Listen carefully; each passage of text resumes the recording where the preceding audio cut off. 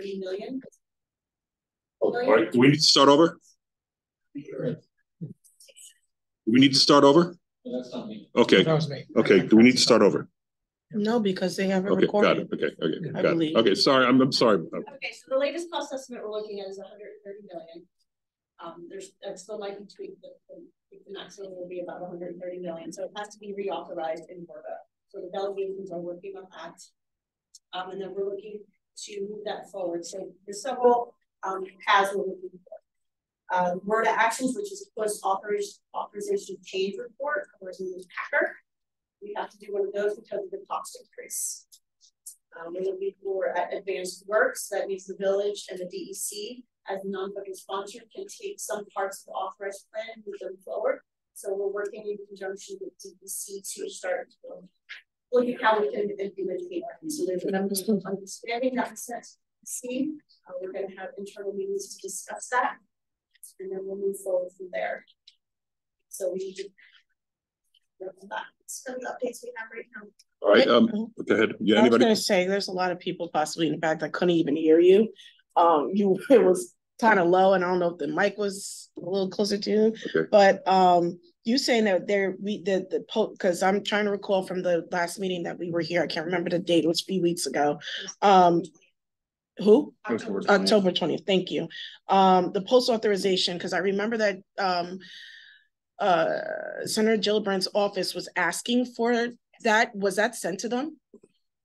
Yes, they were asking for the cost, Cost. so they have to get that approved from Florida, and then you have to implement it. with, uh, But was those numbers sent to them? Yes, Okay, and then for the DC and village, because that was one of the biggest things in terms of um having a, a pre-authorized or or not a uh not a pre-authorized, but um uh an agreement.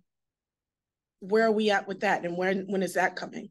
so we have a memo of understanding, an MOU, and I sent that to DEC to look over, and then we're scheduling an an internal meeting between DEC, who is the non-federal sponsor, and us to to discuss that memo of understanding, which would allow you guys to proceed with some of the authorized project elements. And when is that meeting happening?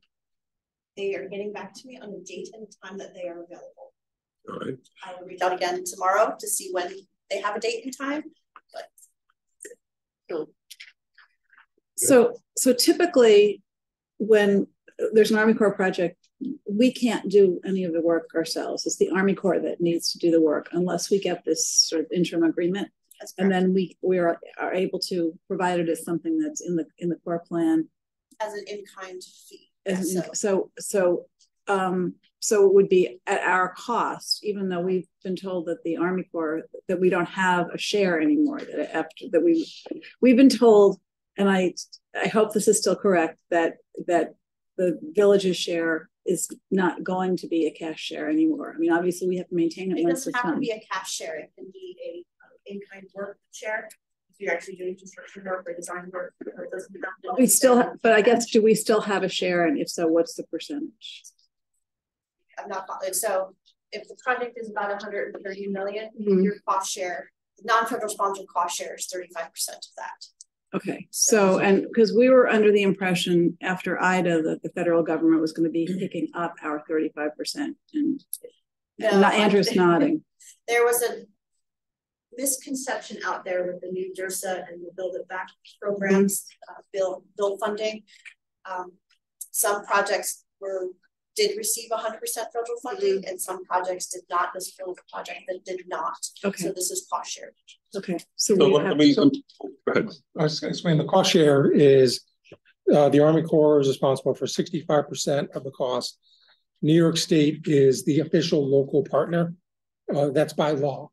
Uh, they, uh, they're responsible for the remaining, uh, share, but per New York State law, they only pick up fifty percent of the thirty-five percent, which is, so that's 17 and a half percent. And then I think there has to be some sort of cost share agreement with the state as to how the remainder of that.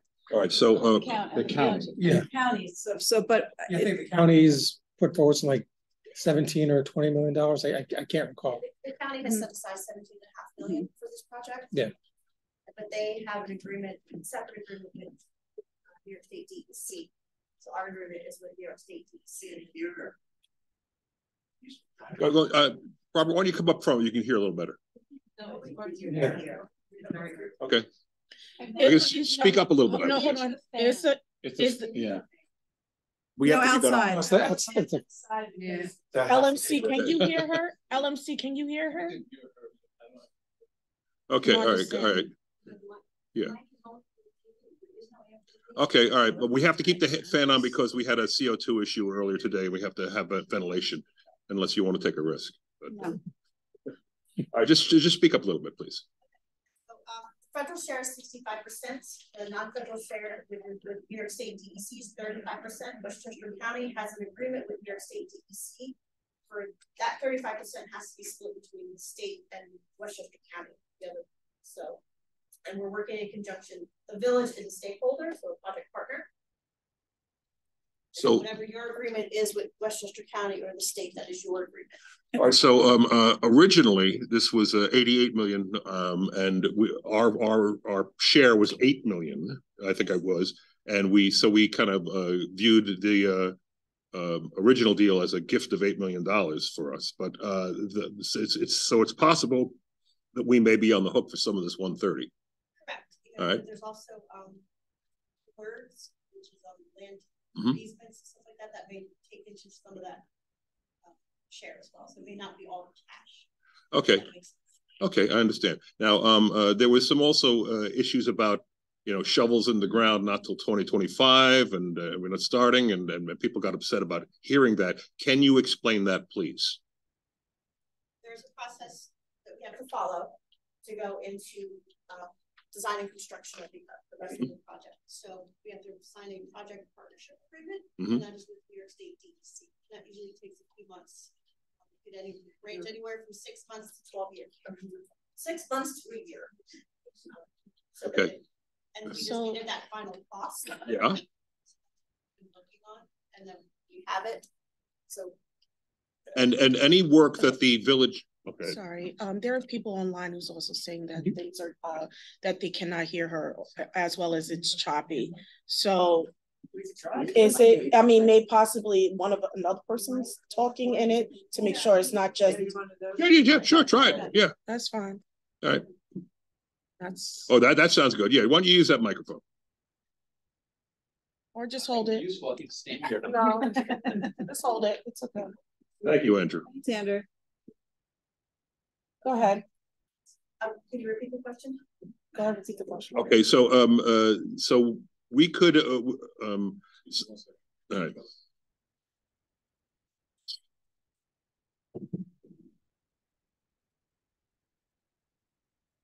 Okay. Thank you. Um, so th- there's a possibility that we, that we would maybe on the hook for some portion of the difference between one thirty and eighty-eight. Yes, Okay, okay, all right, but that 65 35 percent cost share still applies. all right. So that, that'll, that'll be something we'll need to address going forward. Uh, and the work that the village does um, with the, with the Corps' approval in advance, we will be fully reimbursed for that. You Have to approve it, so we would need to see what you're proposing to do, Mhm. the cost of that.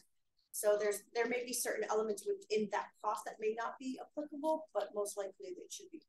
Applicable. Okay, great, all right. So, so, but, but, but nothing we're going to do is going to like shut the project down or, or, or, uh, okay, uh, uh, can you, so the, everything's fine if we start on these things. You have to get our approval first. Sure. It comes in writing. It comes in writing. Got it, got it, vendor has to- got it, thank you. All right, So, uh, but it- even then still, even if we send a, send the, um, the contract to you. And then you still have to wait for the DC to have that meeting, so it's just still the, either the ACE project or the DC that keeps holding us up. The meeting we. So it's not necessarily, I want, I just wanna make sure that it's not necessarily the village that is holding things up. It's, it's, it's, we are kind of doing what we need to do it with us, uh, sending what we, what we are, what we're proposing to do. Yes. Then we still have to wait for you and we still have to wait for the DEC. And in the interim, we can then continue to send you emails, continue to send you correspondence, asking you when is, when is that meeting going to happen? When is something going to be appro- approved? And then we also can uh lean on our, our, our uh our um county and and state legislators to push something. Got it. And once I know the meeting with DEC, I can, I will let you know. Thank you. And, and, and let me, let me uh, make this plea to you, since, um, we don't have control of this, of this plan. That, uh, that, um, uh, that, that you release information in a timely fashion, because every time it rains, there are people suffering from PTSD in this community who get very, very upset. And they get, they get angry at us, and, and rightfully so, I understand that, but, um, but, but we don't have the information either. So, so, so please, please be a little bit more forthcoming, so, so we don't have, uh, you know, surprises for these folks who are just very, very traumatized. Please, uh, uh, I'm, I'm asking you, just keep us, even if it's no change and this is the, the schedule, just let us know, please, okay? Thank you. Thank you, Bethany. Thank you. Thank you. Oh, um. Demolition of the Ward Avenue Bridge might begin when then? Twenty twenty-five. Is it, is it possible, uh, and I understand, is it possible that that bridge will not be replaced or, uh, No, place, okay, yes. okay, no. thank you. We didn't want to move forward with the demolition to leave you with no bridge, no access into that roadway. Okay, thank you very much. Thank you. All right, everybody, I hope everybody's clear on that. I, I think I am. Okay, uh, item one C. PPLAA two, twenty twenty-three, the leaf blower law. And there's two aspects to this we were uh, changing. We were going to, um, change, amend the effective dates uh, for the leaf blower restrictions at the request of the, uh, uh, Committee for the Environment to, um, I believe to mirror what's going on in Larchmont. And, um, remove the exemption for village operations uh, because, uh, I think, well, I, I don't, I don't want to speak for everybody else, but at least my opinion is that it's a bad look for us to be exempting ourselves from something we're, uh, requiring the rest of the village to adhere to. So, um, uh, uh, uh, are we, I want to ask the, the village manager still there? Uh, Jerry? Yes, sir. Okay, can, uh, uh, can you assure us that, that we can comply with this law? That, that you can, you can operate without using leaf blowers and, and, and, and uh, in, in, in the designated, uh, uh, time periods and, and use electric equipment only? I can assure you that I will not operate a gas powered leaf blower. Okay, and, and what, the, the time, are the time frames a problem? No, they're not a problem at all. Okay. We don't mean you personally, Jerry. Okay. Oh, I'm sorry, Lou. I have these headphones on and it's not coming in clearly. No, no, no, So Jeff on is on, Jeff on is on, and I'm sure he would like to express an opinion. Um, he is the park uh, uh, general foreman and uh, should weigh in on this. But as I've said in the past, this is a policy and um, it's your decision, and we will abide by whatever policy the board uh, provides the uh, staff. All right, I- i- is, Jeff, is there anything you want to say that, does this create a hardship for the, uh, for the, uh, for the, your team? Um, I mean, in some aspects it does. So we have 144 acres of grass that we cut and maintain, which means uh, blowing leaves to mulch. Uh, we use blowers to clean parking lots. Uh, I'm not saying that um, using electric leaf blowers is a bad thing. Uh, we've switched to some during the summer months where we just have little cleanups. But as far as come this time of year, there's no possible way electric leaf blowers would work for us and cleaning, let's say, Florence Park. What what we get done in eight hours in Florence Park with gas powered leaf blowers would probably take us three days with electric leaf blowers. All right, so that's something we'll need to consider when we move this, uh, to the regular agenda. Are we, uh, are we all good with moving it on to the regular agenda? Consensus from the board? Yeah. Yeah. Nora? Yeah, um, I, I, I would, I think that it would have been good to ask for some more public input tonight, because we're gonna now, it's, we're gonna have a new law drafted.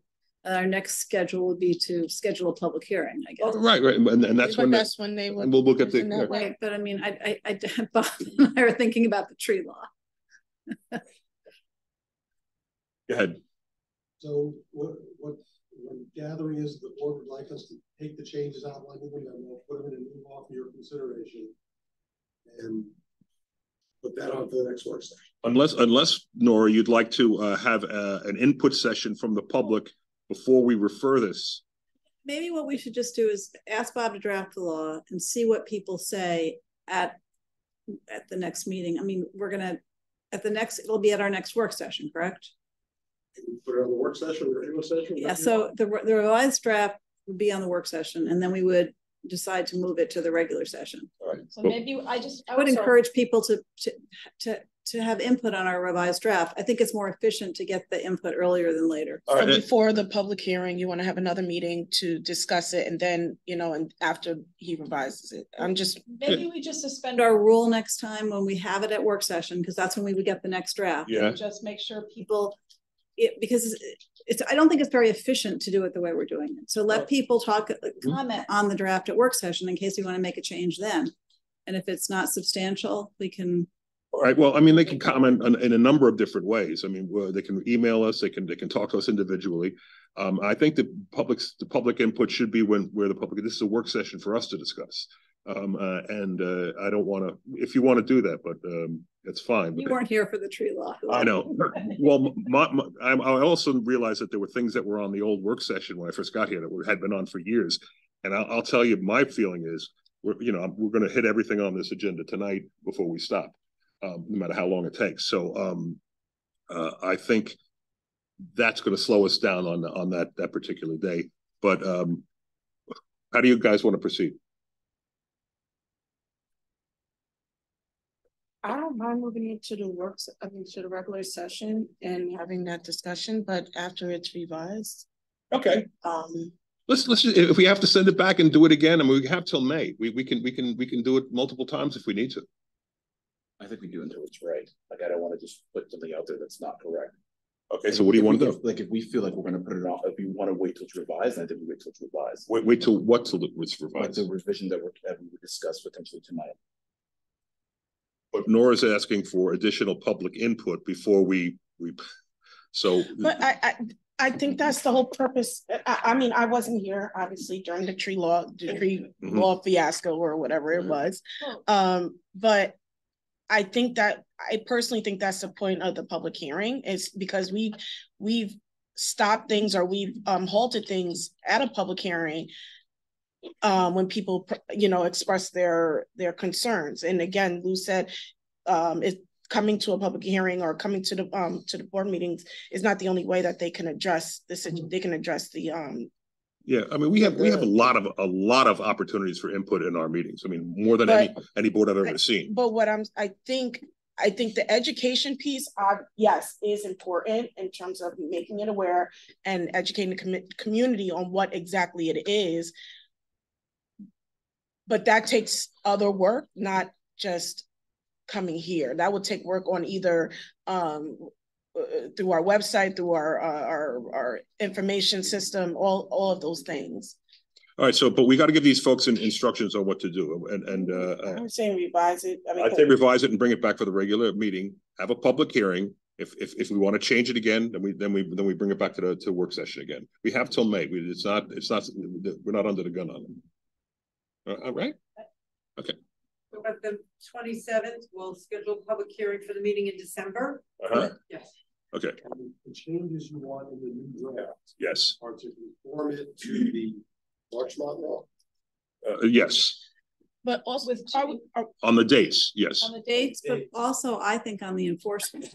That's the other issue that they, they Heavy enforcement on their. Well, they, they, it, so the way we phrased it, anybody could argue that they, that it wasn't their fault and that's an affirmative defense. So I think the Larchmont makes everybody involved responsible. Yeah, because I, I was thinking about that. I, I think my boss made me do it is not a good excuse. I mean, if my boss made me take four drinks and get, and, and drive his car home, that, that, that's not an excuse, right? So Just, just, if you recall, that was a discussion that the board had. Mhm. Yeah. About the potential employee who was told to do something that is actually liable under this law. So the reason it was drafted as an affirmative defense Mhm. is that it requires, in order to avoid liability, the employees required to come in and say, my employer told me to do this. All right, And then the law provides anyone who uses it or causes someone to use it is liable. well, and, and, and that, It casts liability upon the employer. Well, and that could be a We can take defense. that that could be a defense that the person with the relief blower can utter when they come to court and the judge can decide uh, uh, to accept it or not. That's what it currently provides. Okay, all right, all right. okay. Are we, are, also, are we not taking in consideration what, um, Jeff was saying in terms of the workload and, um, how long it takes for the, the staff to, to use, um, electric leaf, leaf blowers, especially in this, in this season? I think that's what we have to talk about uh, uh, when when the when the bill comes up, Okay, and maybe maybe that's going to cause uh, one or more of us to vote against it. I don't know. okay, Okay. all right. So, so to clarify, you want the proposed law to apply to equally to the village. Yes. Yeah, and I'm, I'm correct. I'm correct. I'm, I'm, I'm, I'm not I'm speaking, not speaking for everybody. That's what I, we have a consensus on that? Yeah, and the, and the language that I had recommended was the, it was from the Larchmont law saying responsible parties. The following parties shall have committed violation of this law if it is not complied with. One, the party operating the leaf blower, and two, the party who employed the person to operate the leaf blower at the time of violation, and three, the party who owns the property where the violation occurs, so that it's, it's, it, it incentivizes everybody to comply with the law. So, so, uh, in, uh, under this circumstance, everybody would get tickets. And then when they came here, the, the guy with, the guy with the leaf blower says, they made me do it, and the judge can say, all right, you're dismissed. And then the other two people have to, have to deal with the, the ticket. Am I I? can send this, I mean, So you're getting a little challenging here. Okay. So If if you're making everyone responsible, then Yeah. everyone's responsible. Unless you have some sort of defense that says, you know, the devil made me do it.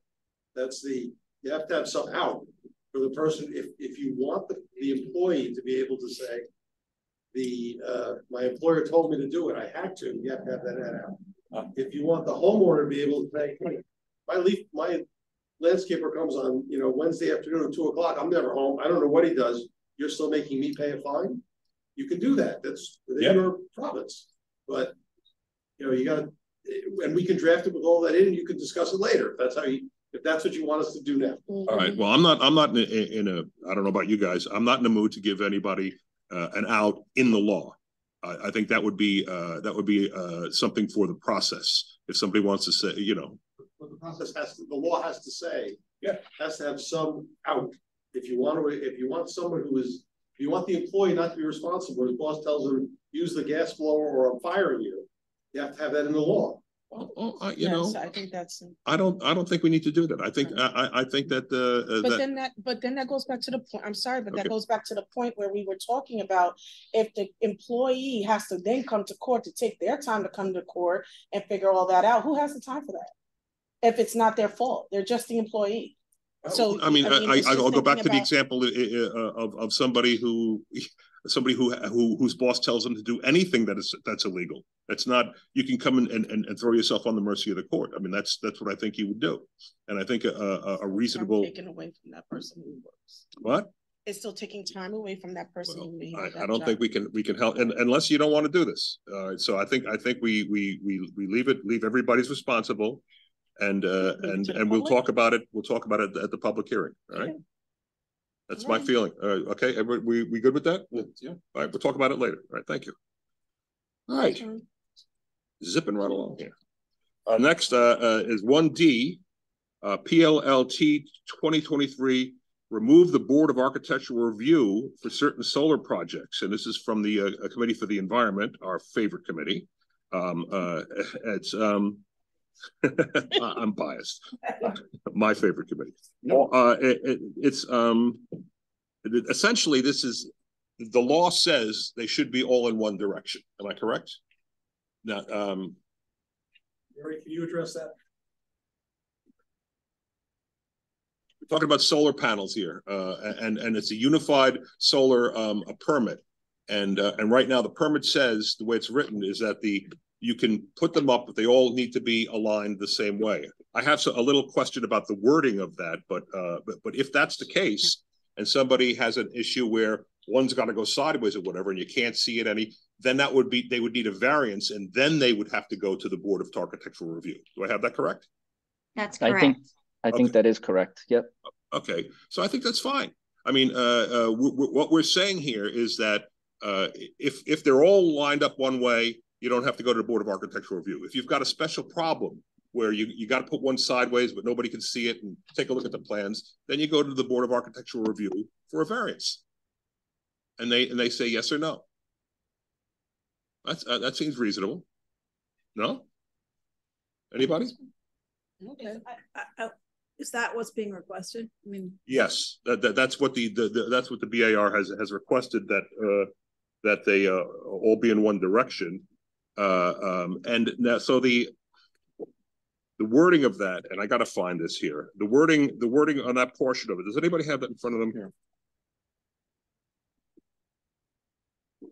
That's- Thank you. Um, Is it section two? No, section.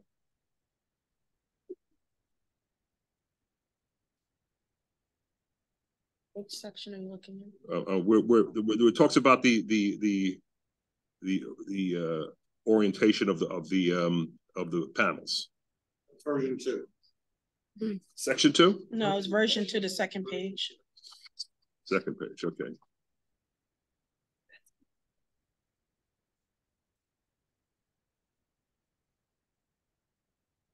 They help me, here, I can't find it. There- There was something in the wording that, that, that made me, that struck me as ambiguous. That it, could be either horizontal or, or vertical. I think it needs to be that they're, they're all one way or all, in other words, they're all vertical or they're all horizontal. Um, uh, and I would like that to be explicit in, in, in the law. it says the installation of residential solar panels laid out in a uniform pattern, either horizontally or vertically on all areas of the roof is excluded from this definition. Okay, so I think it needs to say either all horizontally or all vertically, because, yeah, they're, they're, they're all horizontal or vertical. Some are horizontal, some are vertical. That, that, that, that, yeah, I, I think that's, that's, unless I'm not, I'm, unless legalese, that doesn't. So they need to all be in one direction. I think that's fair enough. They Okay, all need to be oriented in one, the same direction. okay, great. So, so I think that's an important change. And, uh, uh, we, we make that. And then if somebody needs to mix it up, uh, then they can go to the, to the uh, BAR. I think the same thing is true with, um, landmark buildings. If they come in and they say, well, listen, I know it's a landmark building, but you're not gonna see them where they're hidden here, you know, and they wanna make that, that case, they can go to the Board of Architectural Review and get a- approval for solar panels on a landmark. So, so that, that's, that would be their, um, that would be their, uh, their role. There's, so there's, I think there's two aspects to that. One is that there's, I, and I think that there's some sort of credit that we get towards being a certified community if we adopt this. And my question about landmarks was, Mhm. does that limit by, by exempt, you know, we have a local landmarks law and people have to go for a certificate of appropriateness.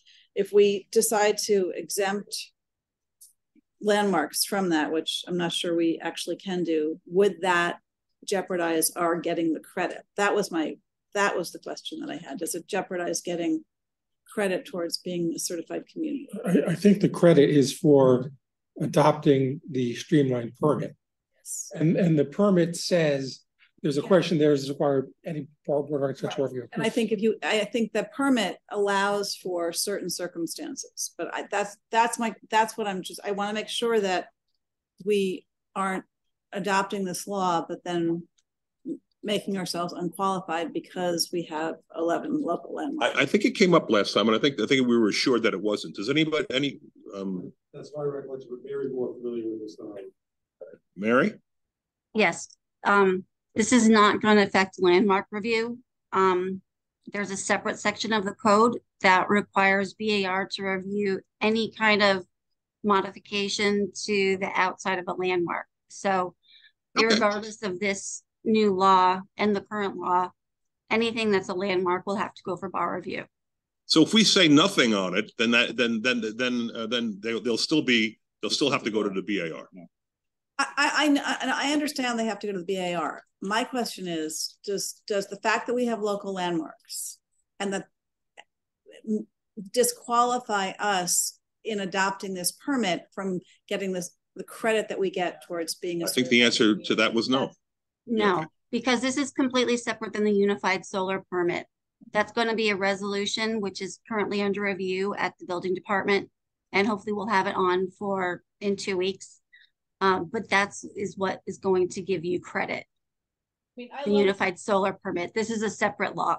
Terrific. All right, so, so I, I think we have a, and I'm gonna ask, do we have a consensus to set this for the, uh, for the, uh, put this on our regular meeting with the addition that they, that we specifically say they all have to be in one direction or the other? Is that okay? Yep. I'm fine Okay, okay, good. That's sort of Yeah. On the regular meeting agenda, for two weeks from now. Yes, sir. Thank you. And, will um, we schedule a public hearing then? No. Would we, would we schedule a public hearing then? Do you think we? need Shall to- we? We would, we would, on, in two weeks, we would schedule the public hearing. We Okay. usually schedule the public hearing at a regular meeting. Okay, great. And the building inspector did perform her review of the permit. Uh, a copy of her email with her comments is attached to the work session. Mhm. Basically, the, the big comments are, uh, you know, figuring out the, the issue with the BAR and jurisdiction. Uh, second is, uh, you know, information about New York State electrical standards. And the third, which is more of a policy matter, is, uh, a fee. Do we want to have the same fee structure for, that we have for building permits?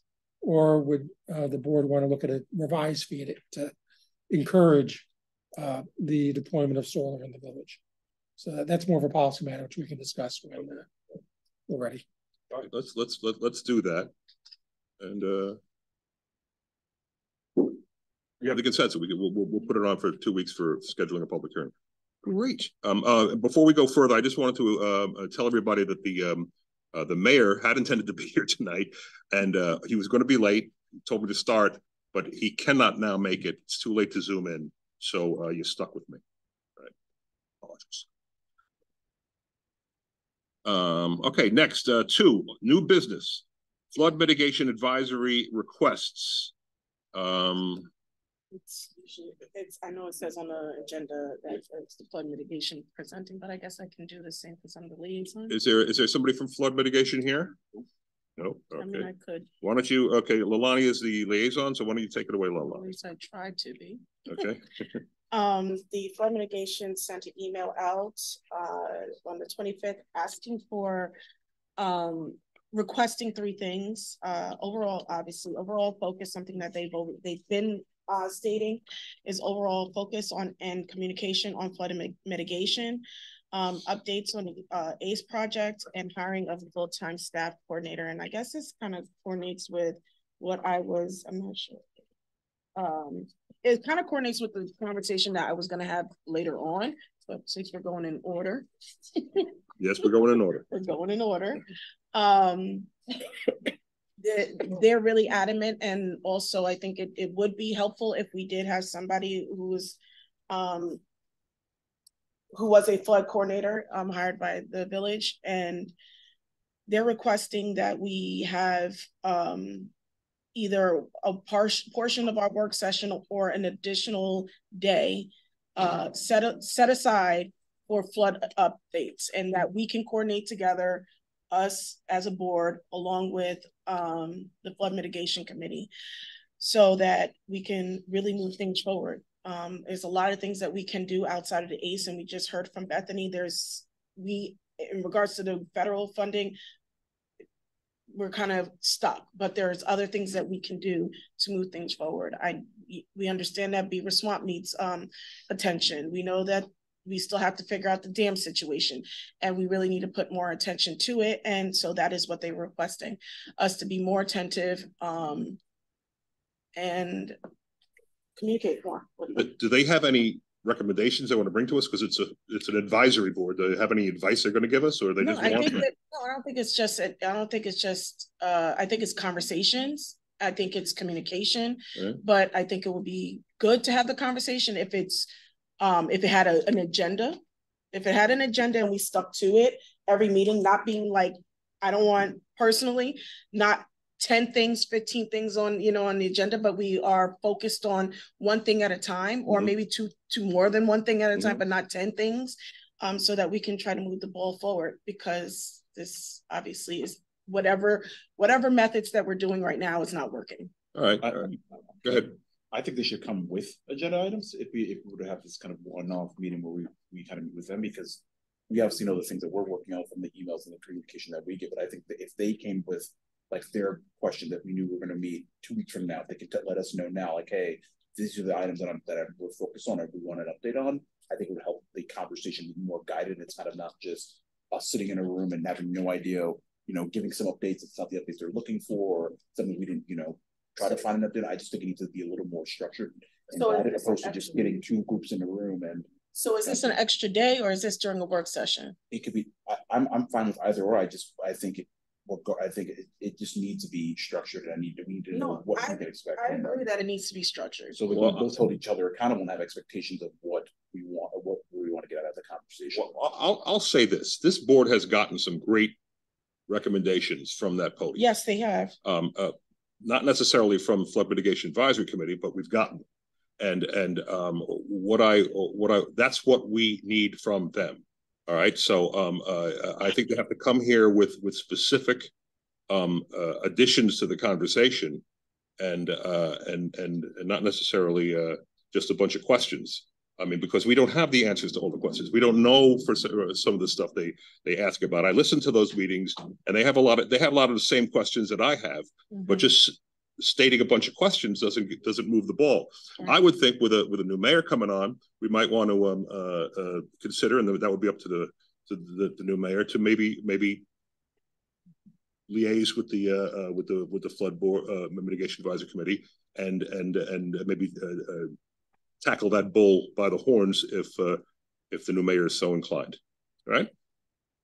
So I think, I think, I think that, you know, the traffic commission has sort of a list, like they have a, a list of projects and issues that yeah, they. they have, they have, they have a, a nice, uh, a nice spreadsheet. Flood mitigation committee is well on its way to building that list, and maybe that's one way of starting Are they? it. Are- Well, I mean, I Haven't seen think that they have, they've made a lot, they, they have a lot of recommendations. I think if we ask them to do that, um, to formalize some of the recommendations that they have, and certainly it's open to other people. There's another person in this room who's not in the flood mitigation committee, but she's thought a lot about flooding that, um, we Talk can about Kate. sort of get, yes, Yeah, yeah. and we ha- have some sort of a structure and have some sort of a list and figure out which items on that list, you know, are a priority and, you know, you know, some, what we can do, what we can do quickly, what we can do more slowly, what we can do further down the line and just try and make progress on flood mitigation because I think everybody's very disappointed that the Army Corps plan has been delayed. So Which is we not need- within our, it's not, No, it's it's not on us. Yeah. No, it's not on But, us. but, but we can, we can, we can do what we're gonna do. We're gonna, and we're gonna. But that's something I I obviously can't go out of order, but that's something that I'm gonna discuss later on in terms of how we as a board, how do we tackle it? Because then we can get the recommendations and then the recommendations could sit there and go fly by night because there's so many other things that we do have to take care of. But and I think that's why they're requesting a separate meeting and a more, a more directed meeting, just focusing on flooding. But then what happens afterwards? Because the, the, the, the staff the village manager and the staff can do all the, all the, all the great things that they're doing in terms of flood mitigation, but then what are we doing as a, as a, as a committee? But I'll talk about that later. All right, uh, um, I'm I mean, can I one more piece? yeah, sure, No, sure, I sure. think that's what, like, that's my main piece, it's just, it needs, we need to manage expectations, I think it's great that we have a separate meeting, it's during the work session, but I think we manage expectations of this is what we can do immediately, this is gonna take six to twelve months, I just think once we give them those tangible things, it, you know, there won't be as much tension between and thinking like things aren't getting done, and then in reality, there are things that are getting done, they just are taking longer than we both, both us, the, uh, as a board and the community would want. Yeah, it's like running, running neck deep in quicksand sometimes. So I just wanna Um, make sure it's structured. So the the consensus of the board is, is, is what, uh, what we do with this request? So, we- I mean, I don't think it's, it's fair to, to schedule these face-to-face meetings now at the end of this, this current government until we reorganize. And, um, and, and I think, uh, I think it would be wise to, um, to restructure the, uh, interface with the FMAC, uh, after reorganization. I think their next meeting is going to be, it's whatever, what is this? It's the twenty eighth. So, and which will be after our next meeting, but which actually, I will bring it back to the FMAC. I know that the mayor-elect was invited to the meeting, so we can discuss it there. Um, and then come back for whenever, when is that, after that, December eleventh? So, and then we'll figure it out. We'll put it on the work session. Okay, And Let's not forget blessings. Thank you. And I think, you know, maybe what we want to do in the beginning, just think, because it is that the probably the first few meetings will be longer than the other meetings, like just to get started. And so maybe we do that on a second day. And if we can move it into work session, great, but try those separately because, you know, come come March, we start with our, you know, budget meetings and those are very frequent. Yeah. You know, so I think if we could get started uh, separately. I, I don't mind adding another meeting. I mean, i- i- if you want to do that, I don't want to, I don't want to speak for everybody's schedule. I- I I mean, am- I'm a retired So, guy, so I can. I I think can- that's something that we probably couldn't add, like, just finalize today. Are we willing to have another meeting or we, do we, do we want to put on an extra, uh, uh, on, on the work schedule? I think it I was, think, Nora, you saying an extra meeting? I think to start with. because- I- Okay. I'm okay with the Okay. extra meeting, but I also don't want to think, take into account that it's not just us that would be at the meeting, we would have staff, so I want to make sure it works within their parameters and their work too, that it's. that, yeah, yeah. It would work. We need people well. here with answers. Yeah, because I just think that's great, like, I'm all for having a meeting, but if, if it's, it's not okay with staff and they're not gonna be prepared. What, ab- what about doing it, Yeah, I don't you, you want to do it now, or do you want to wait until after reorganization? After reorganization. After reorganization. Okay. I, I agree, we should do that as well. Okay, so this is after reorganization. Uh, That, that's the consensus of the board and, uh, But my one request is that it's, it's, that it's structured and we have, and like, if anything at that next meeting on the twenty eighth they have. If, if we, if we're, if we're committing and letting them know that this is what we're gonna do, Mhm. that meeting, that meeting, their meeting on the twenty eighth should be a meeting where they're putting together the items. Of the questions, like you said, like, I don't remember, what could the traffic, they have their running spreadsheet, they need to come, they need to come, their twentieth meeting, they need to do that. They need to have that structured, so then when we, can- so when we do have that separate meeting, it's not kind of just like everything we can all think of, all the questions, and we have some answers to this, some answers to that, I just think we need to have that, because then it can come to us, it's us and staff, and we we can kind of build those expectations, okay, this thing that you're talking about is probably six or twelve months down the line, this is something we can take action on now, I just want to be able to manage those expectations, I don't, I feel a lot of people are burned and hurt by a lot of things when it comes to flooding, it's a very touchy topic within our Sure. community, I just want to make sure we're managing those expectations, so it's not kind of like we're telling them, oh, we're gonna do this, and then it doesn't happen for twelve months and it's very frustrating. I want to make sure like we are very clear and transparent with them about what the expectation can be for some of those items. and not to, not to flog this to death or talk about it too long. I mean, uh, but, but there are specific things that I think we can ask them to do.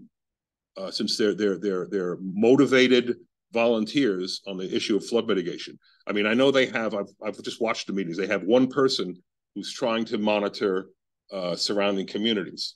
I think, you know, we could have more than one person uh, uh, uh, uh, on that job. That's, What do that's you mean, critical. one, one person? There was one person that, she- you know, about the projects that might affect flooding in, in, in neighboring communities in Harrison and, in- and, in- and in White Plains. And, um, I, I, I saw her present, you know, and, and, uh, Yeah, and so I that- said, and I said, I said, that's what we need to be doing. So that would actually be, if we're not having that discussion, that will be on later on in the agenda when I have the discussion again. So Okey if doke. you- All right. Exactly. All right, thank you.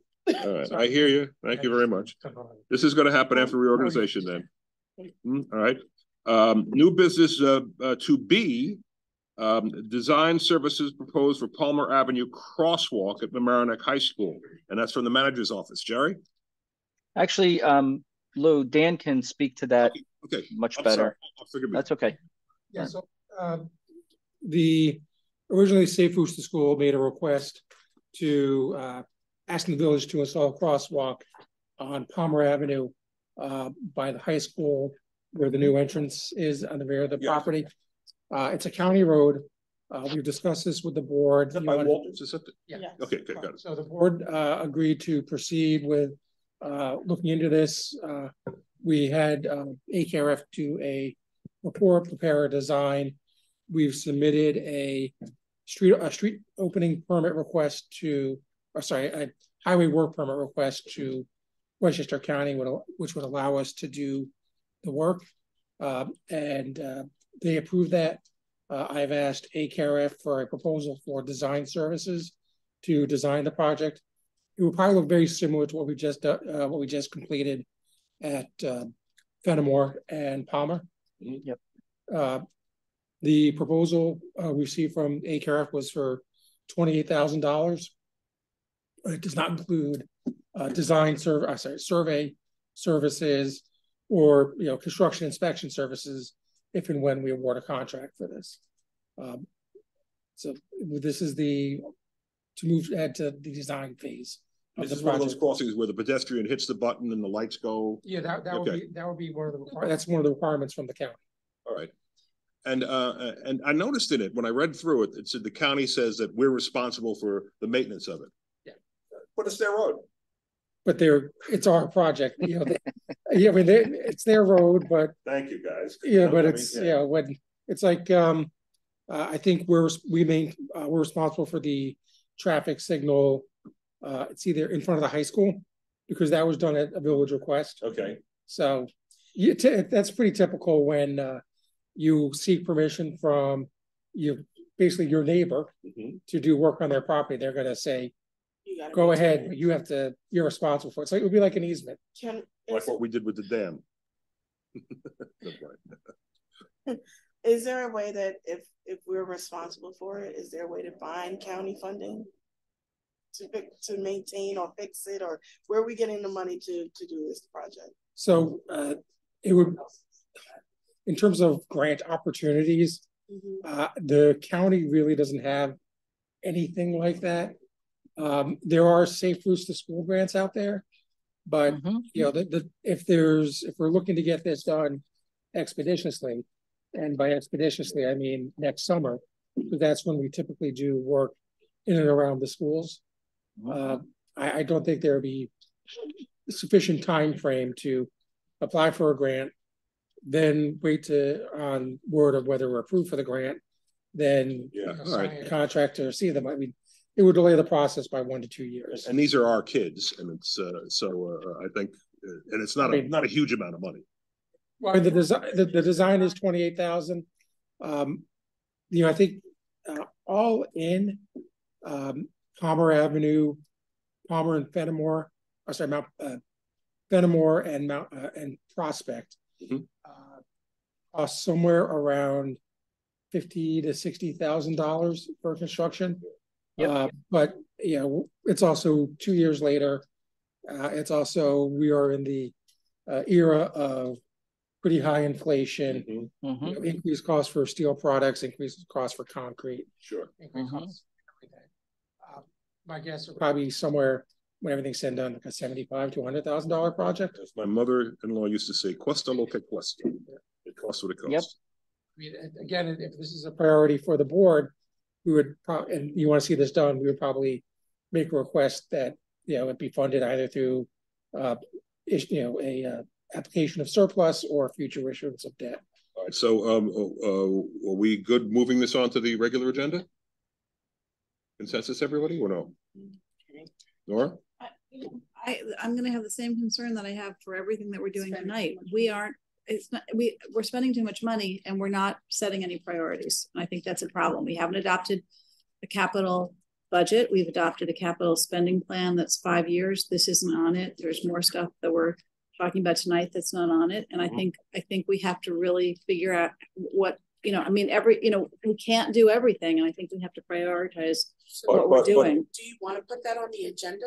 Do you wanna, how, how? Capital that- plan? Well, having a, um, coming up with a, a, a a spending budget. I would love to put that on the agenda. it- Yeah. I mean, I know you said it several times and I haven't really been opposed to it or anything like that, but you have to put it on the agenda. I did put it on the agenda. Oh, I'm sorry, I didn't. No, no, no, and what we ended up with was this massive, massive plan, not uh, like a five-year kind of wish list as opposed to a plan where we're gonna spend X amount this year and these are the priorities.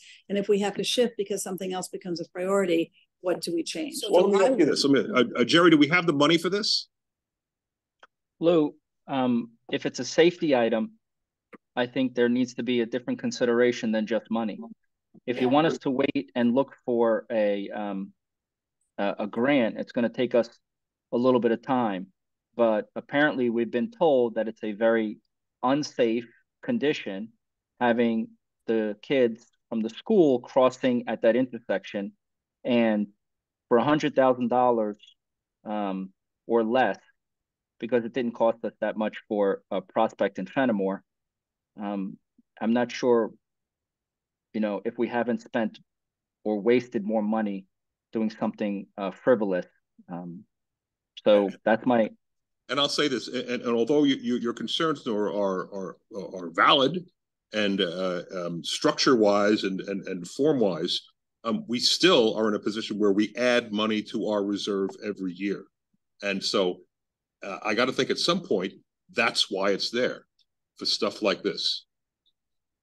We have, we have thus far, but this year we're on, on schedule to spend a lot more than we've spent even last year. And I think one of the. But are we adding to the, the, uh, Don't know. I don't know. We don't have those numbers, but, but what, what I would say is we should be prioritizing our expenditures. And the first priority is always, I mean, there's like a normal metric for it is what's mandated, like, you know, what we're under a consent decree that we have to do. Mhm. And that would be the I and I stuff that we're doing. And then there's safety, and then there's the other things. And what, what I think that we're not doing is prioritizing. I don't disagree that this is important. okay. But at some point, something else gets, something else has to drop off. Okay, well, you, you can make the suggestion on what we could drop, and, and, and I think we were all on the, on the agr- agreement that we think this is a priority and it's, a it's safety and we should do it. Is that the consensus? Yeah, I I think- think, I think safety has a different, Okay, I think I, a I, different priority level. I just Alright. think we don't want, you know, God forbid something to happen and, and we're getting told and it keeps coming up that this intersection is not safe. I think why we, you know, I mean, I would, I would, I mean, I, I would hate to put this off and then have somebody hit by a car there. Beyond, mm-hmm. beyond this, beyond this, this particular situation, do you want to have a different meeting? Do you wanna have a separate meeting? What do you, what do you want? How do you want to proceed with creating a, um, a plan, like how do you want to proceed? Because again, I personally think that the safety, yes, and safety items should be there, be on the top of the list or however. Um, but what do you, what is the plan? What plan do you have? What plan are you suggesting of how to move forward? Like, or do you want a, a- an additional meeting? Do you want us to lay it out? Do you want us to work, you know, obviously work with the village, um, the, the employees, uh, whether it's Aug, Augie, the, uh, the, um, Laura, Lord, thank you. Laura and, and, and, um, Jerry, like, who do you, what do you want to do? I, what I, So, and what is? what I want is for us to create a capital spending budget, not this. We we can use the plan that we have, that's, that, but that's many more things than we can accomplish in five years. That's not what we're talking about here. But We're- we're- It is, because we just say it's on the list and we can fund it and we can afford it and we're gonna have a lot of reserve. I wanna have a structure that says, these are the projects that we're gonna do in a given year. And we have to prioritize them by what's required by law or consent.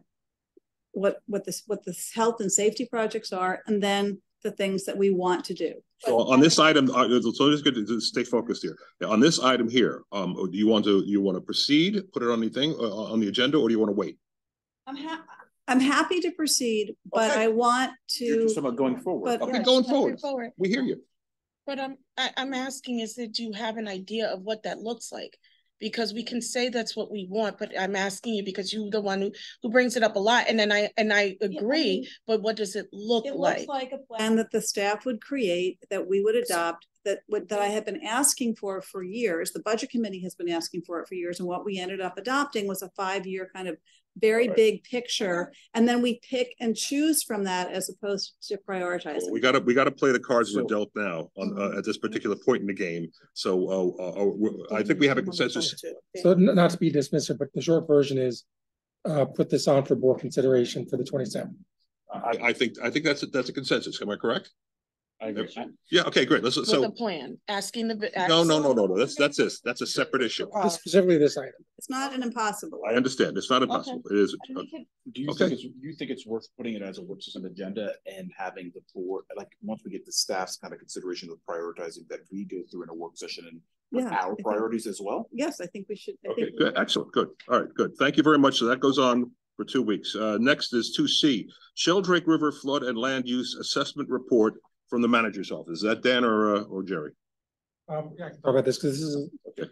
uh, in the end of twenty twenty, uh, the village applied for, uh, was known as a Building Resilient Infrastructure Communities Grant, or BRIC, B R I C. Uh, it was to effectuate a project that had been recommended in the twenty twelve comprehensive plan. It was also included in our hazard mitigation plan. Which basically was to uh, conduct a study to try and uh, expand and or protect open space along the Sheldrake River uh, to, you know, maintain areas that, uh, to keep buildings out of the floodplain. Uh, so we had actually been approved for that grant. It was originally a seventy-five thousand dollar grant. Uh, we had uh, applied for seventy-five percent of the cost. In that round of funding, uh, there were eleven grants that were grant applications that were submitted to New York State. Uh, we were the fifth highest. So uh, the first four of those grants ate up about 98% of the uh, of the total funding. So there was $32,500 left. Uh, so uh, the board originally adopted a resolution committing the 25% share of 75,000, which is, I believe, $18,750. Uh, we have 32,500 available in grant funding uh, and 18,000 from what was prior, uh, prior previously approved. Um, in the meanwhile, New York State commissioned a report, uh, which was a kind of a flood study of the Mamaroneck and Sheldrake rivers. And among the recommendations in the report that was uh, prepared for the state by the engineering firm of SLR was the establishment of a flood bench along the Sheldrake River, which is remarkably similar to what we were going to study. Uh, but you know, we were proposing to do hydraulic hydraulic work, hydrology work. That was all done by SLR. Uh, so, and identify the areas that we would focus on. Another Again, gift. done by SLR. So uh, we've kind of expanded the grant a little bit to uh, not just identify, you know, the cost of those properties, but just kind of implementing what they've uh, recommended for the Sheldrake River area. Uh, given that SLR has already done, I would say, two thirds of the work, uh, we asked them to submit a proposal because they have the data. They're not going to be spending a lot of time interpreting the data. And we have until the end of next year, essentially, to perform the contract work. Uh, so I asked for a grant, uh, sorry, a proposal from SLR to do the work. They provided that uh, at a cost of seventy-five thousand dollars to complete the study. Uh, and, you know, we're seeking to move ahead with this. So we only have, uh, but we only have thirty-two, you say, right? Well, there's thirty-two thousand five hundred in grant funding. Mhm. Uh, the board already approved eighteen thousand seven hundred fifty dollars. So it's how much We're committed, uh, eighteen thousand seven fifty in, I think it was, uh, early twenty twenty-one. So there's a balance of about twenty-three thousand dollars that, uh, uh, we, we'd be asking the board to, uh, finance to complete this report. So we can do this, uh, complete the grant application. So it's another twenty-three grand, Nora. Uh, uh, um, uh, do, what do we think about that? I think what we need to be doing is dealing with flooding. I think that's a priority. Okay, great. But- All right, absolutely. I, I'm, I'm with you. So, um, and twenty-three thousand, uh, more doesn't seem like too much. So, uh, we put this on for two weeks?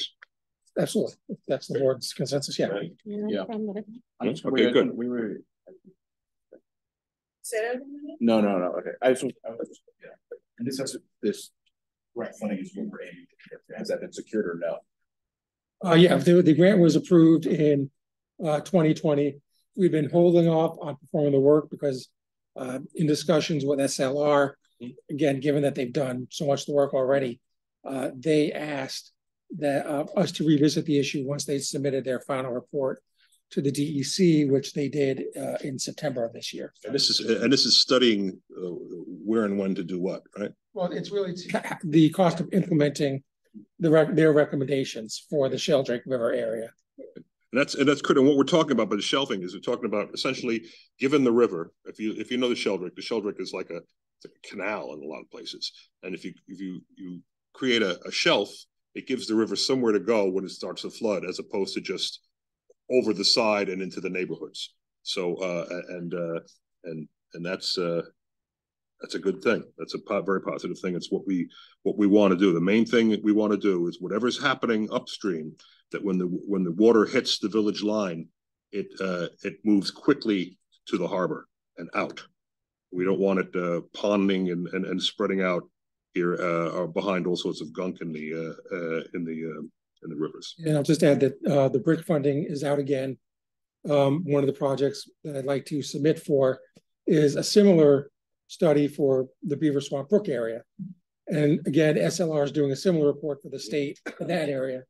So uh, I've had discussions with them about a similar type study. Uh, it'd be a little more, uh, a little more work on Beaver Swamp, uh, but that'll be coming up at some point in the next couple of months. Okay. Thank you. All right, so that's off for two weeks also. Busy two weeks coming up. Uh, next is the uh, RFP submissions for the order for affordable development on Hunter Tier Lot across the street. We have uh, two responses to the RFP, and I believe we have two separate dates where we can where they can present to the board, and we can uh, grill them about what they what they're proposing and and all that. Uh, and, and and and uh, those dates are what? Uh, I'm sorry. 15 and twenty-one. Uh, uh, November fifteenth and November twenty-one. Five o'clock. Here, both here at five o'clock, and and that is uh, presentations from these folks to the board. Okay. It will be on LMC and Zoom. Okay. All right. Great. But There's, there, one team is presenting one night and the other team is presenting Yeah. the other night. Correct. Yeah. There was a, there was a suggestion, and I had this. Uh, uh, well, the mayor was was suggesting that we do them both in one night, and then when we when Jerry and I talked about it, I, I- I think it's too much.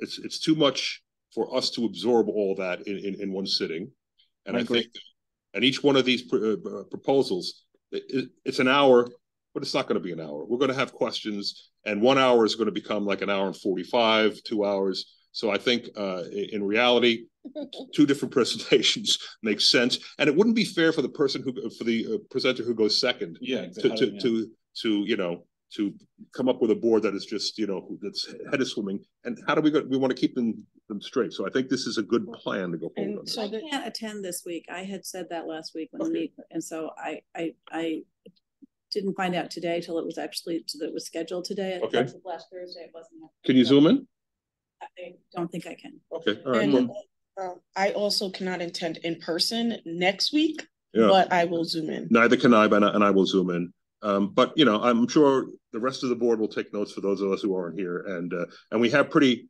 substantial um um things from from you know with drawings and stuff so we could we could Also, if, if there's, because we got the, the proposals and they, ca- it came with that spreadsheet of like, you know, a checkbox list. If you want to present, if you want your, your thoughts Yeah, to I be will- presented, then submit them to somebody. one Yeah, of us. yeah. This before, I will do that. okay And also, we have discussed, and I think this is something we really need to do. This is not, none of us on the Board of Trustees is qualified really to be selecting a developer for this kind of a project. The village has did that with the regatta and didn't, wasn't entirely, it was, a- it was, it wa- it, it didn't go as expected.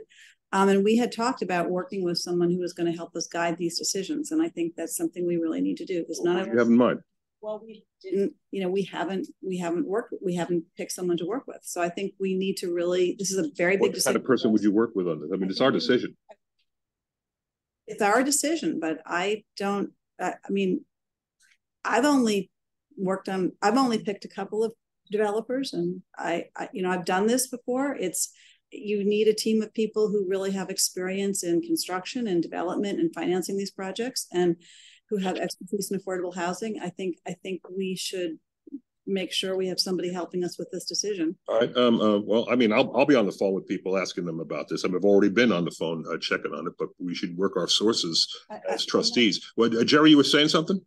Yeah, Lou, um, two members, um, if you're so inclined, if the board's so inclined, two members from the Mamaroneck Coalition on Affordable Housing should be, maybe included in the discussions, um, as well as our building inspector, who is an architect, Mhm. and our planner, and of course, Dan, Dan Sarnoff and I will be included as well. So maybe bringing in someone from the Coalition of Affordable Housing to, um, have their perspective could help uh, the board um, decide on on which way you know they're looking to go. And I think that they do have somebody on, on the staff for, at the coalition that, um, has that background specifically with, uh, in terms of building and, and developing. Oh, that's good. I didn't know that. Thanks. Yeah, I didn't know that. And I think if any of the board members have, have uh, suggestions for additional members of that, that group, then we just um, invite them. Yeah, no? Okay. Okay, good. All right, so um, we've got that, uh, a meeting on Wednesday and a meeting uh, next week. Okay, got it. And, uh, and I'll, I'll be zooming in on that meeting, on the second meeting. All righty. Flipping right along. Okay, good. Just the runner that we need to, if you're zooming in. Yeah.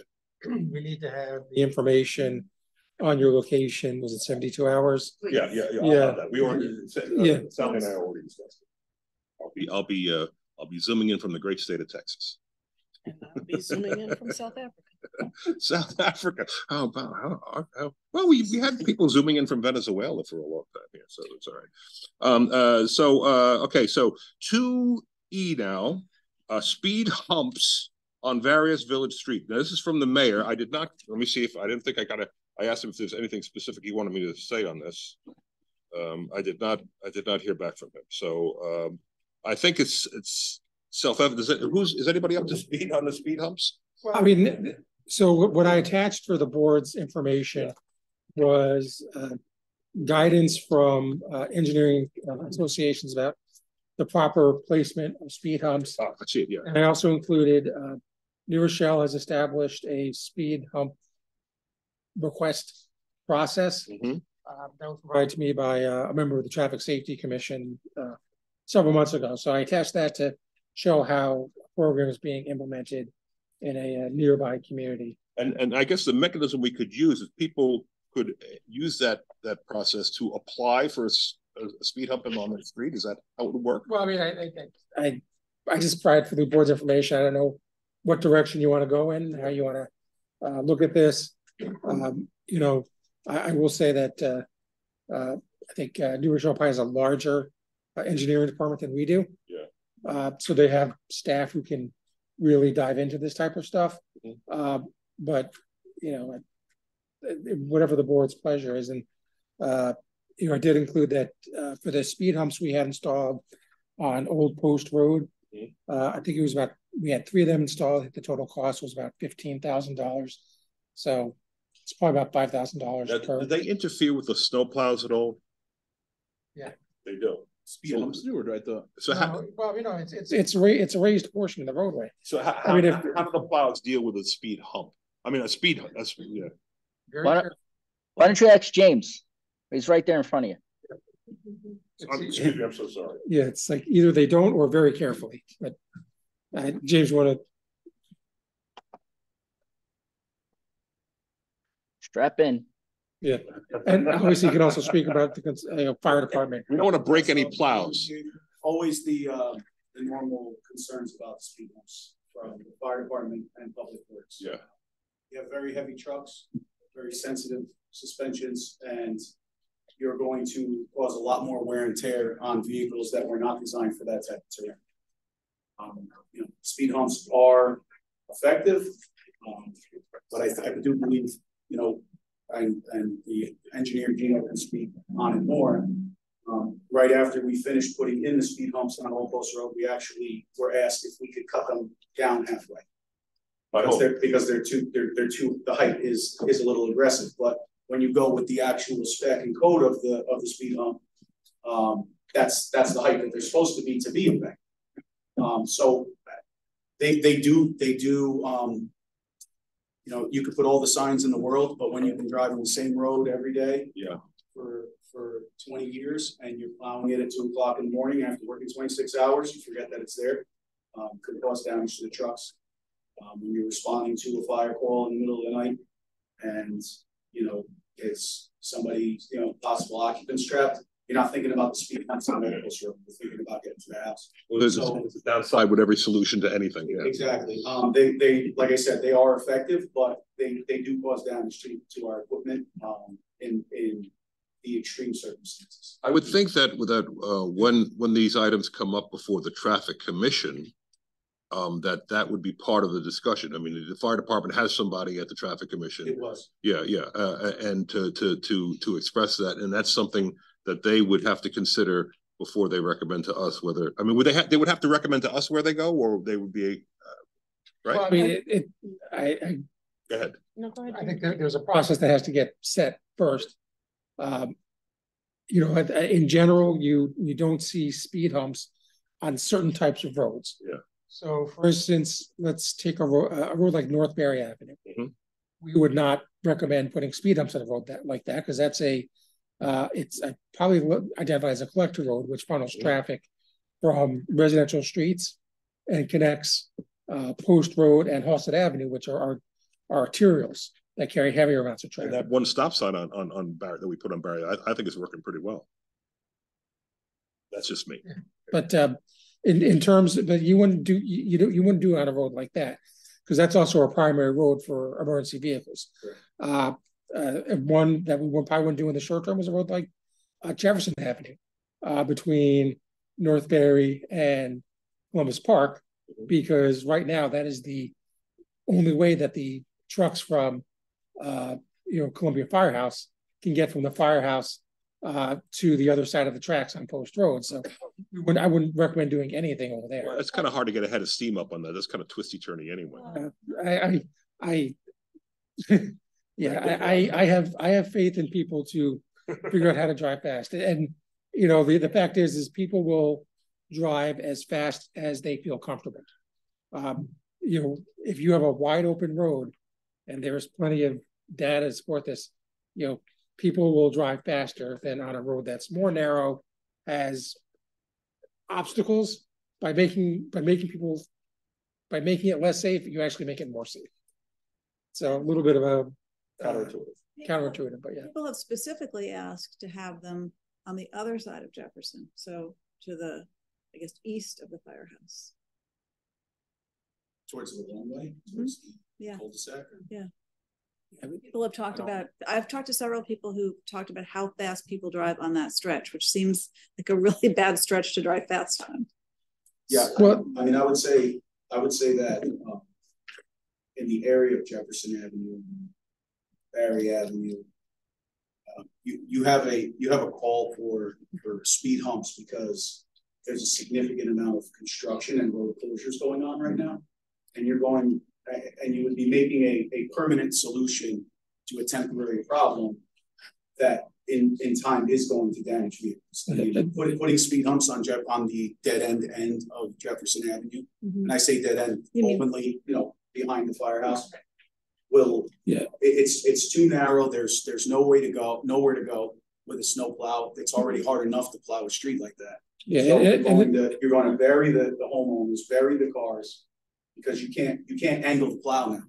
When you, every time you go over a hump like that, you have to straighten the plow out and go over it. Now, now the snow can't be directed to one side, and, and you're going to delay the, the clearing of the roads. Yeah, So, And, and in all fairness, you know, how the, per- the perception of how fast people are driving is a lot different from the reality of how fast people are driving. For example, and I shared this with the traffic commission, uh, you know, probably a year ago, uh, had a resident on Hillside Avenue uh, ask for the installation of speed humps after we opened the new bridge.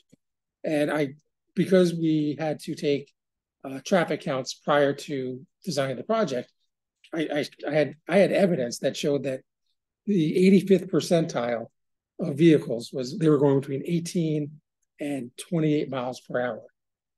It was, you know, like, you know, there were so few examples of cars going radically fast.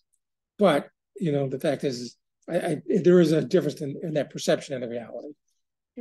um, so one thing that the traffic committee, what we've been trying to stress and really work on because we had a presentation again um, with Vision Zero. And this is just because I'm thinking holistically and I'm also thinking long term because if we keep doing these little things here and there, it's not going to, I think it, to your point, it, it doesn't necessarily um, help the village, but if we, and to all the points when we are always talking about um, educating the community, that's what Vision Zero does. And if the traffic committee, with the support of the board, can really hone on, hone in on education around uh pedestrian safety and using the the uh, uh some of the uh measure the, the the measurements that Matt Carmody has has suggested or will suggest in the future, as well as with our our our um what's that plan? Comp plan, thank you. Along with the comp plan, I think we can change the way that uh, the village looks and how people think and how people are driving because it's not necessarily all these measurements that we're doing. It's literally, um, I'm driving down Mamaroneck Avenue to even get here, and I'm stopping in front of of uh, uh, the Formula One because the traffic is backed up. But because the traffic is backed up, and I could foresee that the light is going to eventually turn red, and there's not that much room in in front of me, and I don't want to block traffic. About two or three cars go in front of me because they felt like it's an opportunity, and then they end up. And it's I think it's it's individuals. Mhm. Everything is individual. We are in this state of individuality and we're not thinking about anybody else when we're driving and when we're doing and it's just because we're in our own state of rushing and however we want to do things individually so to my point Mhm. um this is something that we as a traffic committee is is is is really trying to figure out and work on so I don't know what the, if we're gonna do the speed humps, I don't know, and this, or how we proceed forward, but we really have to start thinking long-term. Well, I, I, I think, um, all these individual issues will be dealt with as the speed, individual speed humps come up. Uh, uh, and, and we can discuss the, uh, those things in detail, um, uh, as they come, but what we're de- dealing with here is a procedure for putting them in, am I correct? Correct. Okay, so, so do we, are we clear, do we want to, uh, uh, proceed with this and put this on, uh, as to whether we want to, uh, adopt this program? Well, I guess, does Matt Carmody think this is the actual right program for the village? I mean, what is suggest? I think if it's, you know, that's. I, I, so, there's something. I mean, he, he's provided us suggest, yeah, suggestions for placement in the past. Uh, you know, I, I think he, in general, I think, uh, traffic engineers are, are kind of have mixed opinions on this. Yeah. Um, you know, to a certain extent, uh, a, a good portion of tra- of traffic engineering is psychological in nature as opposed to physical in nature. Because again, you know, when, when you are able to change the perception of the driver, they tend to be more careful. Uh, so it's not necessarily signage, it's not necessarily uh, always physical alterations to a roadway. Well, I know we've put speed bumps down. I, I. Oh, there's speed Those are humps there. Well, I've seen bumps uh, already, and, and I, I, I prefer, vastly prefer the humps to the bumps. So, um, uh, so the, um, uh, uh, I, I think the, the question we have here is, we want to, um, discuss this, uh, in two, we, we're, we're, we want to discuss this in two weeks. So, I mean, you know, the application is pretty straightforward and, and applicable to more than one community, except for the table that ranks the project ranking system. And I guess the question is, is this project ranking system that was suited for New Rochelle appropriate for the village of Mamaroneck, or does that need to be tweaked? Well, I mean, I, I think you'll, you'll have requests and, uh, you know, if we were gonna implement a program like this, uh, we would seek probably funding in our general fund budget for something like this. Cause it's gonna be an annual program. I think we'd have to, you know, Like. rank and prioritize. It's all every year, like. Yeah, Yeah. We, we, that- we approve four of them a year and, and, you know, Table one has, um, you know, the basis for a point, basis for point assignment. It, like, there's one point for every accident reported within the past three years, five points assigned for each good school, each school crossing on a project street. Um, housing density, project supports city transportation goals related to bicycles. I think if we're gonna adopt a program like this, we have to have a set of criterion that, the criteria that apply appropriately to the village of Mamaroneck, not necessarily to the city of New Rochelle. Yeah, we, we don't need to reinvent the wheel. Well, Uh, we'll- We can tweak the Yes, wheel. because their meeting is tomorrow. Yeah. Can we, we can talk about, well, I mean, we already have an agenda, but, um, Yeah, that. but we will, I will, see- I will talk about it, I'll bring it up. okay, great, that's, that's terrific. Okay, so, so the consensus is that Lalani's gonna take this to the traffic commission? Yes, I can't promise that that will be at the next, for the, ready for the next meeting. Okay, fine. I, I don't think this is, is a desperate, is there, there's no, is there a time frame on this where the, this turns into a pumpkin or? No, Okay, all right, No. good. All right. I mean, All right. it's gonna be an annual project. We probably want to get it in the next year's budget. Sure, Mhm. absolutely. it's a good idea. Okay, at the traffic commission, then. there we go. All right, all right. Thank you. Uh, next is uh two F, Orienta Bike Path Lighting, and this is from the mayor. Um, is there, I, I'm not familiar with this, so um. Uh, Help me out where this is. So the mayor asked to uh put this item on the work session.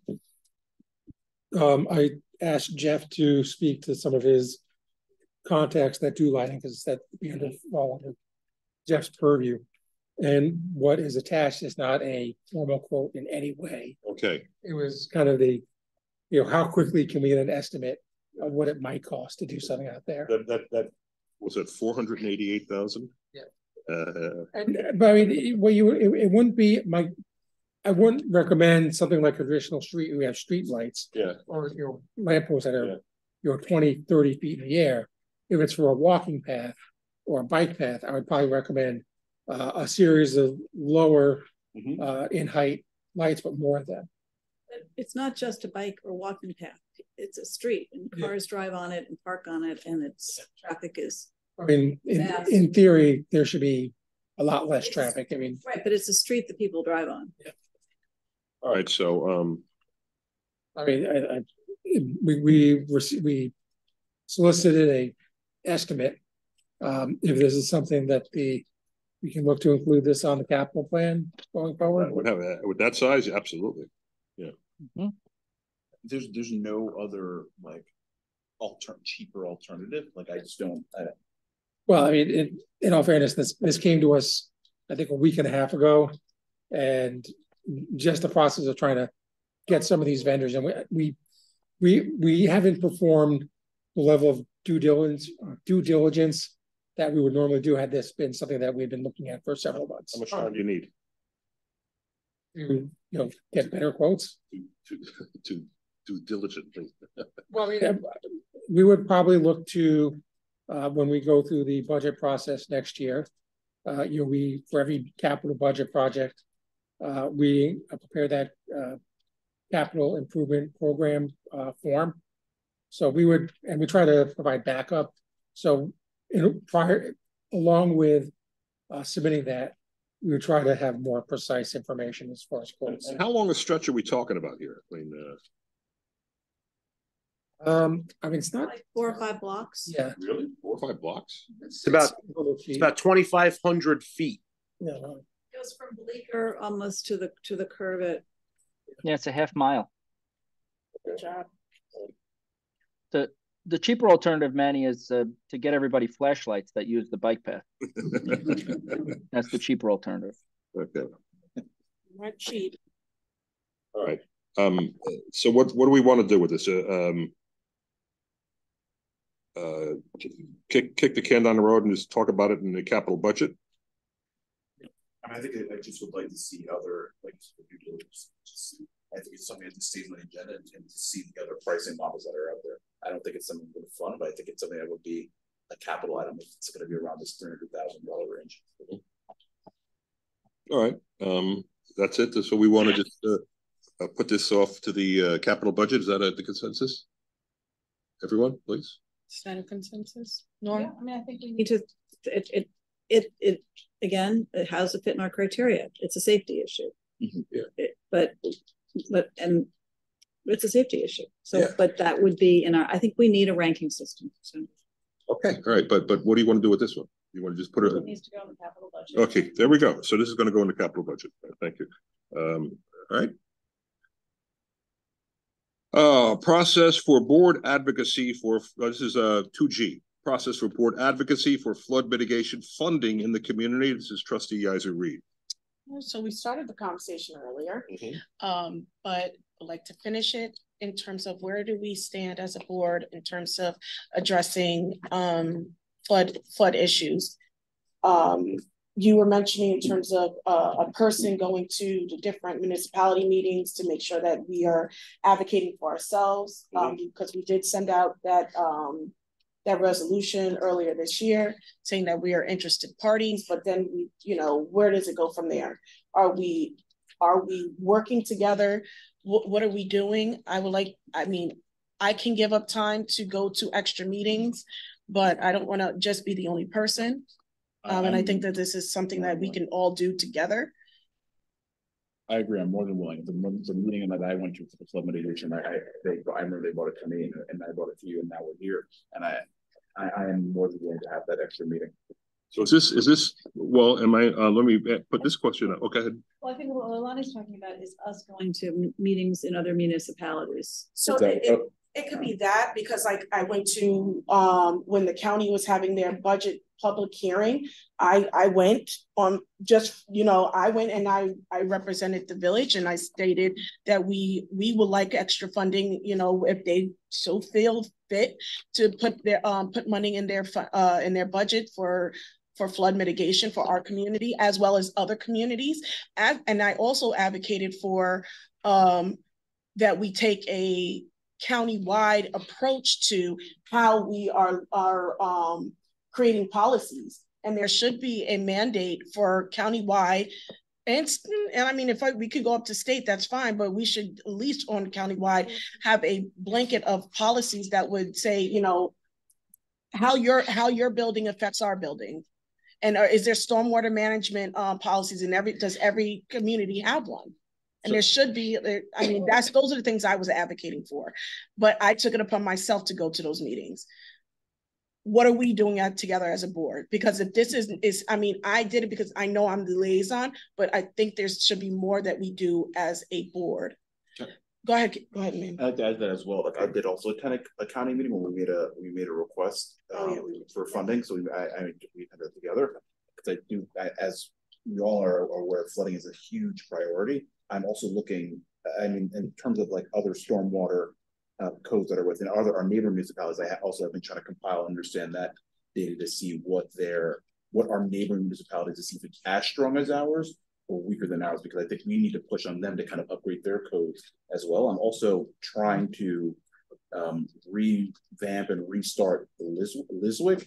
So I know I'm trying to begin to begin doing that process because I think it's really important that we. Elizabeth can explain that what that is.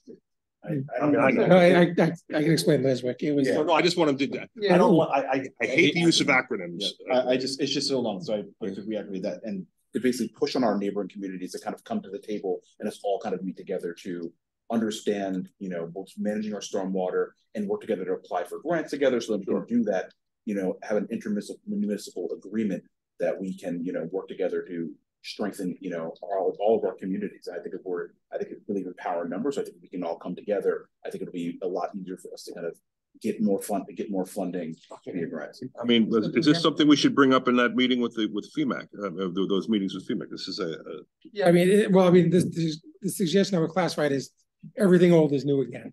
Yeah. Um, so LISWIC was a group of municipalities in what was then known as the Lower Long Island Sound Drainage Basin. I think the county has changed the name, but it was uh, at LISWIC Long Island Sound Watershed Intermunicipal Council. And it was a group of, you know, twelve and then uh, fourteen municipalities. Uh, we, uh, the original intent was really more focused on water quality. Uh, and uh, there were uh, intermunicipal grants that were sought in the late nineties, early two thousands uh, to produce educational materials. Uh, and then kind of the next major step was uh, we had worked on a grant to try and establish a regional stormwater management district. Um, I've sent, I think I've sent emails to the board about it. Uh, I, I can redistribute that email, but kind of going over what the process was, what we were trying to accomplish. Because I could probably speak for an hour on that, and I don't want to. Uh, you have an agenda to go through. okay, and we're going to finish it. But no, that I, I just know like that is one of my kind of priorities to trying to figure out that piece and, and I know like, like I said before, I, I attended county meetings to kind of, when we've have requested funding to kind of help and push our legislators to, you know, release some funding to us. Well, Right. again, I guess we can push it to the F- FEMAC, but mm-hmm. also what are we willing to do? We can push it to that meeting, but I also would like to know what are we all willing to do? Well, all of us, yeah, but, but, but. but I mean, yes, come on, I want us We're to come five up with a people, but we, we- but FEMAC is also a group of volunteers that we can request them to, uh. Yes, but then, then there, then there's this, this, this, this procedure of like, when, then when we have to all advocate for, or when we have to advocate for uh, to our, our, our local, or I mean, our county and, and state, um, or even federal, um, legislators, who's doing it? How is it being done? Mm-hmm. And, you know, is there a process to it? Cause I'm not, I don't, do we, do you know the process? Do you know the process? Anybody know the process? Or are we just all just sitting there, just uh, emailing and, and, and not even talking to each other about what we're emailing and what are we finding? What, are- what answers are we getting? So that's, I just want to streamline process so that we all know what we're doing. And we all know that we're advocating for the same thing and that we're not just all over the place. Cause that's what we're, we're, we don't have that.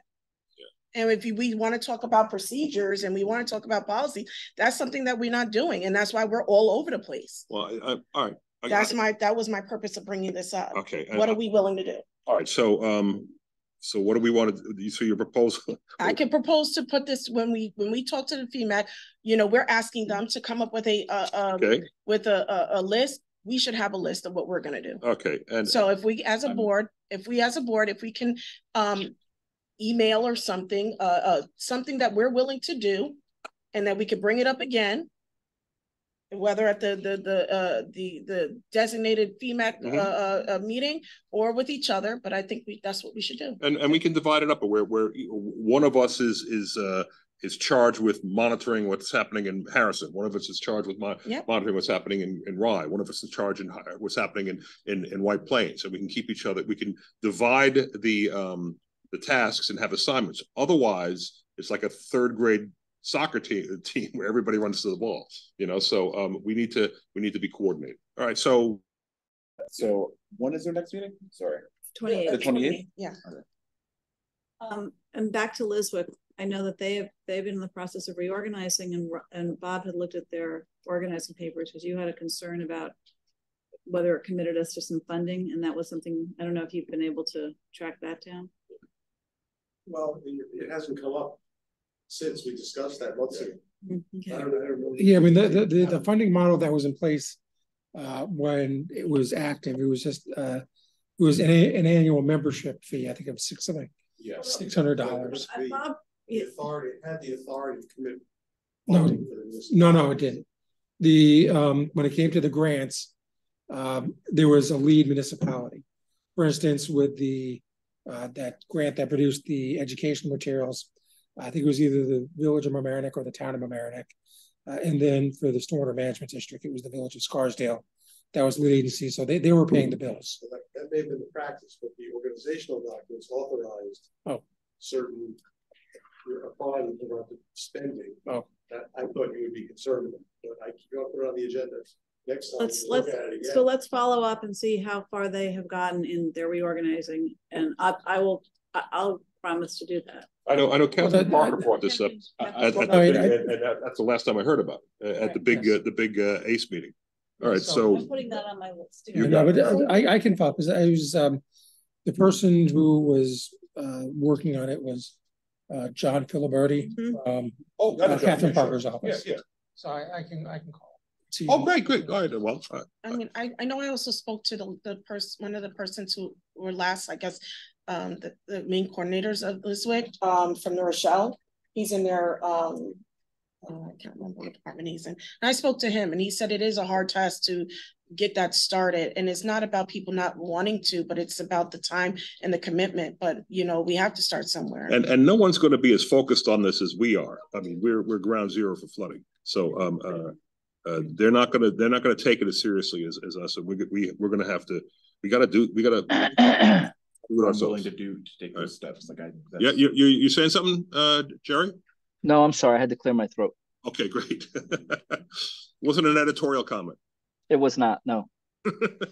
Okay, all right, uh, uh, so that's, I don't know what, what, what, what that is. uh, the- We'll wait for Bob to, um, talk about, Wait for- see if if there's thank any you. fees for LISWIC and, Okay. and, um, then, but we, Nora said that she was gonna follow up on. Got it, thank you, that. Nora. Is Neil on or, or is, uh, Dan? No, I think Nora and Dan can both, both, uh, the, We can cooperate. Nora can talk to Catherine, Dan can talk to John. That'll be great. Um, uh, uh, two H, uh, tenant protection. Uh, that's again, yeah, I said, you're very, uh, very prolific here. Yeah. Okay, we got emergency shelter and rent regulations. Um, uh, So the purpose of, do you mind if I just jump into this time? no, Um, please. the purpose of me bringing this up is because during Ophelia and during all of our other floods, we know that there are some people living in basement apartments and um what was discovered or has been discovered and also seeing past emails because this is not something that I'm just bringing up. This is something that was brought up in twenty, I don't know, when it was, where's that email? 20, 2021, 2021, Predating me. 22. Yes, so I don't know where you guys left off with it, but I think this is something important, especially those individuals who were on that committee. Um, I think Chief DeRuza was stated, was on that committee. Um, uh, Jerry, the, uh, the village manager, um, the building inspector. Um, there was a lot of people and they all, you know, said that this is something that we need to establish. So where did we leave off as, where did the board leave off? And where can we go? Because people need protection. So I, I looked at back minutes and I got back as far as April twenty twenty-two, so a little over a year ago, and um, we had a law that Jerry had proposed or brought to our attention from New Jersey. Bob wasn't sure that we could actually do what we wanted to do, and it was gonna go back to the committee, and that was April eleventh, twenty twenty-two, and I didn't find it on our agenda after that. My recollection, my recommendation at the time was that we model what we, uh, what you want to do, if you want to pursue this, uh, what the town of Southampton has done, because their law had been tested in the federal lawsuit and found to be constitutionally valid. Okay. Um, I don't know if this is a related thing, but there have been um, recent litigation about regulating Airbnbs. I don't know if that's something you're No, interested in doing. no, Okay. no. I'm st- strictly for tenants who are renting in this community. So you want me to dredge up And- that law, it back? Please, please, Dredge up, that's not the right phrase. Your way. thank you very much. And, uh, and, and I'll, I'll also, I mean, I know the, I know Jerry has been doing some things under his own authority in this, uh, in this area, not with registration, obviously, but with emergency shelter and with helping folks who need help. And, uh, perhaps, uh, um, uh, since you, you'll, uh, since you lose your services at some point, the, um, uh, you could, you can write down what you've been doing and maybe we can codify those uh, into a village policy. Uh, uh, Sure. that, right? What do you think about? Absolutely. Yes. Yeah, I mean, because I mean, I, I'm happy with what you've been doing. I mean, I, but I. I don't know, I don't know how everybody else feels about it, but I think. I think we need to go on record and say that the village supports this policy and this is our policy. Uh, and so uh, when it happens again, we can, we can, uh, we can act with authority, you know, the, the next village manager can act with, with, um, with our authority, right? I would be, I would be very happy to do that. That would be fantastic, especially since um, we know people are in need and we know that our, um, our process is working. It's not free, but at least our residents are protected uh, from the issues and problems that they could be facing uh, living in substandard and worse housing. There was, a- there was a Yep. couple of instances, or at least one instance uh, recently where we, we had to put some folks up because of a, uh, of a dangerous situation. I don't want to belabor that now, but, but, uh, but that's what we should be doing, I think, but maybe not everybody agrees. We No, can, I agree. That's why I brought it up. all right, all right, uh, so. Thank um, you. Thank you. So where are we with that now? Request to allow, you're talking about where we, Bob has said he's gonna dredge up. I got it, got it, the dredging, I got it. Now we're at the request. We're all into dredging. Okay, uh, two, two I, requests, again, you, a request to allow daycare as a permissible use in C one uh, zoning district. Uh, We got, oh, we have a, um, uh, a request from, uh, from somebody who, uh, who wants us, who has, is a good neighbor and, and, and wants to, uh, Yes, is Miss asking if we do Miss. Ivy would like to present as she's been requesting this. It's something that she will explain um in terms of what she wants to do uh with the daycare Kids Corner. Welcome. Thank you, Miss Ivy. so much. Please speak up. Can you Yes. hear me? Yeah, Yes. okay. Thank you so much for the opportunity to speak tonight. All right. Um, as one of the trustees just said, I've been trying for two years to get one of my daycares. I am the owner and operator of Kids Club in Hmm. I've been in the village since two thousand and seven. Hmm. I've been many of these stores. Okay. Um, we have two locations, um, and one of the things that I've been trying to do is move the location at the corner of seven oh three Road. The corner of Barry Road, that particular location, for a lot of personal reasons. But One of the bigger reasons, um, since COVID, and even kind of before COVID, but mostly after COVID, is that we have outgrown that space. Um, we, we have a waiting list of two years, we can't take kids, and we have people coming in all, all the time. One of the issues that I, I was running into was that even though I'm in a commercial zone, and most of the daycare centers in the village of Mamaroneck are in commercial zones, the law does not permit daycare in commercial zones. Mm. Permits it in uh, residential areas with a special permit, which doesn't make sense. Okay. It never did to me, but you know, they have the reasons for that. And as an applicant, trying to find a residential property that would meet the special permit requirements for childcare, that's almost impossible. Because the parking alone, having to have enough parking for employees and for, for successful pickup and drop off. Mm-hmm. Um, is impossible in a residential zone. Even if you could find a property that could accommodate this, now we're talking about painting a lot of the topography of the property, right? So you have got paint stuff and people like, oh, we're running off onto my property. You're doing all these kinds of changes. Um, when I came to America and I'm, I'm, I bought a residential neighborhood, if we ever it, I'm in the New York Times. Um, with residents complaining about traffic, which is a whole nother issue. Mhm. And I, and I agree, a lot of people don't want, it didn't happen. We ended up, you know, making that turn right on, onto uh, Barry Avenue. Mhm. But people don't want the traffic in their residential neighborhoods where people are trying to get from daycare to daycare or whatever it may be. So, um, in New York State, since COVID, uh, we have created a lot of daycare residents. A lot of childcare facilities have closed. Uh, New York State within the last since, uh, mid to twenty twenty-two, had, uh, provided a lot of initiatives and grants. I'm a bit, I'm, I have benefited from many of those grants, um, to try to keep childcare facilities open, to try to get childcare facilities to expand, to try to get childcare facilities to be open.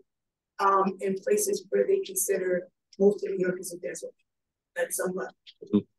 And so I would like the board to just consider, you know, thinking about having commercial daycare, which New York State defines commercial daycare separately from residential daycare. Residential daycare does not require special permits and zoning.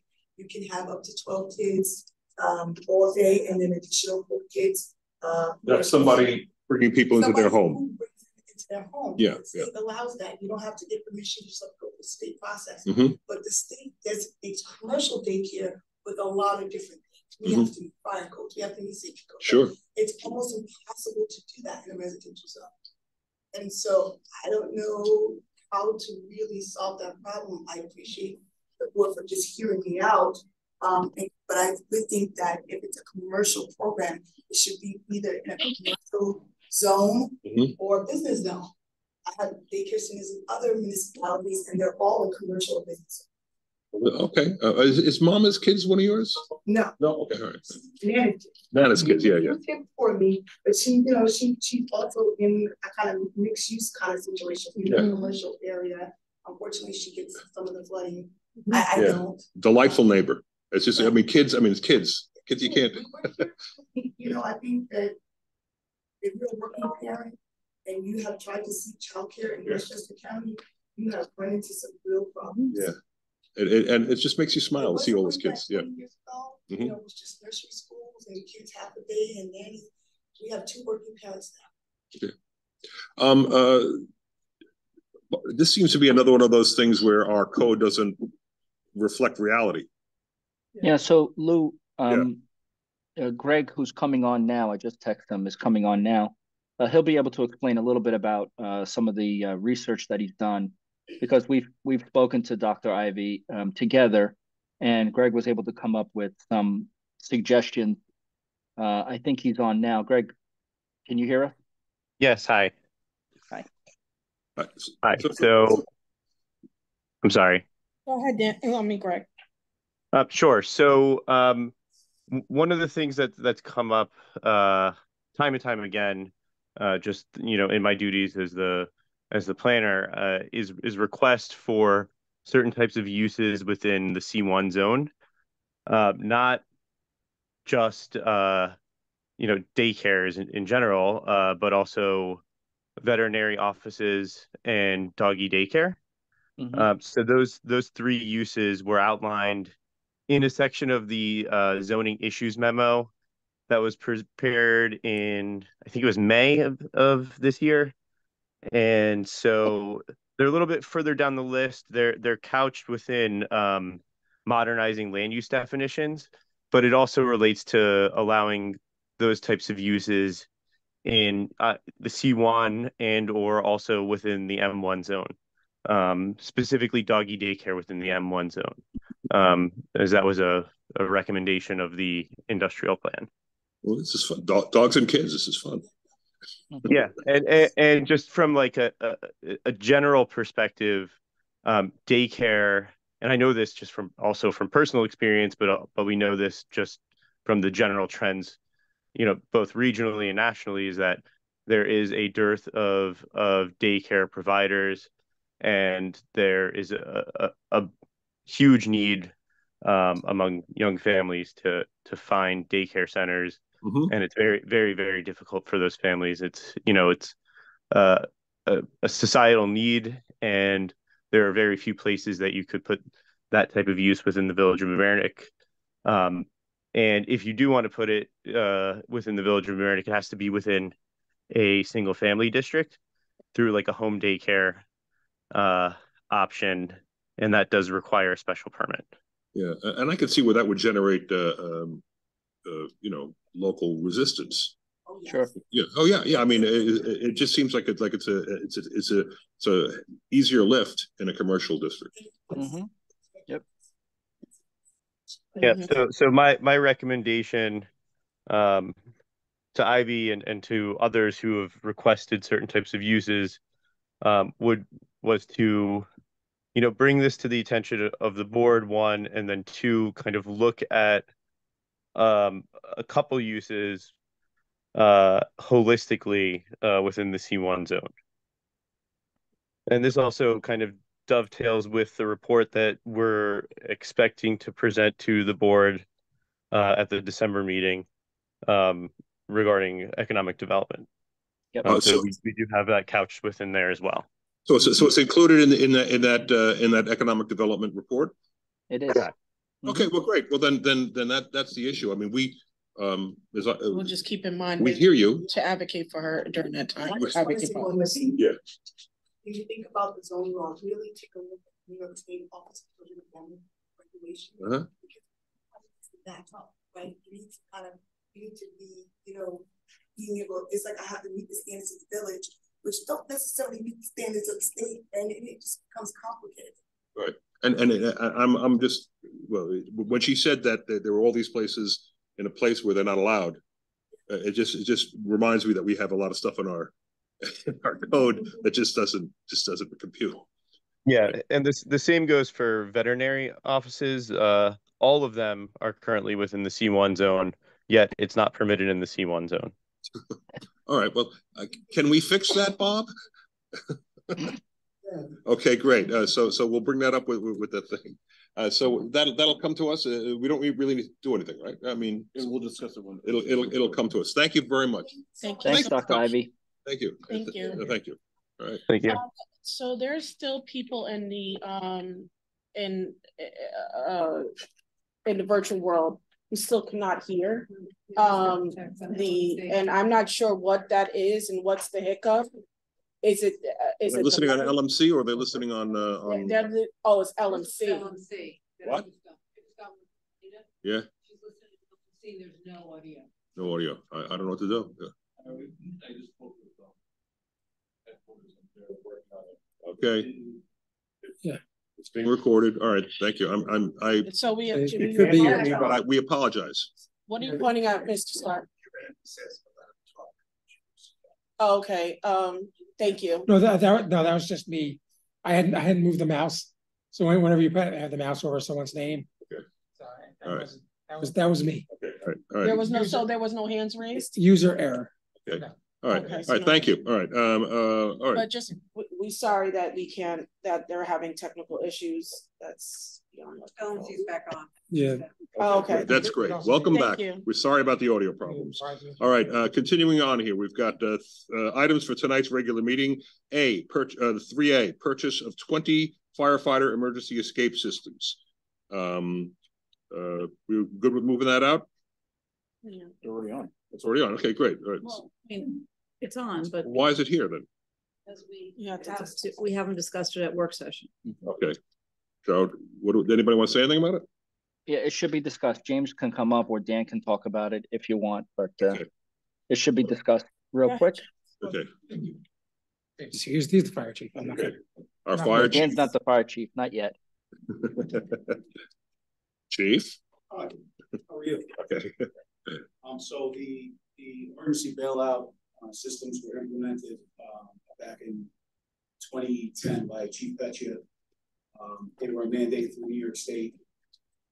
Over the past thirteen years, um, we, we have over hundred volunteers that are trained in, uh, personal escape systems. Um, but just like our gear, uh, they're mandated to be replaced every ten years. Um, well, five years if they're used and ten years if they have not been used in an emergency situation.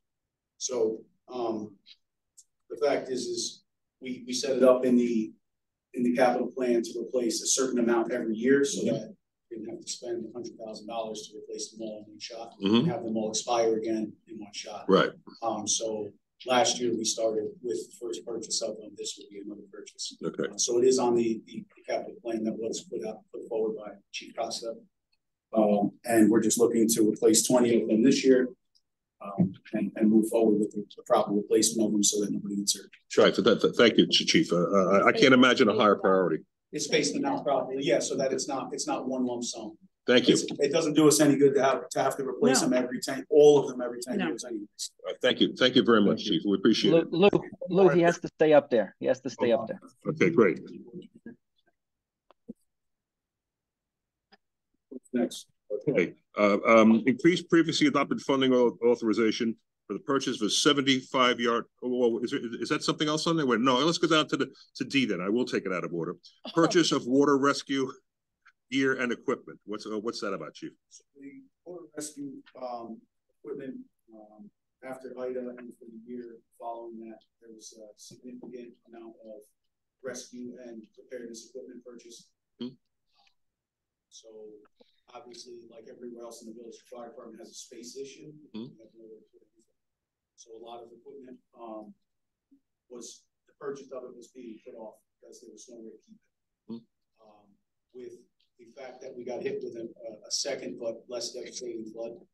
um, I was authorized, or I was ordered to go out and purchase the remaining equipment that had not been purchased yet. Mhm. Um, and the funds that were put away uh, to, to make those purchases have fallen short.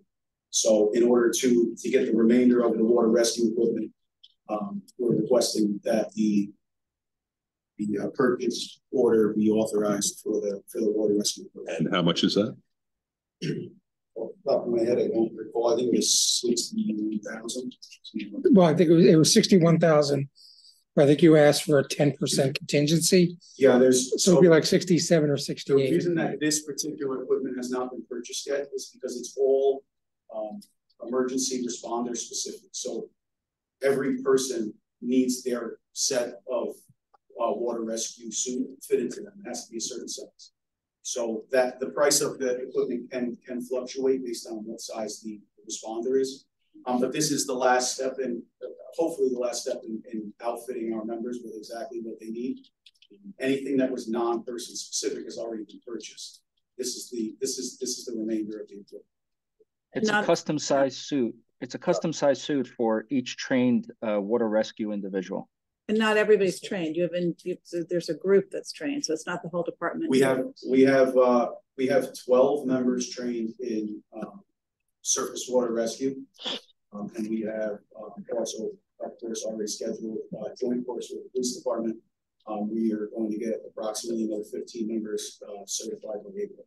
So we, we do need the equipment to, to even take the course, you need the equipment. So Right, well, we, we, we all want to get saved if, if we need it, so I, I think, uh, I think that won't be a problem. Uh, so that's for tonight.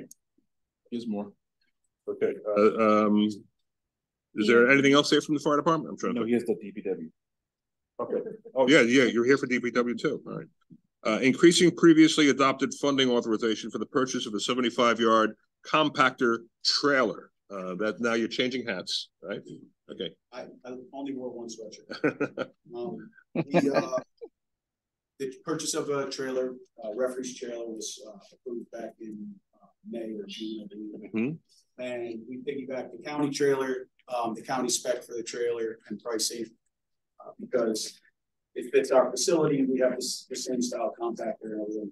Um, I over, I, it was an oversight that all of the county trailers are painted a single color. So the color option in the trailer is not, it's not in the quote. Um, and our village trailers are all, are, are orange. Um, it just, it helps the county differentiate, um, who's coming over their scales. And, um, it also identifies the material that's being brought. So our, our trailers need to be orange and that's why we're asking for the, uh, the extra. Okay, the, the, the color's that big a deal?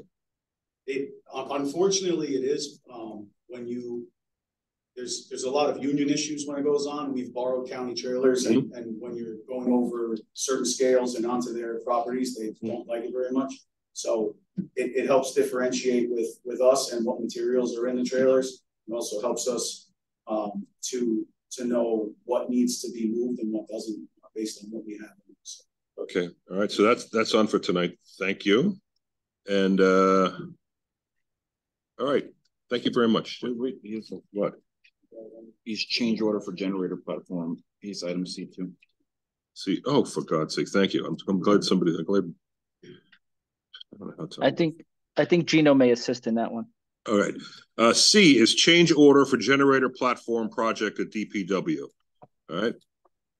What's that about?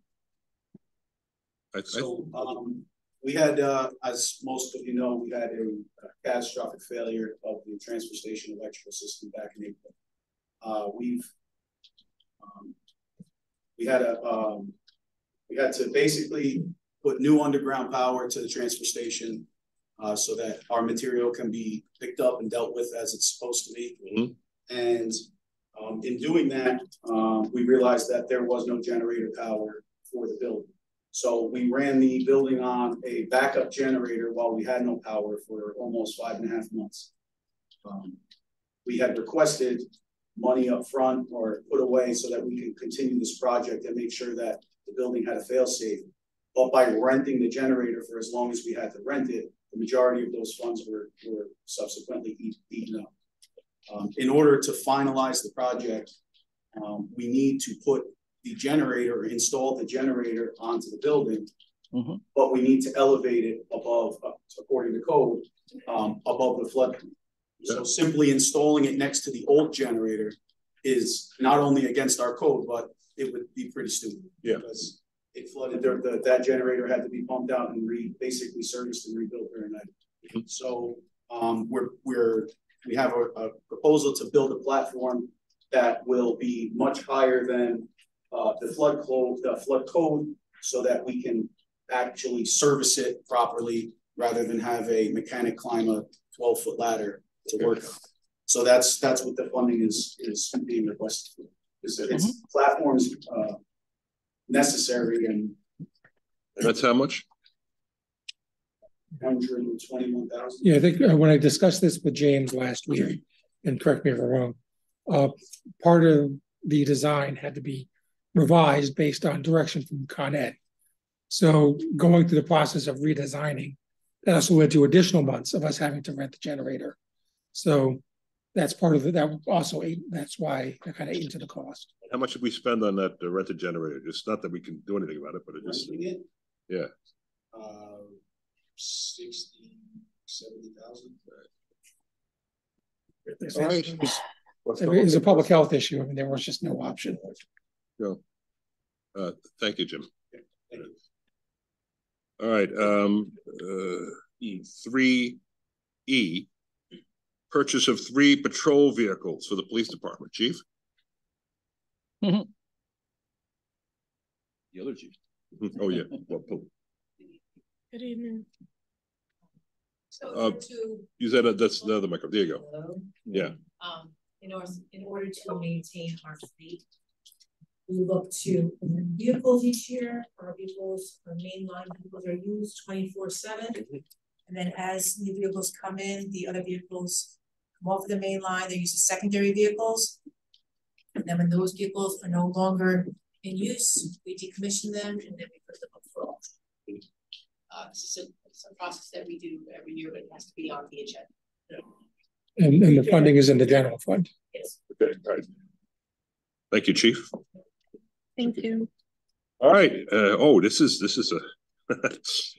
All right, uh, three F, the Waverly Avenue Bridge Project. Jerry, Uh, so I have been, um, unable to discuss or negotiate uh, anything that has to do with the Waverly Avenue Bridge.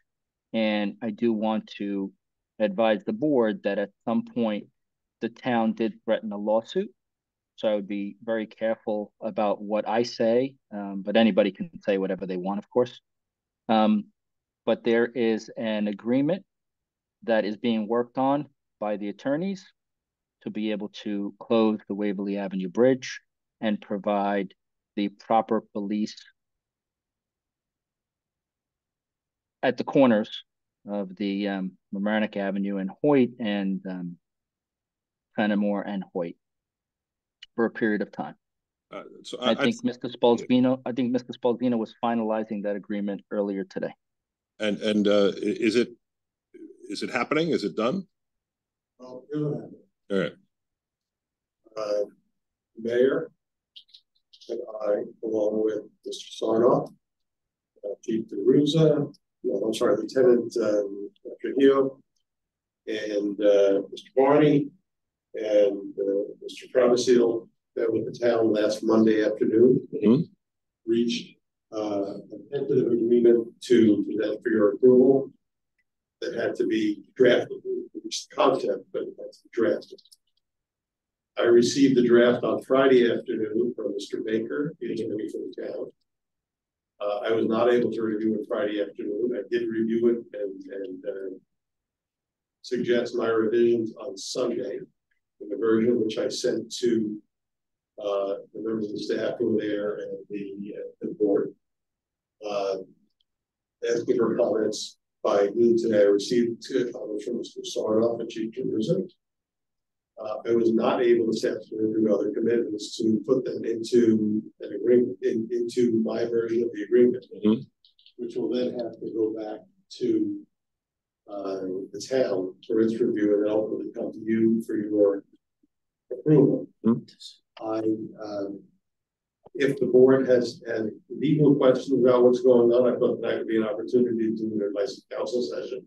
Mhm. If you want to do that. Uh, I can, if you want, explain in broad strokes what the agreement is. okay, Uh, so the agreement is that the, um, uh, the town will pay for two police officers. Mhm. Uh, at the intersections of Fenimore and Hoyt, and our police officers. Our police officers at a rate that's been, that has tentatively been agreed upon. Mhm. For, um, I think a total amount of a little over hundred thousand dollars, which is roughly sixty days. 60, 60 working days is what I saw. Working days. Yeah. Working days means days they, days when, not, not weekdays, and not weekends, not school holidays, not Christmas holidays, et cetera. Three months. Yeah, roughly. Right. Roughly, but there's also a process by which the town will hire an engineer, the traffic engineers that the village and the town will use to see if there are any uh, opportunities to uh, make the, to improve the intersections to make them safer. You know, physically, thing or light timing, timing of lights, that sort of thing. Uh, an agreement on how that would be paid for.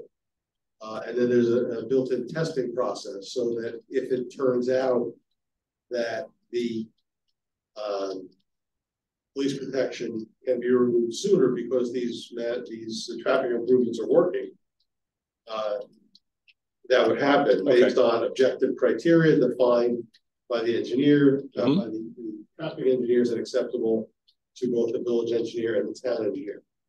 That's the, the broad strokes of, of what what we're, talking about. Okay. Um, all right, I, I think we can discuss that. Uh, uh, we might have some questions in executive session. The one question that's on everybody's mind, and I've got it a lot, is why wasn't this done before uh, they began? I mean, they were supposed to start this in June, and they they kept pushing it back. Uh, Ju- July, July, August, September, October. I mean, so so it's like like uh, three three plus months they were late, and then they start, and then and then we find out that they haven't that there's not an agreement for traffic control. How did how in the world did that happen? I don't know the answer to that on my personal knowledge. I've heard that there were discussions about this issue for a period of time. Uh, but beyond that, I, I do not know. I mean, uh, is this uh, is this something that we normally get in advance of a contractor working in the village? Uh, Jerry, Dan, uh, I mean, So, so typically, Lou, a contractor will include traffic control in their contract. We didn't learn that the contract did not have traffic control in it until I spoke personally to the contractor. The discussions that staff had had with the town and the town engineer were all about traffic control for the intersections and how to mitigate traffic. And when I spoke to the contractor that was that received the award, they said, Jerry, we have $150,000 here, but we were not permitted to put it into the contract. And that's exactly what happened. Couldn't we have? Well, I, I guess it should. I guess we probably should have caught this sooner. Yes, no. We couldn't, we wouldn't know that it wasn't in the contract because the town awarded the contract. And this is the town we're talking about here. We've never had to create an agreement with the town. We've done a lot of things with the town. We've done, we've purchased equipment with the town. We share equipment with the town. We also provide services to the town and they're supposed to provide services to us. But it seems like in the past year or so, all those services that they used to provide us, they no longer do. And they basically don't tell us what's going on. All right. Um, okay. Um, uh, well, as, as you know, a lot of people weren't happy about it, uh, but we, uh, and, and I'm not happy, and I don't think anybody's happy with how this went down, but I certainly, uh, was not, the crisis for us would have been that traffic and, and not, not uh, traffic control, because it was, when it, for the first couple of days it was closed, it was a nightmare. So, um, I, um, I have to say, I'm, I'm glad we, we, uh, stepped in and, uh, and didn't just, uh, accept the bill you know, and uh, and and uh, and decided we were going to just uh, pay whatever it took. So I appreciate it. All right, that's it. Um, uh, so uh, that's that was that's basically a report, right? So- yeah. Seven thirty. In terms of this contract, since the Board of Trustees is meeting Wednesday and then um, Monday, and then again Tuesday, do you want us to try and approve it one of those days to get, like, does this con, does the contract have to be approved for any of the, for the bridge to reopen? Yes. So if you need to add it to any of those agendas, I think what I need to do is uh, finalize my revisions, get it back to town, and how long it will take for them to get it back to us. Uh, But as as soon as it's available, especially since you have so many meetings coming there's up, more I'll opportunity. get it, I'll get it before you. Okay. All right. So um, uh, that brings us to the end of the. Uh, uh, we have. All right, we have uh, executive session uh, items coming up. Um, uh, in the matter of uh, Goldstein versus uh, the Village of Mamaroneck, it is anticipated that a motion will be offered to enter into executive session pursuant to 105.1D of the New York State Public Officers Law to discuss matters of current litigation. Can I do these all at once? Okay, all right. Um, uh, in addition, in McCrory versus Tegert versus the Village of Mamaroneck Planning Board, Carolina Fonseca, Ian Sigalo, and Jessica, Jessica Sigalo, it is anticipated that a motion will be offered into enter into executive session pursuant to 1051D of the New York State Public Officers Law to discuss matters of current litigation.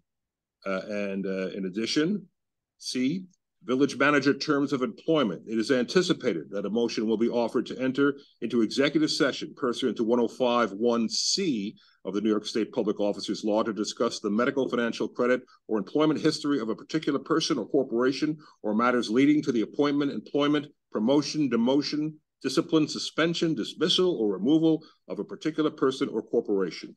Do I have a motion?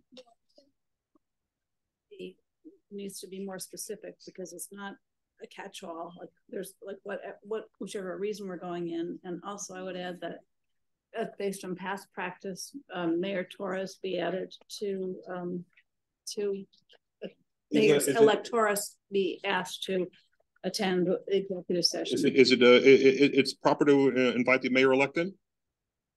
Up to the board to determine who they want to invite into executive. Okay, I, I would, I would say that we, we can invite the mayor elect in, yes?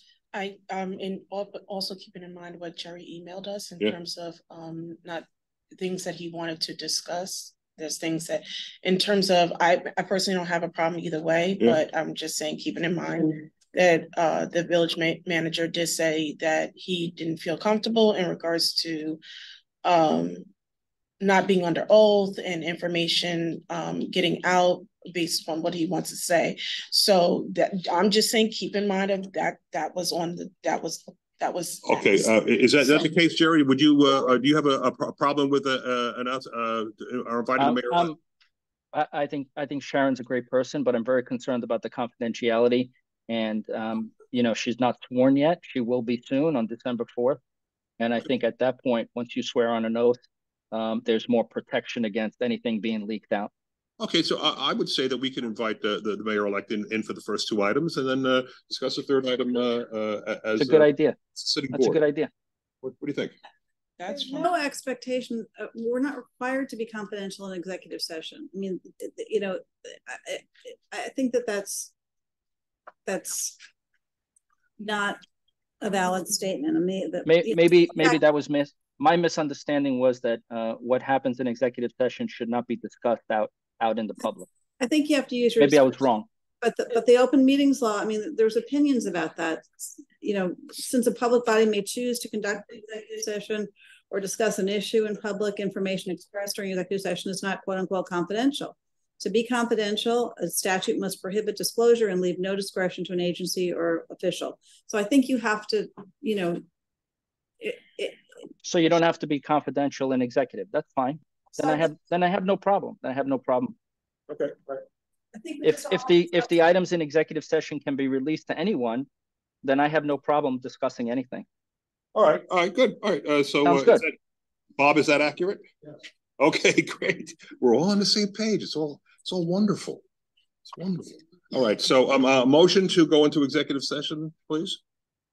So moved. Can I get a second? Second. All in favor?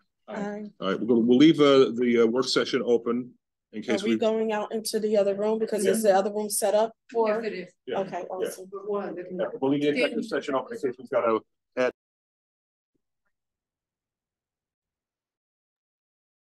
Uh, here, um, motion to end executive session? So moved. So moved. Second, please. All right, all in favor? Aye. All right, we just came out of executive session. Um, no votes were taken. So, uh, that's that. Um, uh, we are still in, uh, work session. Uh, Is there somebody wanted to add something to the agenda?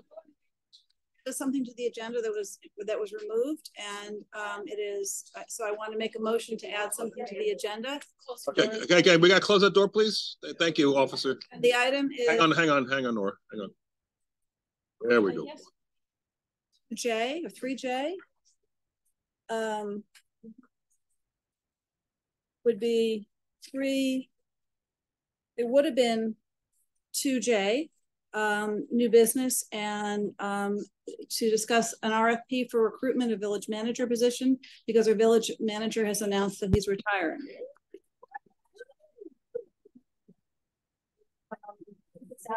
I just, I think that having done this once before, it takes quite a while to do this. And so I think that we should uh, put out an RFP and look for executive search firms um, and start the process.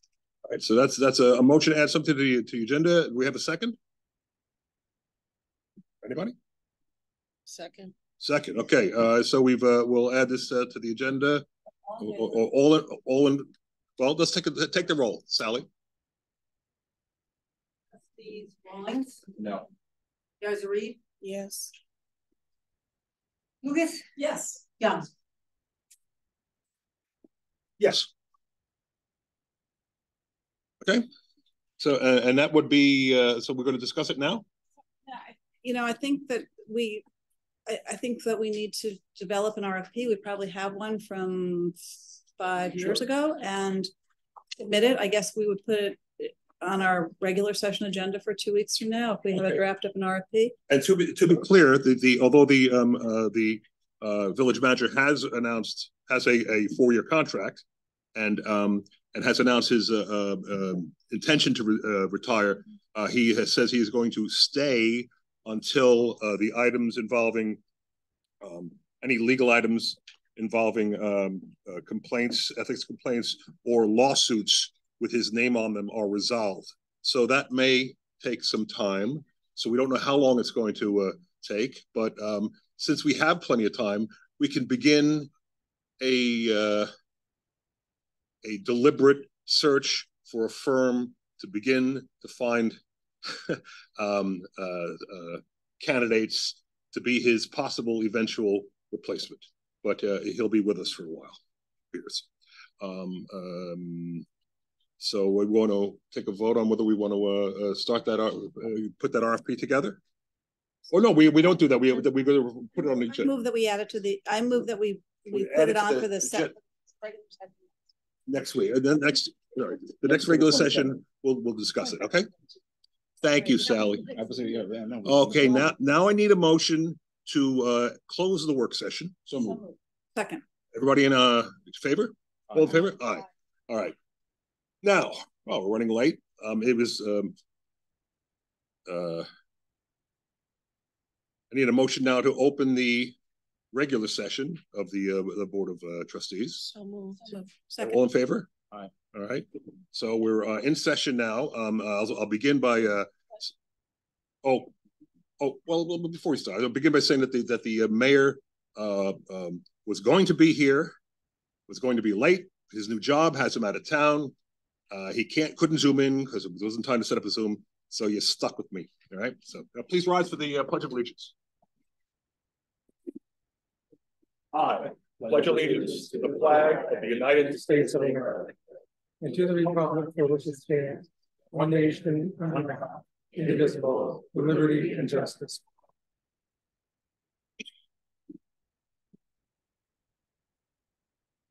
Righty. Hear that? I guess we will begin with uh, presentations. We have none. Um, report from the village manager. Jerry. Hi, Lou. One second. Hi, everyone. So I don't have um, a report this evening. Uh, I do have, though, several items to be filed for the record. Dan, can you uh, can you um, read them off to me? I don't have the agenda right in front of me right now. Uh, I think I left it upstairs when I went to go get dinner. So uh, the first is an agreement with the county for the police mutual aid agreement.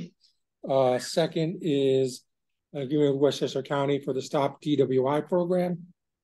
Uh, third is contract twenty twenty-three 3 uh, Village of Mamaroneck sidewalk replacements. Uh, and the final item is amendment to grant contract T zero zero zero eight eight three Sheldrake River Open Space Acquisition Study. And we discussed that tangentially during work session. Thank you. Okay. Anything else? Nothing else. Uh, well, J- Jerry, while we have you here, um, we had discussed, uh, uh, offline. Um, I was gonna ask about the boat storage situation. We're in boat storage, uh, um, season and, uh, um, uh, we just started with this idea. Can you give us an update on, on where we are on that? And, and I'm sorry, I, I didn't get back to, to everyone, um, about that. I did speak to, um, to Jeff LaRusso, who I think is on our Zoom right now. So he'll be able to speak about that, uh, in our efforts to try to, um, recruit some people over to our parking area. All right. Yeah, good evening. We've been working on it, trying to get more people to sign up. This week, we did get uh, three more people so far to sign up. So it's That's- coming along. It just, it, it got kicked off a little bit late in the season. Mm-hmm.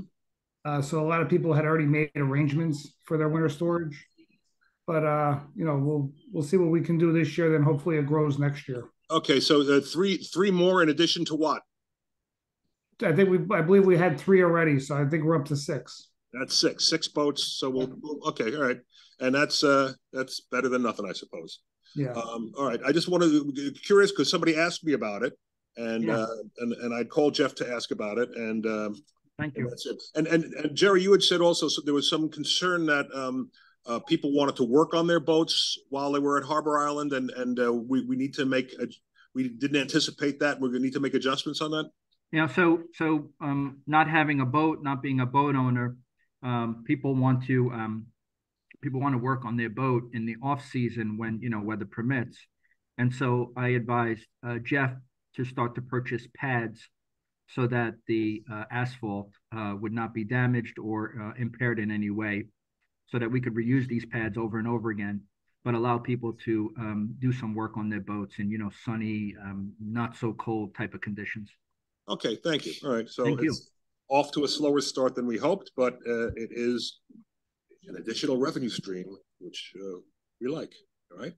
Uh-huh. Okay. Um, next, invitation to address the board. Um, uh, you're welcome to come up here. Uh, anybody to speak. You have three minutes. Uh, please direct your comments to the board, and um, and it's uh, you know it's not a Q and A, and it's not a it's an open mic night. It's just, just, just tell us what you, what what you want to talk about and uh, we'll be happy to listen, please. Anybody? Sure.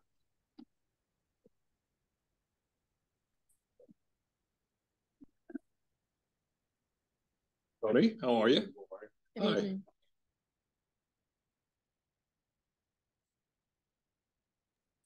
Tony Gelman, Chair of the Flood Committee.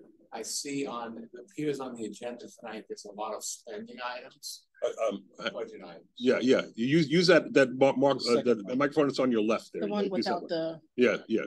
Good evening. Okay. Board, Okay. Dan, Paul, Sally, everybody. I'm Chair of the Flood Committee. I see on the agenda tonight are a lot of items where it looks like the village either wants to or needs to spend a lot of money. Mhm. And I know that some of the items may be very crucial, but we have a lot of flood mitigation problems, as everyone knows.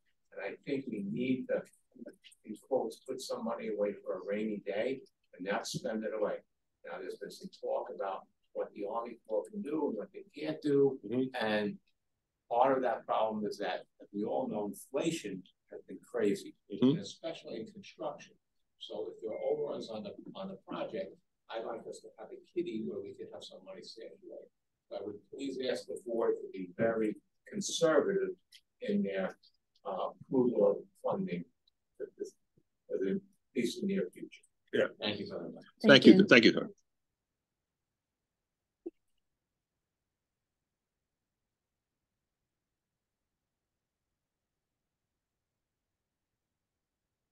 Kuczynski, Stony Brook.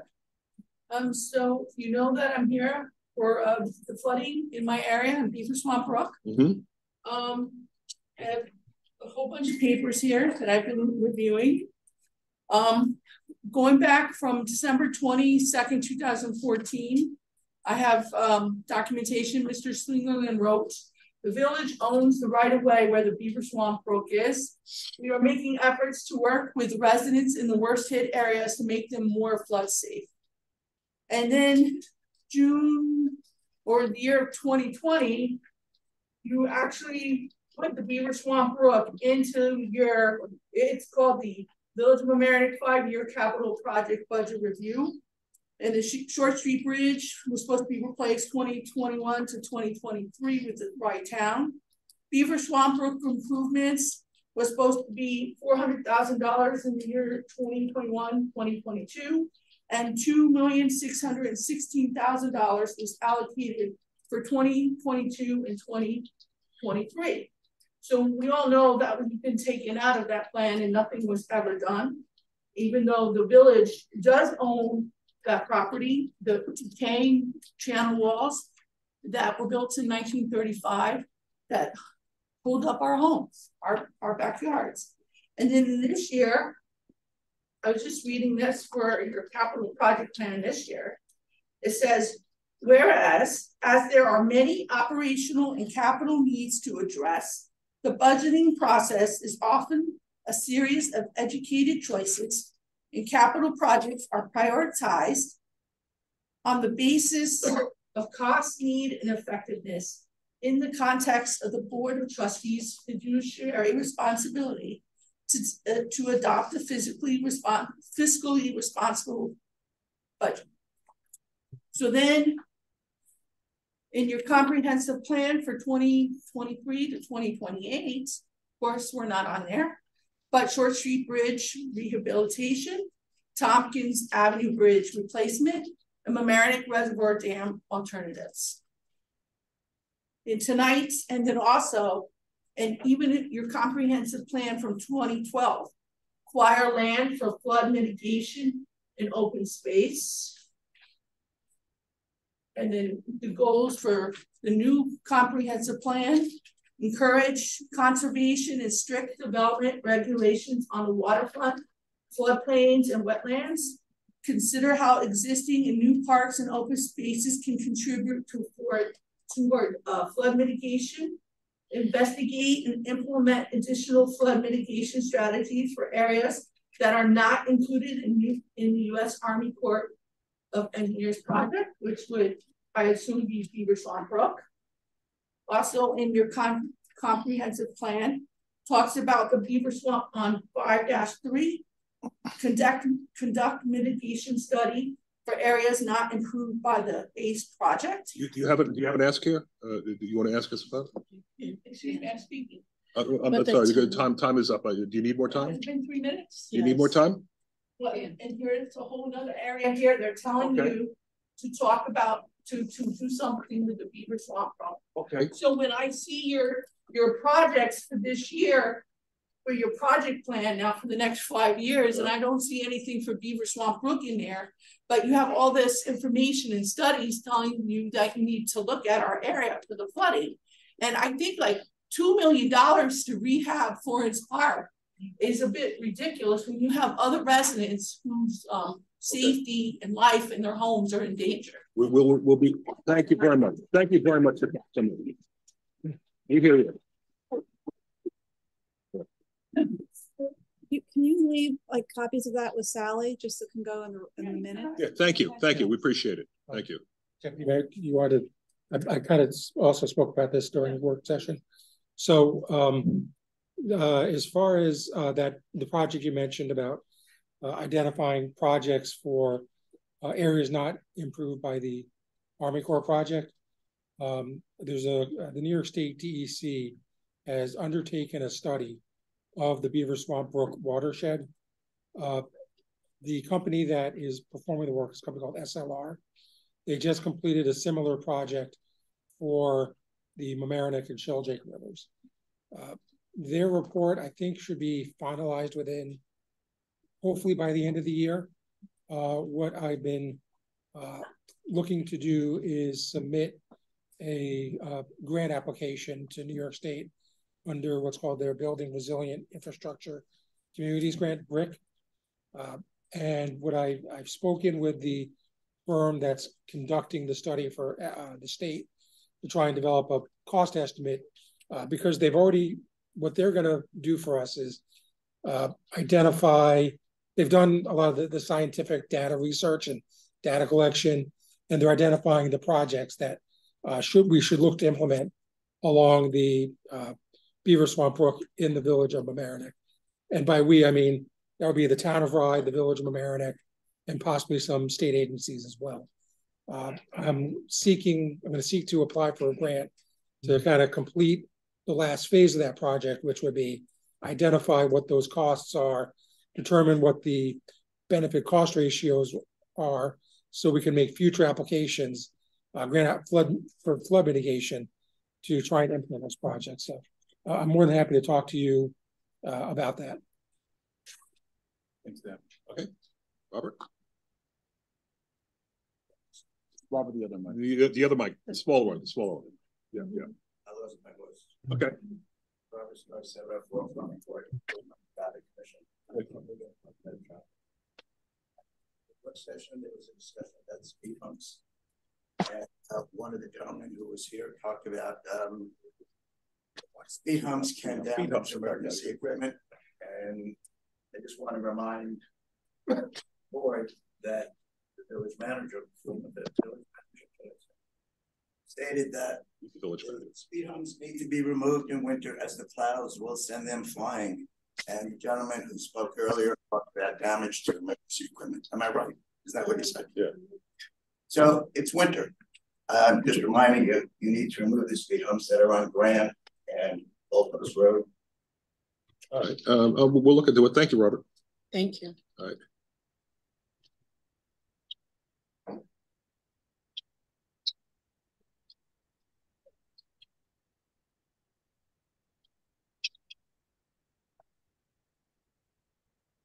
Hi, I'm Meg Jurgen. I'm Avenue in the village. Um, I'm calling to um, add my concern for the long list of spending authorizations that you have on your agenda for tonight. I think that's a huge amount of money. Um, as trustee Lucas mentioned in the work session, it seems to be without any plan or priorities. Um, I don't know how we're going to afford that. So that's very concerning. Don't see flood mitigation and any of those we know that that's a great concern for our village and should be a priority. But I, in, addition to how much money this would cost, I wonder how can the staff take on all of these projects? You have an RFP out for a parking lot. Um, we have other projects going on. This board took a lot of heat just recently for the risk management of preparing for the Waverly Avenue Bridge project. Um, obviously staff has got to be involved whenever you do any of these projects. Um, these are large projects besides the ones purchasing the vehicles. There's also, there's a pavilion, there's the, the remodeling of the Harbor Island Park, there's Florence Island Park, Florence Park. Um, there's a lot of work in all of those. I wonder how large your staff is. How are you going to manage that? Are you going to hire more staff? Is there going to be overtime involved? Do we have to then have consultants? And if this is, you're authorizing this now for a long period of time, then why are we doing them all in tonight? Um, it, it is not, excuse me? Exactly. Yeah, please don't talk from the audience, please, please. But if, if, if this you're voting on all of these tonight as though this is going to be in some time in the near year or two. I don't understand how our staff could possibly take on all of those projects. Um, I don't see a prioritization of the list of projects. Um, so I just wanted to, my concern is that it just doesn't make any sense. It seems like you're undercutting um, board for years by obligating our tax dollars for these projects instead of seeing what happens in the next six months for the next year and actually doing um, a very rational project plan for all of our capex projects.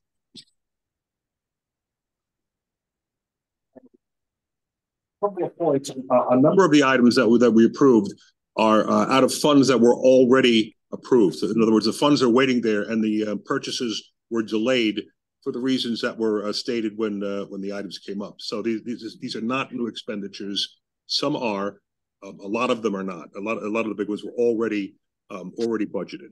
Uh, and the Waverly Avenue project is a town project. So um, my question about that is why we didn't know about that, and when we grilled the the village manager on it, and um, you know.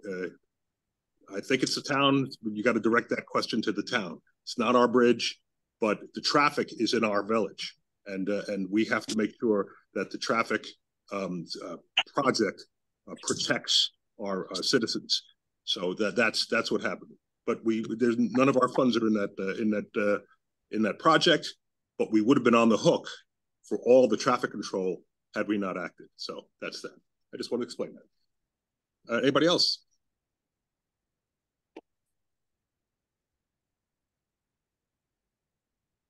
Um, hi, Amy. The, the, the small one, Amy. Hi, Amy Siskina on Skiba Lane. Um, just following up to the comments, my understanding is 1.4 million out of almost 6 million was was the amount that was already underway. In this amount, in addition to the others we've mentioned, 500,000 for lights in the Orienta on the bike path. That wasn't approved, but, but Okay, okay, good. Because my understanding is that came up at a campaign event. And I mean, I think we all realize in this room, number one issue for our village is flooding. Hmm. And the money needs to go to flooding, not all these other events. I also want to talk about, and I'm, I, I see we have a large crowd from CRC and from other advocacy groups. You know, we just had an election. This was a prime issue in the election, and the voters decided. So I just want to say out loud, we just, I'm proud that we elected our first Hispanic mayor. Um, we are not against affordable housing. We are against this particular proposal, which has not been thought out well, which, and I'm going to read, uh, this is dated October 8th, 2023, titled Debunking the Latest Misinformation. It says, and, and this is from our mayor, I'm going to read it into the record. The village has put out a request for proposal RFP for the purpose of building an all affordable housing development on the site of Hunter Parking Development and on the site of Hunter Parking Lot on Prospect Ave. This proposal includes no other contiguous property. Really? The village has no interest in joining the Hunter tier proposal with any other parcel. The companies who came to inspect the property in preparation for the proposal were told in no uncertain terms that the proposal was only for the Hunter lot. Okay, so that turned out not to be true. The other thing that is said in this email that I want to read into the record if folks don't like affordable housing, which again is, is not true, our village is for affordable housing, not in this particular site.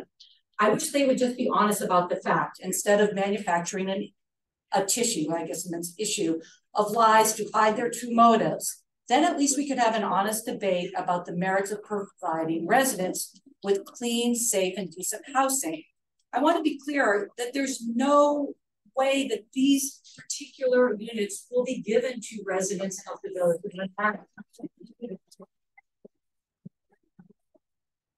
These are two, I, I, want that in the record because I think that's been misrepresented. And I, I see people here with very hopeful faces that they're getting housing. It's just a lie and it's not how the system works. So that's.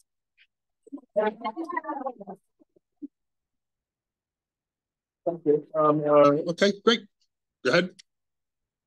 Yeah, James Abadi, one seventy Washington Street. Um, you know, I just want to say, so Channel twelve did an interview about the Waverly Avenue Bridge, and they basically cut everything I said out, so I'm going to say it here. Um, you know, it seems like we're blaming the town for everything. We never take responsibility for anything, so it's the town's fault. Um, meanwhile, you have plenty of meetings to know what was going on, who was paying for what.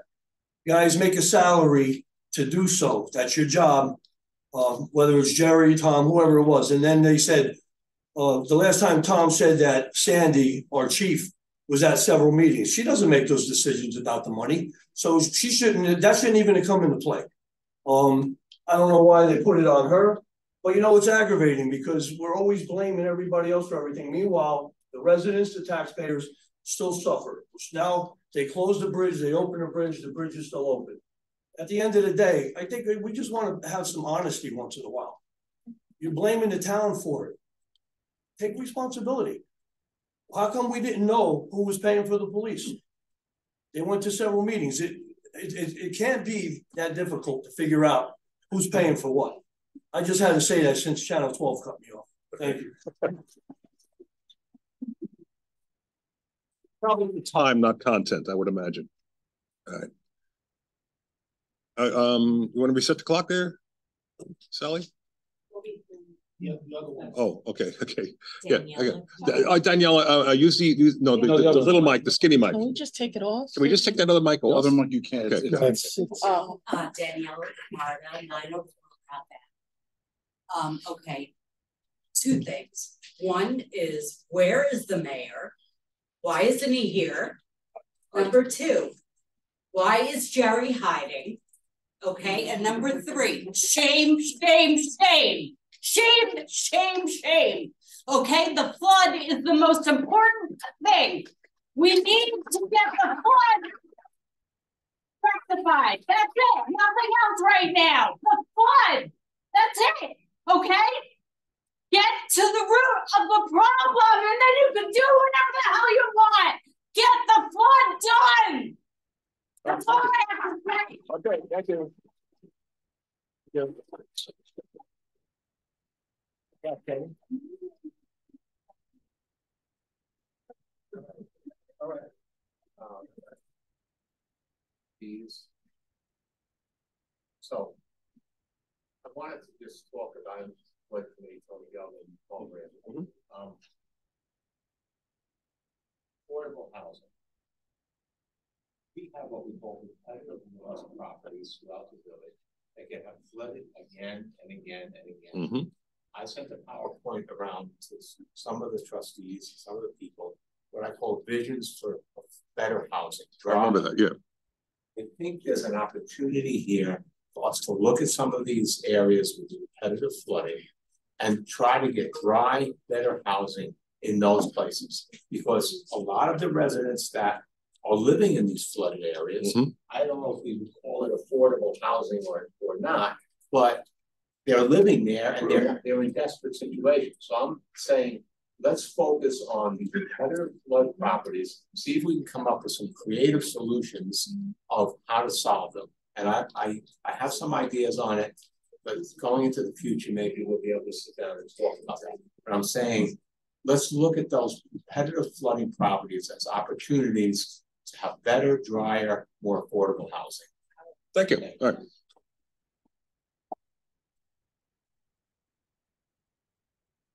Laura. Laura Bonney. I am part of the traffic commission, but I'm gonna be speaking as a resident and in regard, and actually for the Rockington Neighborhood Association. I could piggyback over everybody in this room, but I'm gonna ask a question to the room. How many people in this room feel Uh, that flooding just- is, how many people feel that flooding is the most important thing in this village? Okay, thank you. And we spend far too much time not being organized. I've said this over and over again. We are not focused. We are still behind the times. We have, we could accomplish greatness and we have not. We are not the poster child for anything in this village at this point. We blame, we push responsibility. We don't even answer emails when they're sent to the board. It, it's far and few between that an email gets responded to and a resident gets the respect that they're due. How are we gonna fix that? I don't know. I hope we have a plan in the near future because we are, we are a community. You're not here to make the decisions for us. You're here to hear the voice of the people. Yes. And the voice of the people are speaking. Flooding needs to be fixed first. I can understand affordable housing, but it's not the topic of conversation. You can have affordable housing, but if you don't have viability in your community and you don't have safety and security that we aren't going to flood or, or not, we are going to flood. But if we don't have control over the flooding, what is it for? Building affordable housing. What is it for improving our properties if we're not getting to the crux of the issue? And we can't get to the crux of the issue unless we make that issue priority. It is your responsibility to do that. And you know what, Lou? You keep looking at the clock. It's, is it imperative that you watch the clock instead of I'm looking at it to see how we're doing. Being present and listening to I'm listening, okay, I'm listening, please, please, I'm listening, I'm listening, Laura, I am. But I'm sure everybody in the room can see that you weren't being present. That's the point. That's the problem here. That's the issue in a nutshell. Because you, you're on a different team than the whole community. Instead of being on one team with us all, trying to make, solve issues.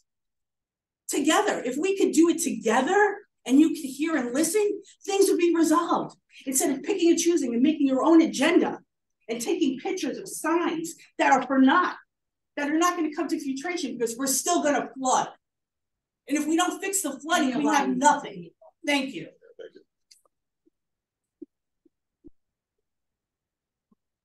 Evening, everyone. Peggy Jackson, sixteen sixteen North James Street, former chair of the flood committee. And I'd like to make a few points. Um, I appreciate what Sue is saying about the Beaver Swamp area. It needs to be addressed. It hasn't been. It's not the only area of the village that's not being covered by the FMEC plan.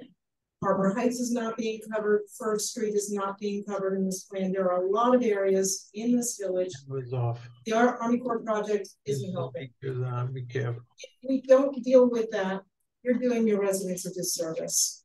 Secondly, we don't know where the Army Corps project stands now. We had a report earlier. Well, could you fill us all in, please? it, it was, it was, it was like, I'll give, okay, go ahead. We should be very careful with the village's money now, because we don't know where we stand with the Army Corps project. There was a question as to whether the county is picking up our share or not. We really should have our eyes on every single dollar we are spending.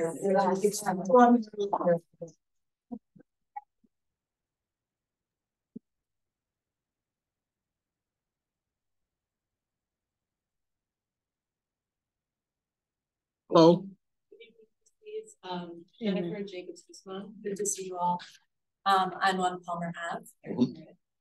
Um, I'm here tonight as both um, a member of the board of the Washingtonville Housing Alliance, as well as a member of the Mamaroneck Coalition for Affordable Housing.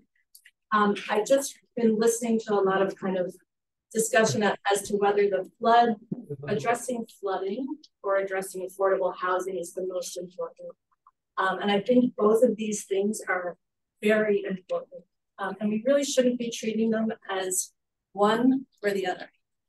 Um, I think just from the experience of the Washingtonville Housing Alliance, which has been here in our community over 40 years, providing affordable housing and managing affordable housing and doing referrals to people that come in and need services. That 40 years plus of experience is telling us that we do not have enough options for people who are not able to pay luxury rents. We also have seen families displaced by floods who were forced to live in subpar, sometimes dangerous basement apartments. These are members of our community. They are just as important to us as homeowners also struggling to address flooding. So I just think we should really be thinking about how can we address both problems. One development site can set an example. It's not going to solve everything. It's not going to solve every affordable housing need. But what it can do for us, I think, is it can demonstrate some of the great things that are going on with affordable housing design right now. It could show the community that an affordable housing site can be beautiful, it can be resilient, it can be uh, sustainable, um, it can demonstrate how we can retain stormwater on site. Um, and it can really serve as like a great kind of beacon of hope in a community that's really been impacted negatively by flooding. So I really would encourage us all to keep moving on this project with the idea of like, we can do it all. we can help solve the flooding, and we can also, I think, respond to this real need for affordability in a village that feels increasingly like it's just for the highest incomes. Um, and it's, you know, one of the reasons I think so many of us love the village is it really is a diverse community. We will lose that if we don't think about both of these needs together. Uh, thank you. Thank you.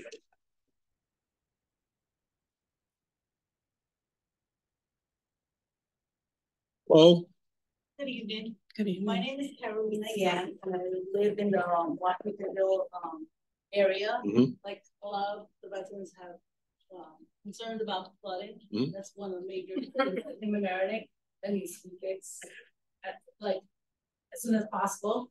Like uh, Danielle said, you know, let's not wait until two years from now and get another flood or people lose their housing. Um, my name, uh, like I said, my name is Carolina. I have lived in Mamaroneck all my life, 40 years plus more year, plus 40 years plus. I live in an affordable housing apartment for 16 years. It's been significantly helpful for me and my family to have the ability to pay my rent. I have constructive feedback from affordable housing development, but that's not why I'm here. I'm here to support the concept that you're building affordable housing, and I'm here to support the Hunter Thai lot for affordable housing. Like, I don't know who's the guy that was talking, I got your name, but he Uh, uh, please, please, please talk to us. Thank you. um, you know, when you build affordable housing, build it high, so it will flood, you know.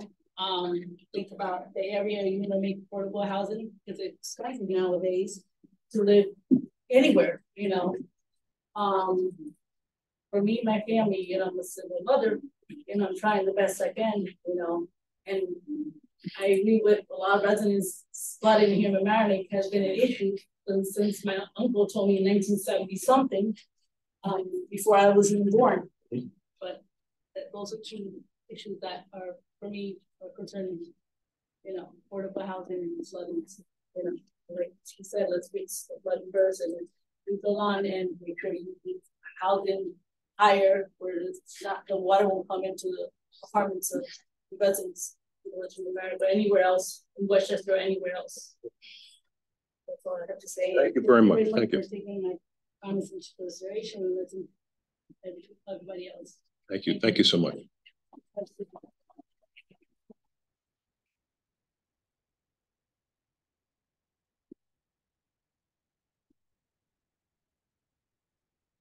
Back. Okay, listen, affordable housing is fine, however. There's no guarantee that all my people in this room are gonna get into that hundred lot, okay? No guarantee. So I, there's no guarantee that Carolina's gonna get into Hunter Lodge. No, okay, so that's a big problem. So, so my point is, why are we worrying about other people coming in when you should be worrying about all the people? People from the outside coming in for affordable housing, so that's not helping A, B, and C, that's just not helping. So while we do need affordable housing, you need to help these people here sitting in every one of these chairs. Not people who are gonna come from other places. We don't, we don't know that either, but it's okay. Yes, you do know about. Oh, Exactly. It's a chance. Yeah. It's a chance, right? So tell that to everybody and stop burying your head in sand. No, I, we're not, no, nobody's guaranteed.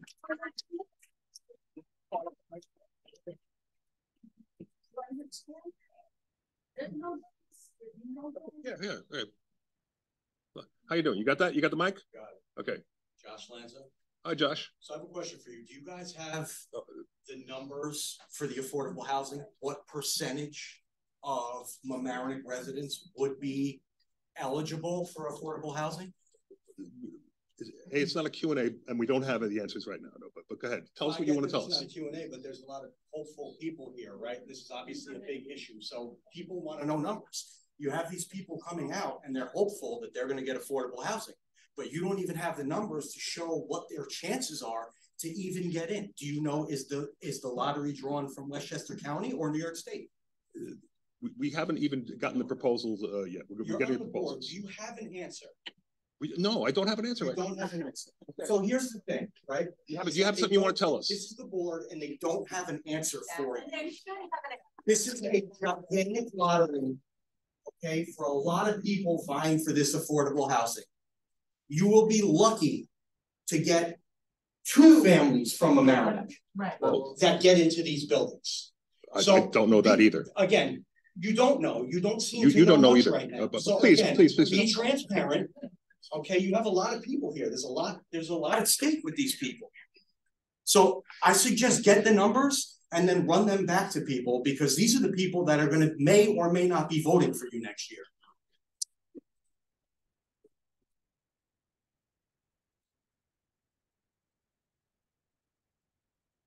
So on this letter for the proposal for um Hunter Terrace. Tier, tier. Hunter Oh, oh, I'm sorry. It's Terrace, okay. Terrace. Yeah.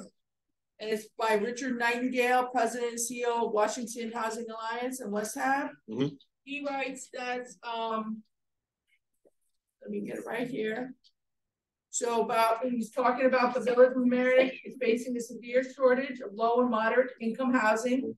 In addition, the lower income housing that does not, that, that does exist in the village is largely warehoused in the highly flood prone area of the Washingtonville Flats neighborhood.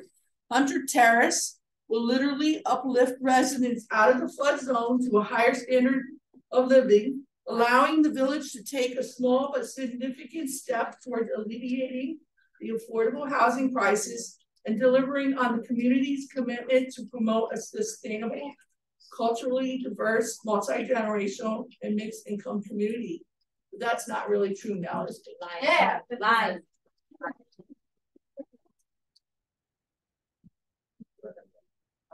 Hi, Nancy.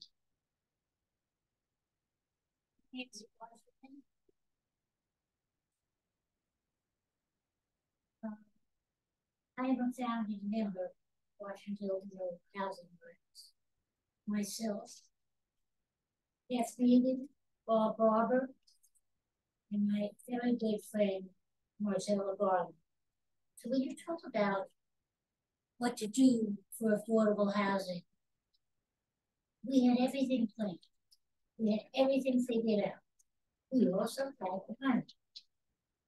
Well, let's put it this way. After the senior building was sold, and the money went to what they call Westhab now, we would have been able to use that money to build a building. We even had a property. The property was perfect. Yes, there was a problem with some flooding. However, the architect said if the buildings were built a certain way, there would be no flood problem. And, know, who am I to tell them you don't know what you're talking about? But our former mayor said he doesn't know what he's talking about. And I'm going to change the zoning, and I'm also going to change the setbacks. That's why this whole big project, which be in a perfect place, is not there. And the money is not here either, because the money went beyond us, and they built down in. Don't tell me no, I know. You want to fight? I'll fight. Look, when Washingtonville Housing Alliance was established, we didn't have this kind of um. Everybody is for it. Everybody wanted. It got a little out of order, and we got somebody who was the director who didn't want it that way. And I don't want to discuss that situation.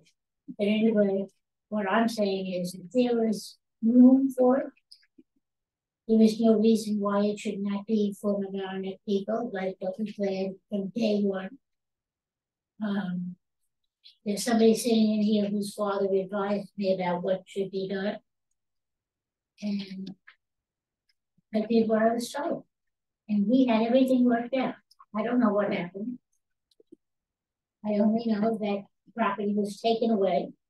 The money is not here anymore. Figure it out. But the money belonged you. The big bucks that senior building was sold for big money. I don't see it. Thank you, Nancy. I think you need to find it. Thank you.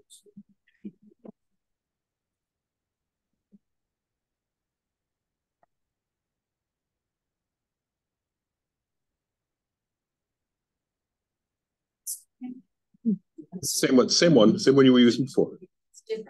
Okay. You know what, because they put the covers on it. They mostly cover on you.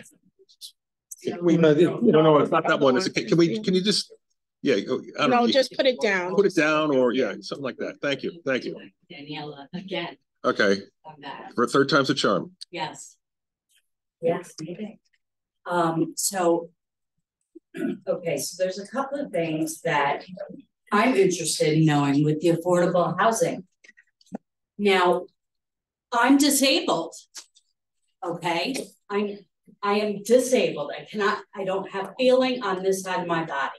What happens if, if I have to go into an affordable housing? I can't go because there's a lottery, right? So I see that I'm sure there's people in here who are in similar situations. They, my Mamaroneck people can't have housing because you, your affordable housing, the way you want to do it is not, is, is, isn't going to be, Nancy is correct. This should have been, this was all worked out. This was all worked out. Somewhere along the lines, it got changed for the wrong reason. Okay. Now I have my mother-in-law who's 90 years old. She was in the app, she's in the Avalon because she that's where she is now. Now, mysteriously, Jerry was there too. And then he moved over to the Mason. Well, that's there's something fishy to me. But anyway, the Avalon, the Avalon is no longer called the Avalon anymore. The Avalon now is called the Mark. The Mark. Okay. The Mark just raised and hiked all its its rent to six thousand dollars for a nine hundred square foot unit. That's highway robbery. So what's going on? There's something fishy, and I'm not sure if we're, but there's something wrong with this system. You're right about that. Listen to Nancy. She knows she's right with with this whole situation. The money is here. Thank Go find it. Go find it.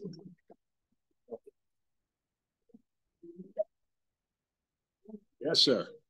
Good evening, everyone. Um, I'm here, my name is uh, Richard Lineberg. I live on Highview Street here in the village. Richard? Um, I know a lot of people in this room. Um, as many of you know, I was the former president and uh, board member for four years of the Mamaroneck Chamber of Commerce. Um, I was the PTA treasurer at NIS school for two years. Uh, professionally, I'm a financial advisor for 23 years. And what I do for a living is I help people make smart decisions about money mm-hmm. by doing due diligence and doing a lot of research mm-hmm. before they make those decisions. Um, I've donated a lot of money to the village over time since I've lived here for the last nine years, helping out with the rec department and so forth. And I believe that I'm a very reasonable person. And tonight I'm here as a supporter of my neighbors and my friends in this village. And I want to see the village prosper and do well but the proposed construction across the street is not at all what we would consider reasonable. So um, we all support affordable housing. I think many of us have said that. We don't. What we don't support is misinformation. Um, Tom Murphy, our outgoing mayor, uh, on the Larchmont Loop seven months ago was quoted as saying that there was going to be 40 to 50 apartments.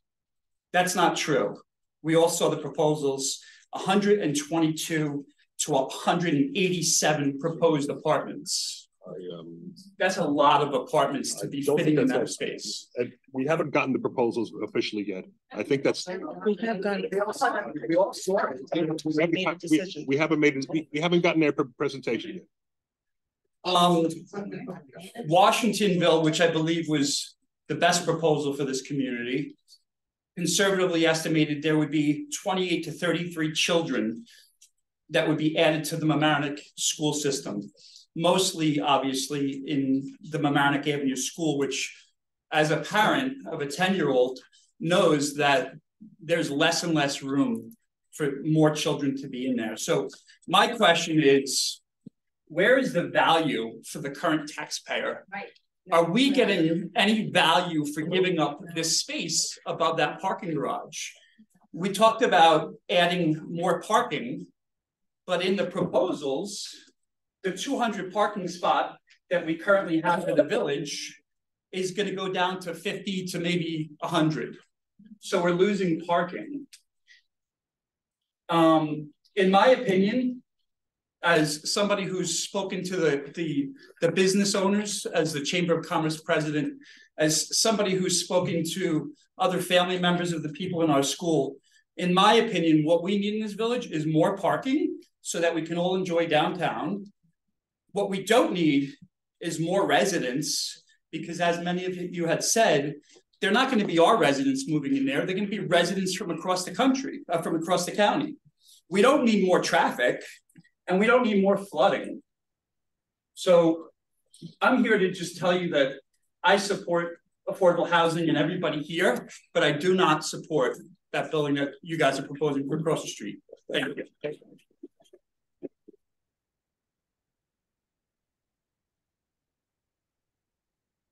Victoria Theda, Raleigh Road. Um, as I sit here tonight, I am like, I'm gonna try to just speak quickly. I've only lived here nine years.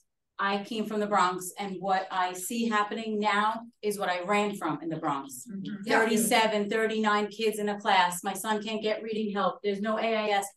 A disaster. You, you're allowing this to happen to us. We pay the taxes. Do you guys realize what our taxes look like? Do you have children in our schools? Do you have any idea? When I first moved here, I went to every school meeting. Do you know Dr. Shaps had crafts and all these big PowerPoint? We don't have room.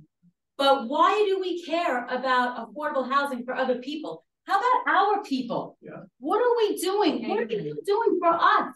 My children are in these schools that are overcrowded. My kids in the Hommocks. Do you know that the Hommocks cafeteria holds 20, uh, there's a, like 250 kids? They have no choice. They have to split it. They have to make the kids go outside. It's freezing. There's almost 500 kids per grade in the Hommocks. What are we doing? Where does it end?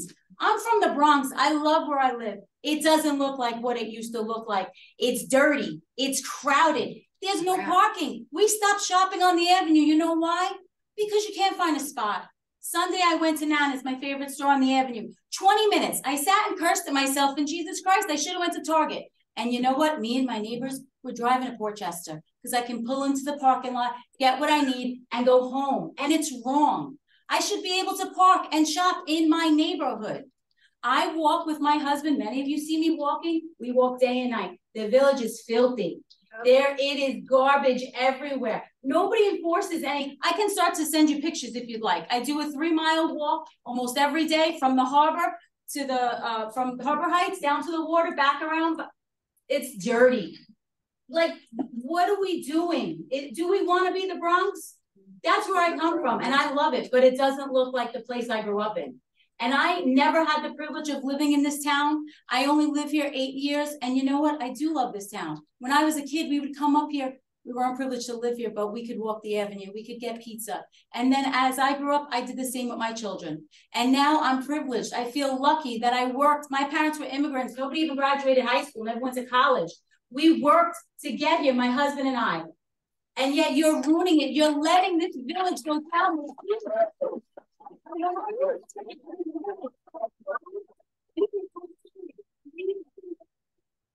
The minute I walked through the Mamaroneck door, do you know what they did? They assessed him and they gave him that help. But you keep adding and adding to our kids. And you know who gets hurt? The kids, the English language learners. You know why? Because all the services are going to be cut. That's a big part of our community. And all those kids that can't afford the math tutors and the ELA tutors, those are the kids that are going to get hurt. Our vulnerable population, a lot of our flood people here. Thank you. Okay? We have to stop building. We have to take care of our people, our flood residents. You know, be in town,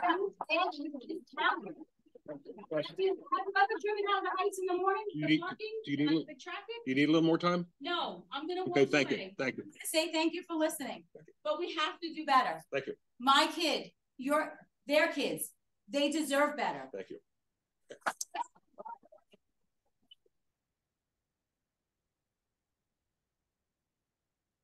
Mr. Mayor, how are you? Norm Rosenblum, Carroll Avenue. Uh, what's interesting is whether we're talking about flood mitigation or talking about affordable housing. A lot of comments were made tonight, which covers a lot of points. But what screams out to me, and particularly to this board, is a lack of transparency in this village. People do not know what's going on.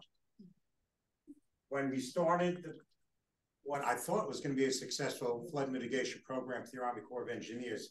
We had several meetings with the village board, the flood committee, and people that uh, were involved uh, as residents, whether you were affected directly by it or indirectly by it.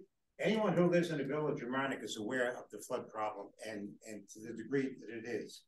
And as far as the um, affordable housing, uh, I would note that if you go back in history, that when you had the famous HUD lawsuit, the village of Mamaroneck was exempt from that lawsuit because the village of Mamaroneck always had a policy and any new building of three units or more, 10% uh, were affordable housing. So again, it comes down to without uh, going to minutia of specifics, it was always the intent of this village to maintain its greatest gift, which is diversity.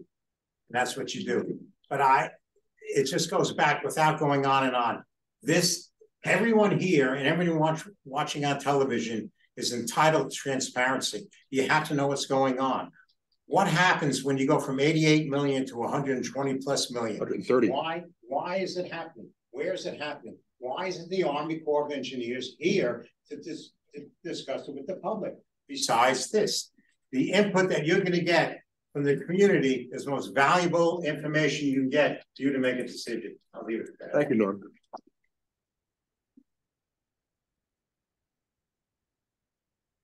Anybody else? Ah, great.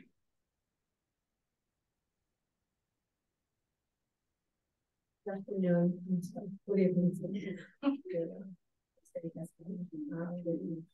Busy, but um, just want to express um, I really feel a lot of uh, support for affordable housing in this room, same as uh, flood mitigation.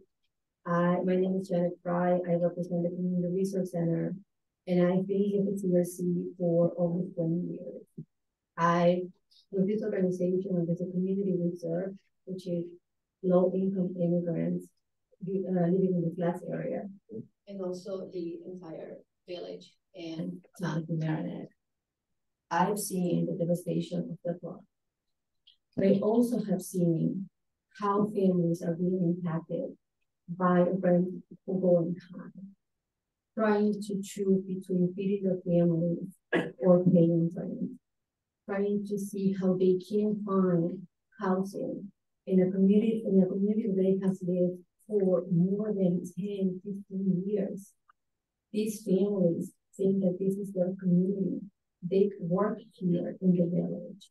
They take their kids to parks. They, um, I read that most of their kids play with the kids of the blacks that are here.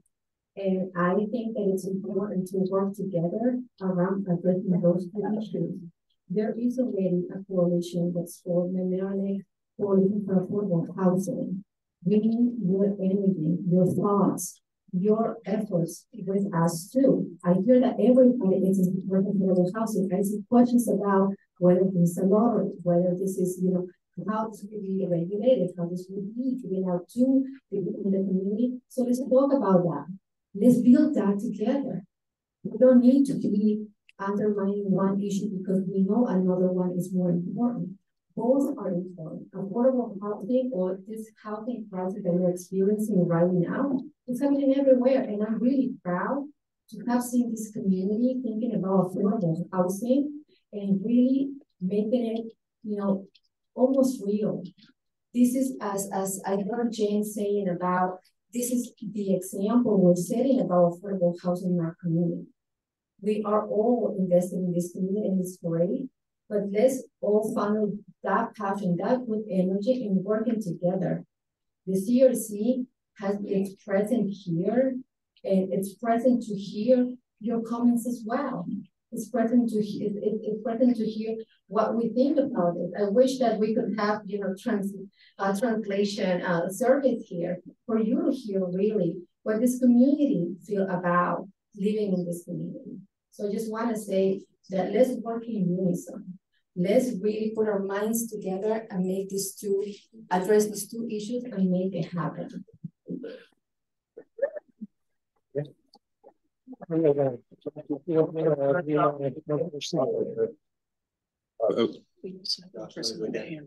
Um, I just wanted to address what Mrs. Fry just said. Um, we do support your community. We do support our community, and we do feel that um, there are a lot of people who could benefit from low income housing. in this community. We just don't feel it's this project, but again, uh, to talk about what, uh, Mayor Rosenblum said, transparency. Ms. Fry just got up here and is still speaking out for the affordable housing here in Mamaroneck. Not, I don't know if she realizes, she talked about the lottery, but she's still talking about the people in her community like they're going to get it, and this is the problem. When will you guys be transparent with everybody about what's gonna happen with this project? I, I just don't, like, I can't understand this. And the fact that you don't have the numbers and this project has been being planned for so long is unacceptable. Why are there still people that believe that they're going to get in this when the number, math doesn't lie? The numbers don't support a large group of the Hispanic community to even get in there. Why are you not, are you guys not being forthcoming? I just, I like, I don't get it. And I needed to reiterate this because there are people here that still seem to think that they are going to get in there. One of you, maybe two of you in your whole community, maybe might get a unit there. Maybe. All right. Thank you. We have somebody wants on the, on the line. Do we have? We'll take. Actually, we have two people. We have, uh, two people have their hands. Okay, we got two people on the line too. So before we let uh, anybody, anybody else uh, speaks twice, we're going to go to those folks. Go ahead. Uh, Bernie Camarda and Durante Martinez. So, Okay, oh, you want to? it, it's, you, you run the meeting, so. Okay, yeah, all right, so you, go ahead, go ahead, please. My name is Andreen Smith, Right. in my personal capacity. Um, I live on Howard Avenue, right by Hillside Avenue Church, got flooded by Ida. and Mhm. Flooded most recently, I've been displaced from my home for the last two years. Um, I wanted to come here. I just realized today this is on the agenda, and I wanted to come here just to let you know that I recognize how difficult this problem is from a very personal level. I wanted to thank um Dan and Jerry and Leilani for putting a bunch of us together who are looking to elevate our homes and also like behind the scenes, but I did wanna make that public, that they are looking for grants to help us. Um, we've been meeting with them regularly and I just want to let you guys know how much that means to me as someone that is paying more than hundred percent more in housing costs for the last two years. I wanted to make it personal what affordable housing means. Um, first of all, it's not for the Hispanic community, it's for folks who are low and moderate income, approximately forty thousand to seventy-seven thousand. I won't qualify for this project, but I did want to come up and show my support for it because I'm stressed and struggling, and I recognize that having different types of housing to meet different types of needs is super important. And I just wanted to lend my voice for that. And as someone who's deeply affected still, recognize that it's important to move in tandem. And when you're looking at the flood victims, I want you to also consider the financial impact on them and what it means, what the need for affordable housing is. I just want to put a, a personal face to it to let you guys know that I could have moved from my house if there was affordable options available, right? I mm-hmm. could have been in a different type of apartment that was not as financially stressful for me if there are different types of affordable housing needs that could, affordable housing options that could meet my needs. So I just wanted to come up and say that even though I'm impatient and I'm frustrated and I'm upset and I want this to happen yesterday, and I want the ACE project to be done, and I don't understand why it hasn't started. And I'm going through that whole process right now with the building department to sort of get my permits to elevate my home and so I could finally move back in. I wanted to also say that just because I'm focusing hundred percent on flooding doesn't mean that I don't also see the need for affordable housing because as a person that's struggling to make it through the next year or so until I get back in my home, I think it's important for us to recognize that there are other people in the community that don't have our income, that don't have our resources. And I recognize my privilege, even in this situation, as stressful as it is, that I'm fine and I will be fine. And I wanted to thank the village for putting us together and trying to help us get the funding to elevate our homes. I want to invite other people who are also in that situation to join our group. The more the merrier. I think it's important for resilience and to take this to the next level. I just wanted Thank you. to say that. Thank you.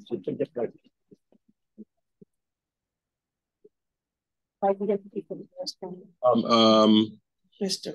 okay, uh, go ahead, and we're gonna take a call, uh, but, but go ahead. Uh, Don Gitlitz, I live at one twenty-four Beach Avenue. I'm a member of the board of directors of the Hispanic. The Community Resource That's Center. what they used to call it, yeah. And Yeah. what they called it when. Yeah, I remember. I first joined and we changed for very real reasons because the. The immigrant community was becoming a lot more diverse and the needy community was becoming a lot more diverse. Here, so we had, to- but I've been a member of the board for. A couple of months longer than Janet has worked for us.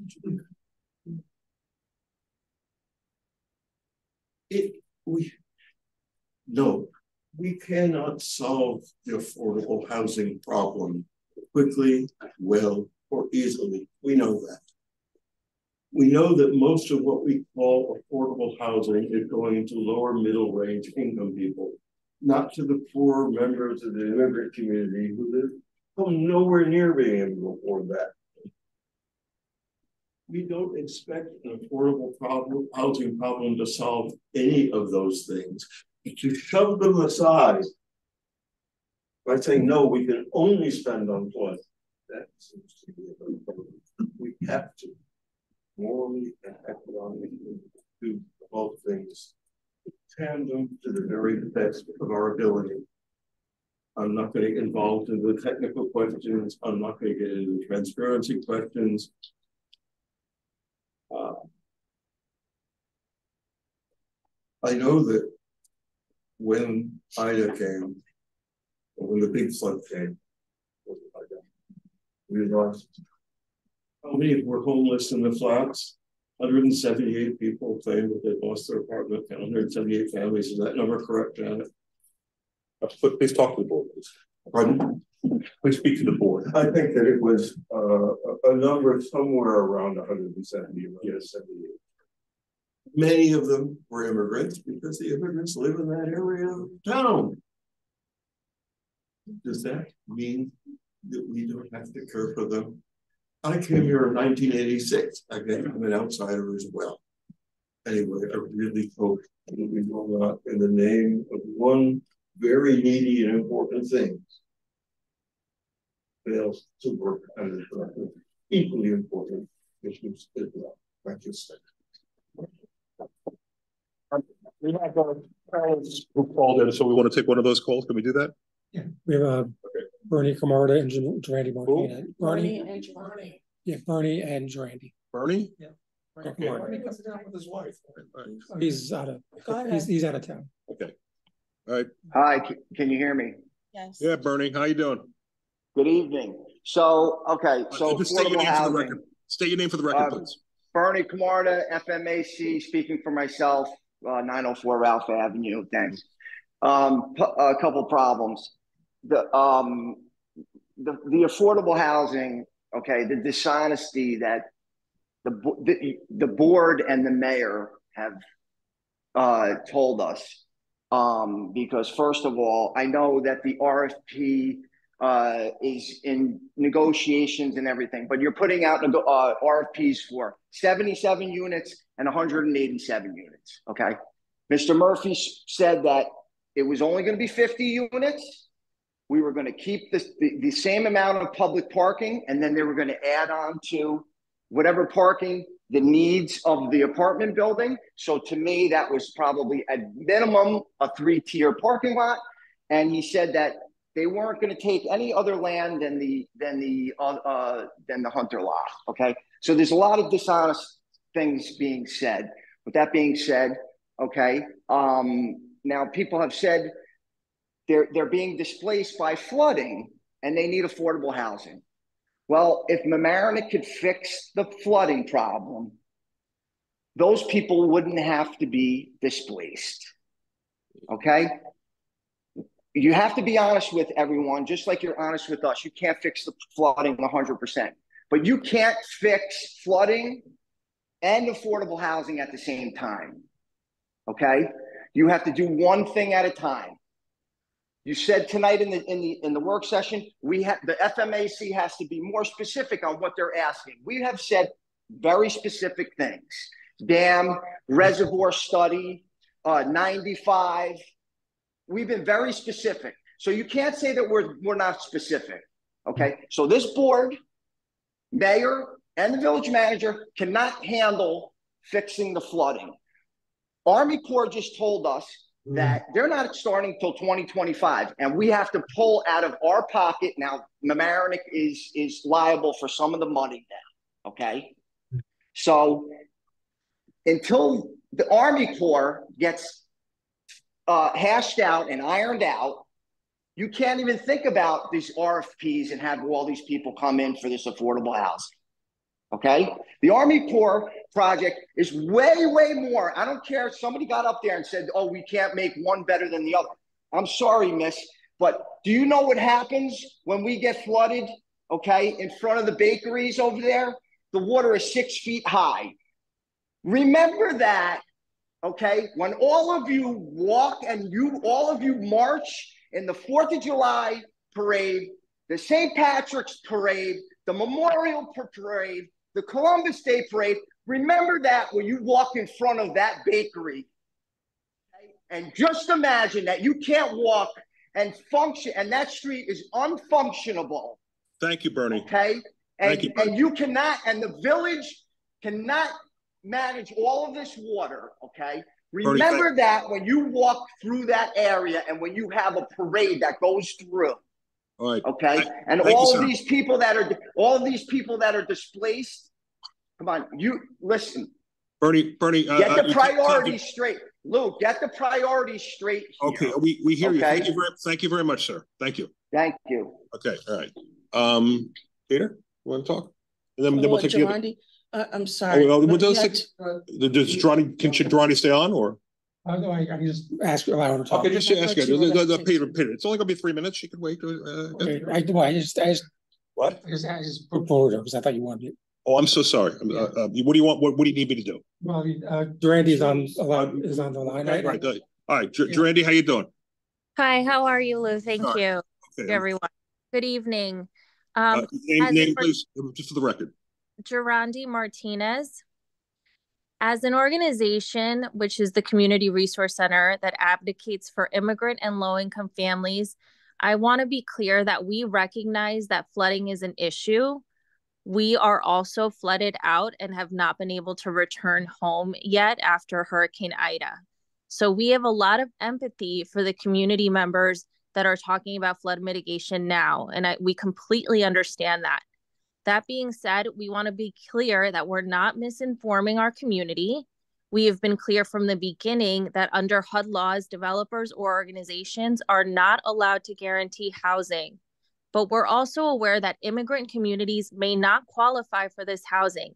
And yet, we still support the Hunter Lot Affordable Housing Project because it would build additional affordable housing that is so needed in this community and in our county. And I know we don't want to think outside of our community, but we have to because we're all part of a larger community. In a village that is as well functioning as ours, we should be able to focus on multiple high priority projects at the same time. So it's not one or the other, but rather yes and. We support affordable housing. We are not misinforming our community. And this is something that is coming from an organization that is still flooded and helped over 300 people return home and or deal with the flooding issues. We're not saying it's not important. We're just saying affordable housing is too. Thank you. Thank you, Durandi.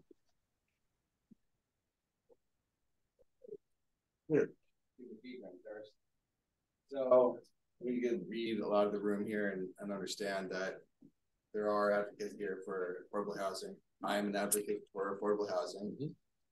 However, I think it's very clear that we are unable to do and walk, two gum and walk at the same time, right? So when we say, as the previous speaker was saying, that we can do both, it's very clear that we cannot. We have a budget that is balloonning, mm-hmm. right? We benefits Taxpayer. the taxpayer. But we, we don't even know, A, how much it's gonna cost, because we put out an RFP without specific criteria, which is of course we- we're supposed to stay with it, right? When I asked that question six months ago, said, I don't know, we're gonna send out the RFP and find out. That's not how RFPs work, okay? This is why we have a proposal for hundred and eighty units, because we did not say must be fifty units or less, okay? Secondly, we have all these people here that would like affordable housing. Putting in an affordable housing unit does not, again, reiterating what have said, guarantee anybody those units in that building, right? So why do it? If we are helping our community, how is it helping our community? Except burdening us even more so by having to put the bill for the building.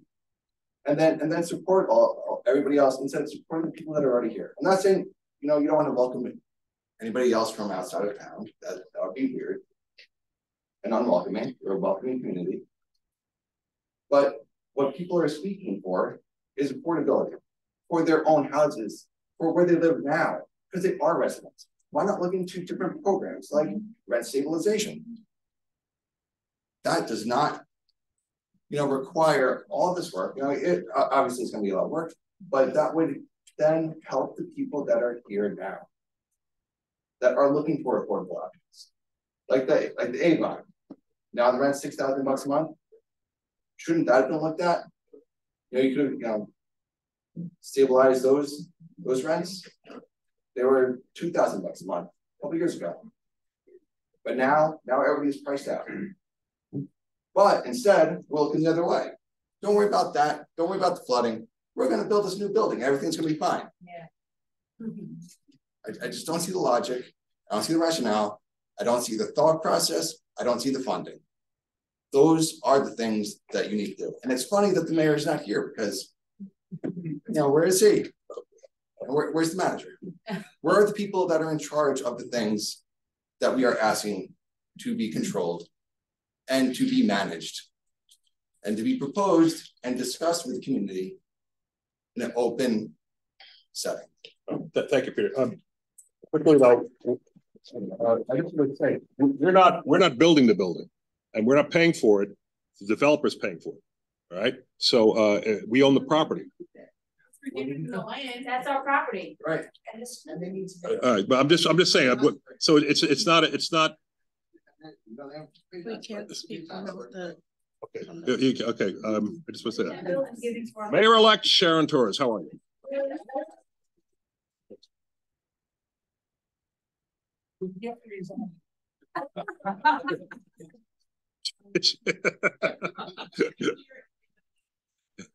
And I want to make sure that y'all understand, it's not about the affordable housing. It's really not. If you look at the RFP, it was vague at best. Only two vendors came back. That's not a good sign. One of them is hundred eighty-seven units with only thirty-three public spots. The other one's, I think, seventy-seven with fifty-two public spots. We have two hundred now. Twenty or so maybe are not usable, I might be slightly off, but that's still almost two hundred. We have firefighters who use that parking lot. Where are they gonna go? Has anyone gotten any opinions from the fire department about safety? About how they're going to respond? What it does to response time, how far in it goes? The biggest problem for me is not that it's affordable housing, because I support that, and I came from the Bronx, I lived in Edenwald. It's a project. I understand. From fifteen years ago, this is not the place I moved into. Right? It's not about the affordability of housing, that's a problem. We all understand it. We all agree it has to be addressed. But this cannot be rushed through. Maybe it's taken a while to get here. The hundred year lot might be a great spot. It's out of the floodplain. The parking structure, if you look at it, is falling apart. It's gonna be dangerous. That doesn't mean in two weeks, we flip around a contract. We need consultants to come in who understand this. We might have to rewrite the RFP. We have to look at what we're getting and we have to push for fewer homes or fewer apartments. A shorter building or a lower level building, not six flights. And we need to have our parking. And for me, I, I know that sounds crazy, but without the parking, our entire avenue just goes away. Where are you gonna put your cars? Where are the people from outside of America gonna go? We're not gonna have them anymore, because they can't park. I have a three pass rule. If I go up and down three times and I can't find a spot, I go home, or I go somewhere else. I live here, I wanna be able to shop the avenue. And I want my small businesses to thrive, and I want all of our residents to thrive. So please do not let this become a divisive thing. We have to pull together, because if we can fix the flooding, we get more affordable units. Because now people can afford to live there. So remember, this is not an us versus them. It's we have a problem. We need to find solutions for flooding, which will help solve affordable housing. And we have to look thoroughly at this RFP, and if it takes another six months, so be it. We need something good and solid that we can be proud of. Thank you.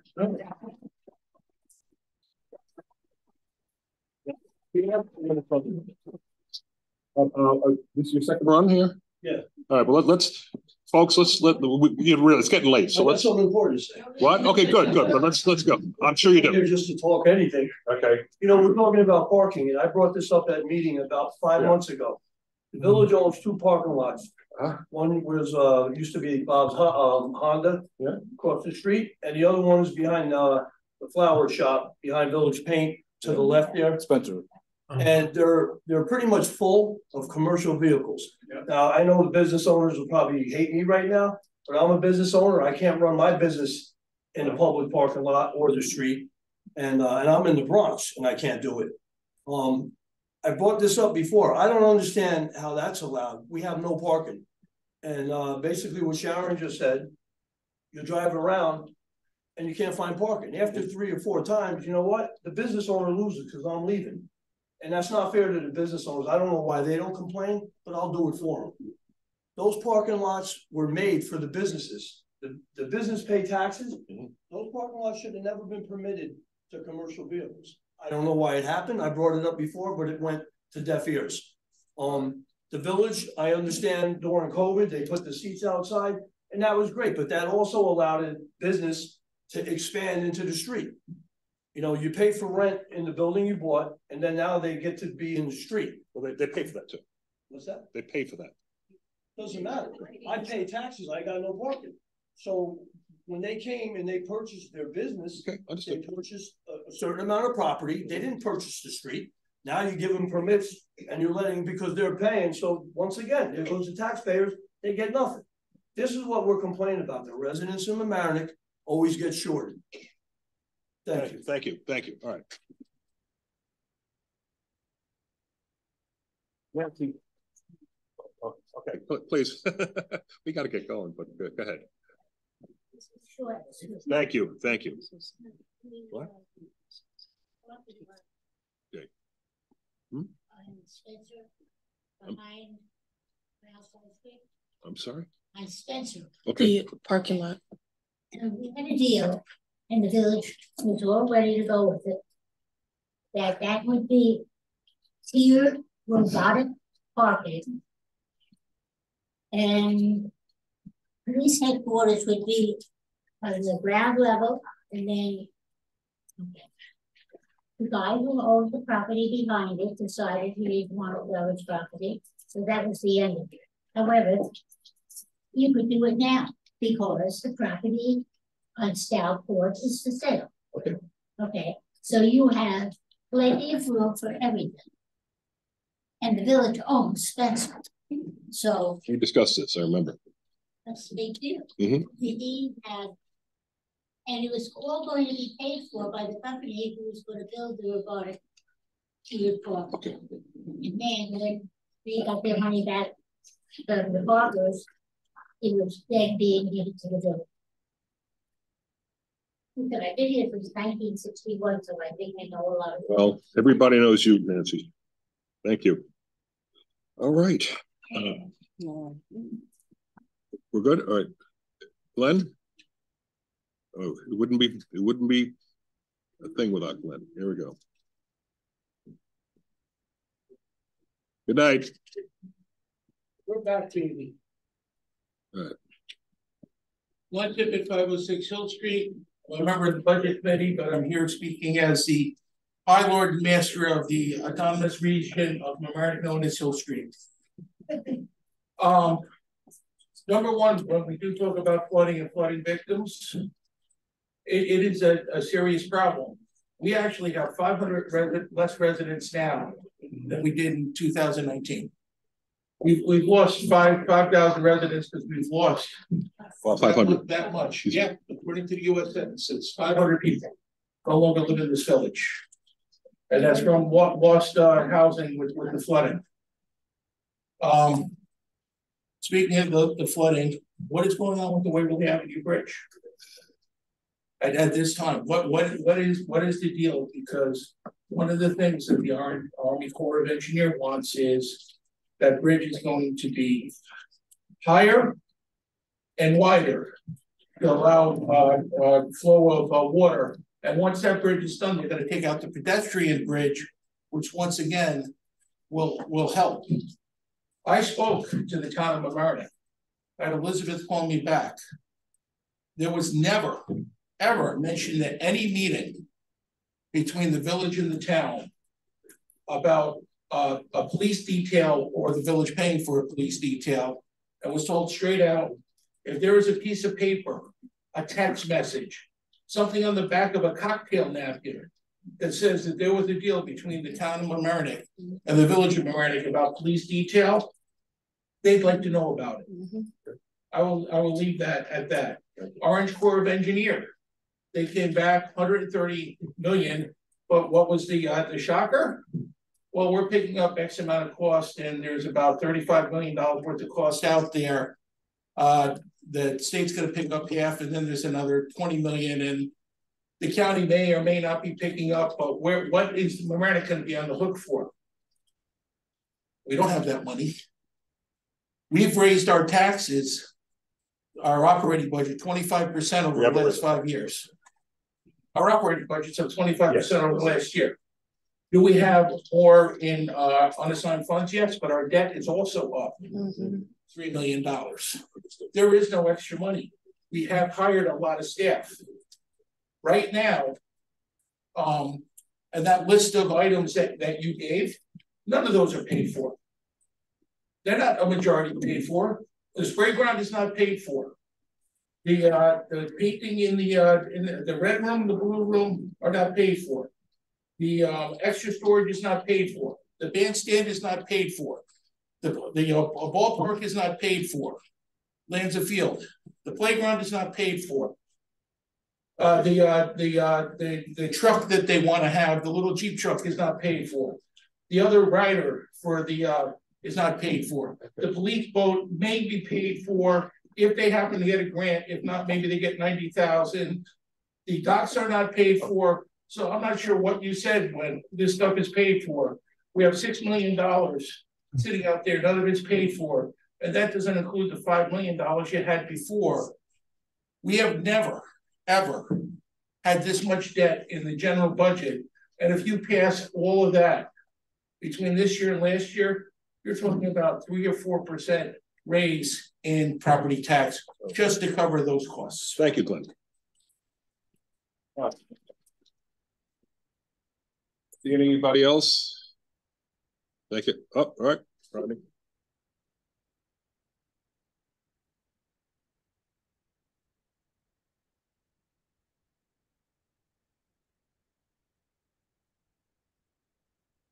The room. Okay, everybody in the room? Even one. Rodney, I'm uh, Matt Avenue, the Heights. Uh, been around this town for about, let's say, 10, 11 years hanging out. Uh, Moved in here, uh, five years, so for all intents and purposes, I'm. uh, Patrick. Hey, in the midst of everything that's happening, this. That's a general lack of compassion. Um, I used to hear about the flooding and how bad the flooding was here. And then, uh, we, uh, twenty twenty-one opened my eyes, and saw the devastation. I'm from the Bronx. Um, I don't see flooding. Um, The rain for days, you know, I didn't go, I didn't grow up in that environment. So to see like basically people was like, you know, the whole the whole life work being washed away, it's it's devastating. It, it's really hard. And I, I, my heart goes out to all of you that lost, that suffered. Um, 2021 wasn't the first time this town. And I think these people up here are trying to do their best to make things happen. I know it's a very dire situation. And personally, for, for someone that, that's not directly always suffering from the situation, I don't want that thing. But I think things can be worked out if people have more compassion, have better discussion, you know, treat each other with like the same kind of empathy, the same energy you come here with, with, with your anger and frustration. Sometimes that doesn't always resolve issues. Again, these people are human, they're doing the best. They were voted in for a reason. It's been about a year. I, I don't think it's fair that you have to fix issues that have been lingering in this town for ages in one swoop. And uh, that's pretty much my statement. Things can go both ways, everything can be done. Affordable housing is also important. I think uh, this, this town likes to kind of beat its chest on being all inclusive and like opening to like all types of people, all walks of life. Show it. I think this town needs to show it and not just like talk about it and thank you. Thank you, Rodney. Okay. Are you, uh, we're good? All right, thank you. All right. Thank you all for, for taking your time to talk and we, we appreciate the input very, very much. All right, uh, public hearings. Yeah, we want to talk about the next two meetings, so we'll be talking about the actual proposals, just let people know. The, uh, Well, the Wednesday night and this coming Wednesday at five and then August. Tuesday at five, the individual developers are going to be presenting the proposals, so just Yeah. at a, you know, at he- meetings here in. yes, you, you- the meetings are here and they will be presenting to us and, and There's trust me, definite- Definite, there's. I got some questions. So, uh, so whatever, whatever is on those proposals, we're gonna, we're gonna, we're gonna hash out. Hmm?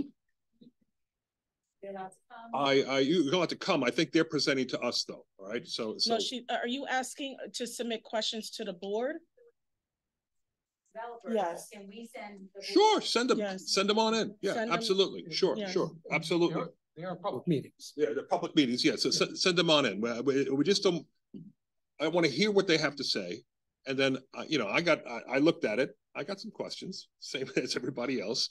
And, uh, and, uh, and I want to hear what you guys say. So, so, so send them on in. Yeah, sure, absolutely. Absolutely. We all, you know, we're all, uh,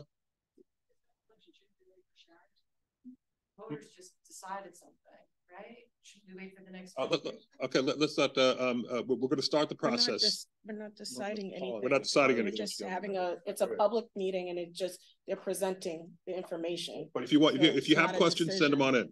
And- And Sharon can send them in too. Why not? And she'll be here at the meeting, I'm sure. All right, so, um, I would, I would expect she would be here. I would. All right, so, um, public hearing now, uh, open public hearing on PLL U twenty twenty-three regarding block parties and special events. Um, help, help me out here. This, with- Uh, this is a local law proposal, uh, that originated from the police department. Uh, it's to establish some additional requirements for, uh, the block party application, which would include things such as who the sponsor is, uh, what the timeframes are. Kind of, everything else is kind of escaping me right now. Yeah. Uh, but, um, I think we're just, uh, trying to maximize the information that the police department has. So that in the event that there's a block party, they know all the responsible parties, how to address any issues that come up. So, um, th- th- so this is, yeah, so I, I have it in front of me. Um, I don't think we want to read the whole thing out loud here, but, um, the, uh, the, the police chief was, uh, felt that, uh, um, uh, she needed, you know, parameters and, uh, and, and, and, and, and these are the, these, these are the parameters. Um, uh, they- they've been published. Does anybody have any questions or comments about the proposed law governing? Oh, oh, oh, oh, sorry. thank you. I missed Tom. Uh, um, somebody uh, make a motion to open the hearing, please? So moved. Second. All in favor? Aye. Aye. All right. Uh, so, uh, does anybody have any comments on the, on the, uh, proposed law?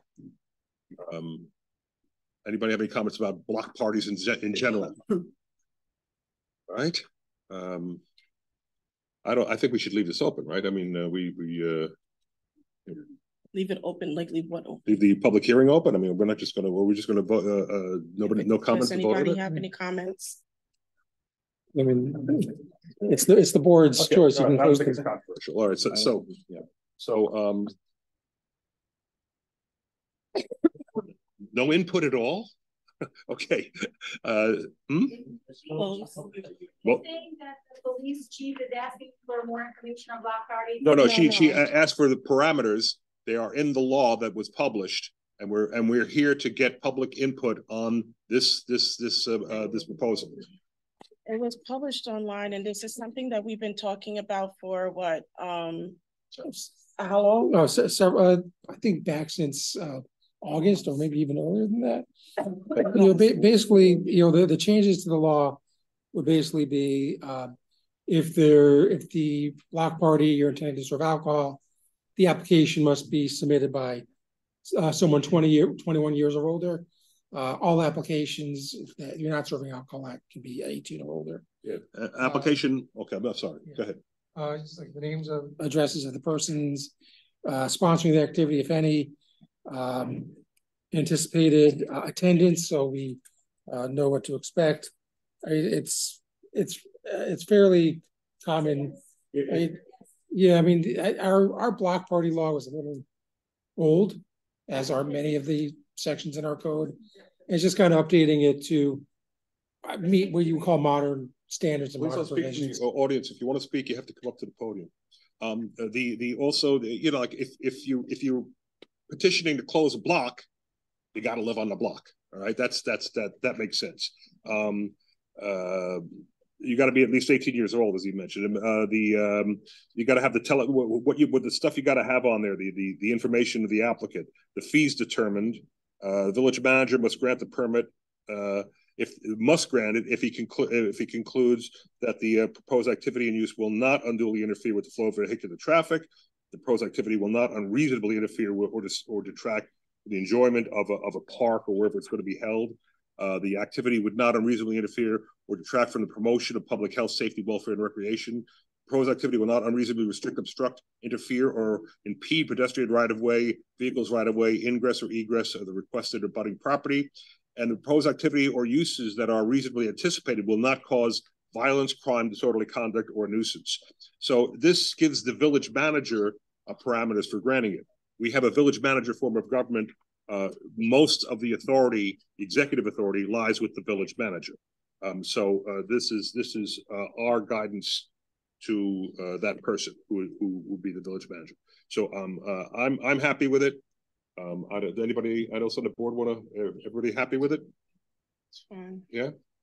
Okay. All right. So uh, Sally, call, call the roll, please. Oh, well, a motion to close the public hearing. So moved. Second. All in favor? Aye. Aye. Sally, call the roll, please. Motion to Okay, I, adopt. I move, a motion to adopt the, ro- the law. So moved. All in favor? Aye. Aye. Sally, call the roll, please. Trustee Rawlings. Yes. Yaz Reed. Yes. Lucas. Yes. Deputy Mayor Young. Yes. All in unanimity. All right, how about that? All right, so that, that, there's that, okay. Um, audit of bills, uh. Uh, we have any comments on that? I have the, uh, I have the audit, I, um, uh, Dan and I had a conversation, so my questions were answered. Um, you, you, you, you've gone over it, everybody gone over it, everybody happy? I think Nora. Nora's gonna still. Nora? Mm-mm. Okay, Last page, I think that's fifty-nine. last page, Um, You have two resolutions before the audit. oh, I'm sorry, wait a minute, all right, help me out here. I'm lost. Yes, I'm not being here. Where? You're over here, right in. It's the budget transfer. And then the one behind it. Okay, you should probably run it. All right, so, so what's, uh, what's up first here then? Engineering department budget transfer. That's for the, uh, Okay, uh, um, budget transfer to fund engineering department uniform budget line. Uh, this is an amount of, uh, fifteen hundred dollars. Um. This is just moving. From general fund to the. From general fund to, to, to other budget, uh, for, uh, yeah, for uniforms, all right? Uh, any, any comments, objections? No. No? Motion to, uh, approve? So moved. So moved. All in, fa- second? Second. All in favor? Aye. Aye, Aye. okay. All right. Next is a resolution funding for emergency repair to the village transfer station. This is a, uh, uh, an emergency, uh, um, transfer station was damaged. Uh, help me, know, fill me in on this again. This is, So uh, we had a uh, a critical power failure at the transfer station. Basically, it lost the electric service, so we had to restore it, which involved major trenching, uh, coordination with Con Ed, uh, and as part of the process, uh, we had to rent a generator to keep the facility operational. You know, it's a your sanitation facilities are an important component of public health in the village of Mamaroneck or any community. Um, so the uh, as part of this project, we are constructing a elevated platform for the generator, the new generator, uh, to uh, be placed.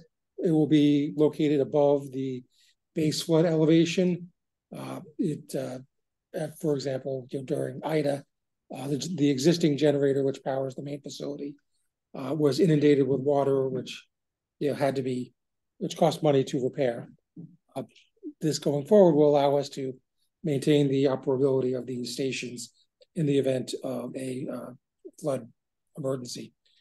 Uh, as far as the platform, uh, there were additional requirements that uh, Con Ed required us to meet. Uh, that required redesign of the project, which extended the amount of time we had to rent the emergency generator. Uh, and because of you know just the ever increasing cost of steel, uh, we're asking for additional funds to effectuate the construction of the new platform to maintain the long-term operability of the. right, and I remember, remember now that because of the extended use of the generator, which was rented, that literally burned up some of the funds, so, uh, we, we need to, uh. Yeah, I think we spent something like sixty thousand dollars just on the emergency power This is, uh, keep that this thing. is for the amount of hundred and twenty-eight thousand dollars um, uh, to bring the funding back up to two hundred fifty-three thousand. And, uh, and this kind of flood resiliency we're building in is, um, is, uh, effective because if you, if you look at what happened at, uh, over at uh, Volunteers, uh, um, fire station, it, it was trashed after Ida, took a long time to fix it. We raised everything, we made it flood resilient. It was flooded again recently, and it was only a couple of days we had it back online. So, so this, this kind of flood, uh, anticipation and, and protection, uh, actually pays off in the long run. That's the thing. Uh, yes, sir, you want to talk about this? I say something first? Yeah, I- I- So course. I'm concerned about this, not that I, I don't think we should do it, but we're paying for this tonight, which means it's done and there was no change order. And that's just not an okay process. Okay, so, uh, so uh, should we not uh, vote for it? No, I, I'm, I don't want to encourage us incurring expenses and, and, and entering into exchange orders without actually having gotten the change order. So I'm, I'm, I'm very concerned. Okay, you can say, so, so what, what should we do? You can do what you want to do. Oh. I'm, I'm. I. You're with us, we're all together. Well, yeah, well, I'm, I'm not, gon- I'm not in support of this because I think we have to get, get our process in order and we have to do things in a logical manner as prescribed by law. This, we, this is on the audit of the bills tonight. If it were an expense we we're going to be entering into in the future, it would be one thing, but we're being asked to approve something clearly after it's done. And that's not, that's not the, that's not, we're not fulfilling our oblig, our fiduciary obligations. We haven't constructed the, um, uh, the platform yet. Part of it is to initiate the process of constructing it. We're paying hundred and twenty-eight thousand, we're paying, we're doing a transfer tonight and paying the bill tonight.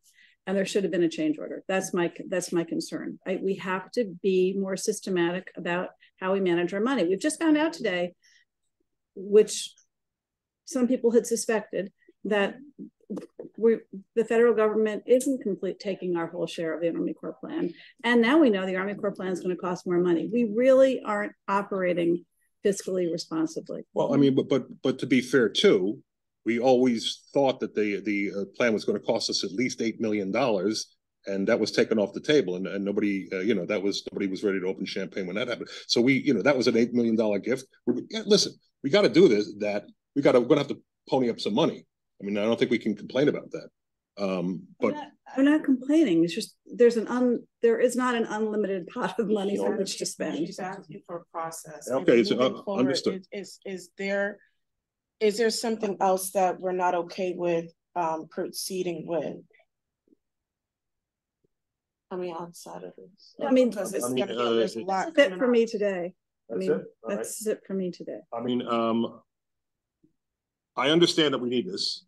Um, uh, uh, if we if we ki- push it off, is it going to be ready with flood resiliency by the time uh, we're back in uh, hurricane season? You know, I mean, uh, that's the other question. I, I don't, I don't know the answer to that question. All right, uh, I mean, uh, this this is a this is a this is a a, uh, uh, uh, not it's not a flood mitigation matter, but it's a flood resiliency matter, and uh, and I I just think we're we're maybe we're disappointed, but I think we're stuck um with it. All right, but that's that's just my my feeling. Mr. Teeger.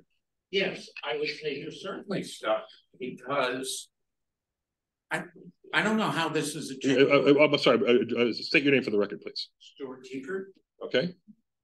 Um, I don't know how this is a change order. Is there a contract for this work? Okay, that's a good question. Uh, um, uh, anything else? Do you have a good answer? I, I'm. no, We'll we'll find out. If you have anything else you'd like to say, uh, say to the board on this? I know of no contract for this work. Um, steel prices haven't gone up that much. You're not paying for fuel with this hundred and twenty-eight thousand dollars. You're paying for the platform fabricated by the company that's, you know, you're paying a bill for tonight.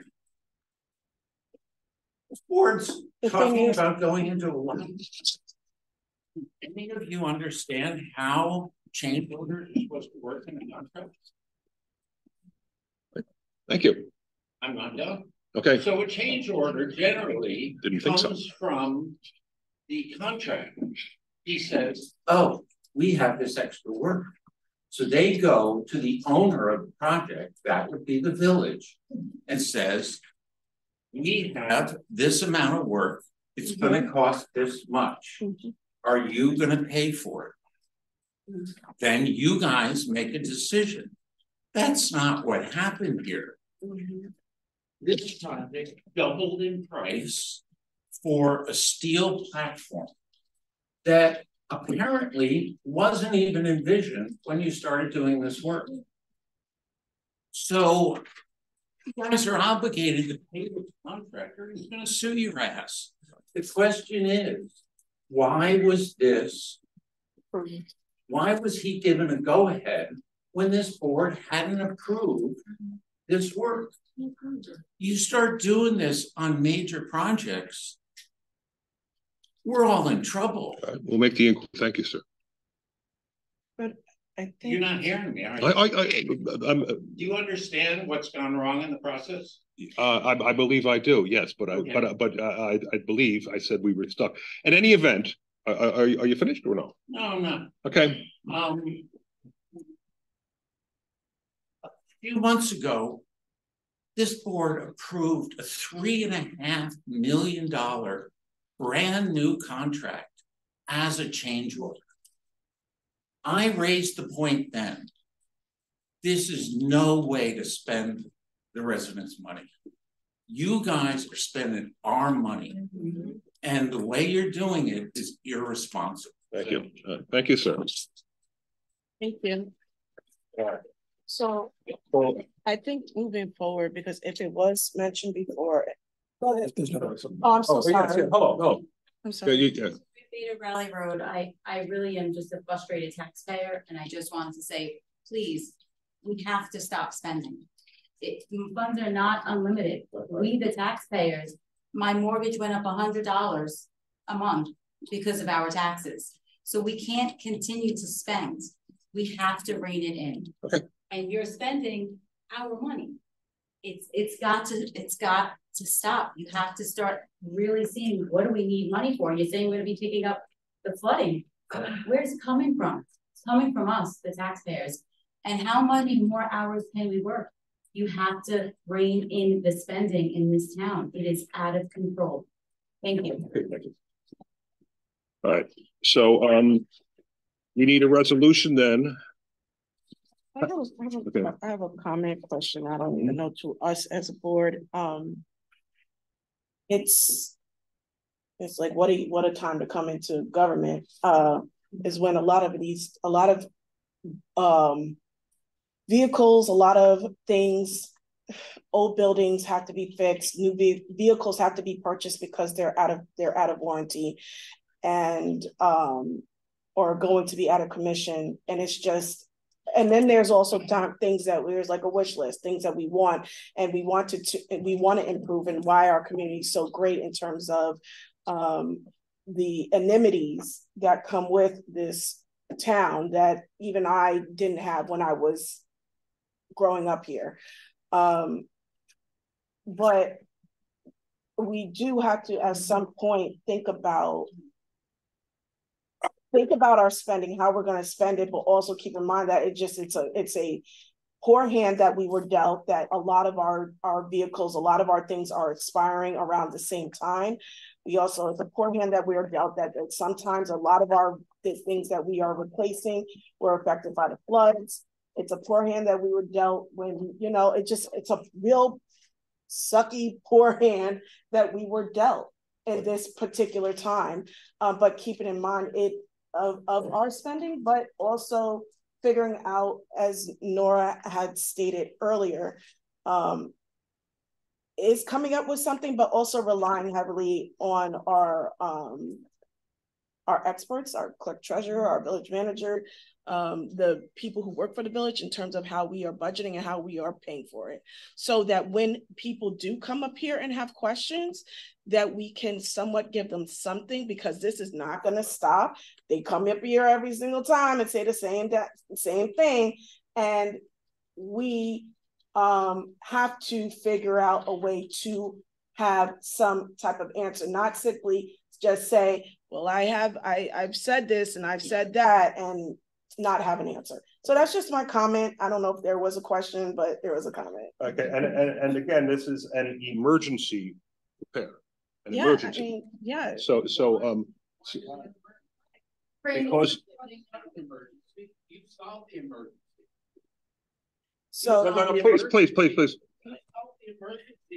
You solved the emergency when you rehook the power back in for the other hundred and twenty-five thousand dollars. Emergency's over. They don't just keep going. And you wanna, you wanna leave that new piece of equipment right there where it can get flooded the next flood. I, but that's not an emergency. An emergency is something that has to be done Okay, immediately. well, we could, we could debate that some other time, but thank you. Thank you for your input. Thank you for your input. Thank you for your input, sir. Understood. I hear you. We heard, we heard you. Thank you very much. Thank you. Okay, okay, so this is an emergency repair to Village Transfer Station and, um. miss- you know, please, sorry. okay, I, I, you keep I'm reading off of the page. What, you- what this is for is building a steel platform, to put the generator on. It's not to fix the transfer station. Please stop misinforming the public. Okay, so, um, uh, do we have? Could the emergency? Okay, but let- let's, I'm not gonna, let's not quibble over, Could the emergency? let's not quibble over, over, uh, uh, verbiage. Okay, so, um, do we, do I have a motion to, uh, to approve this or, or not? Motion to approve? Uh, So moved. So moved, second? Second, okay. Um, Sally, call the roll, please. Trustee Rawlings, Yes. Yizar-Reid, Yes.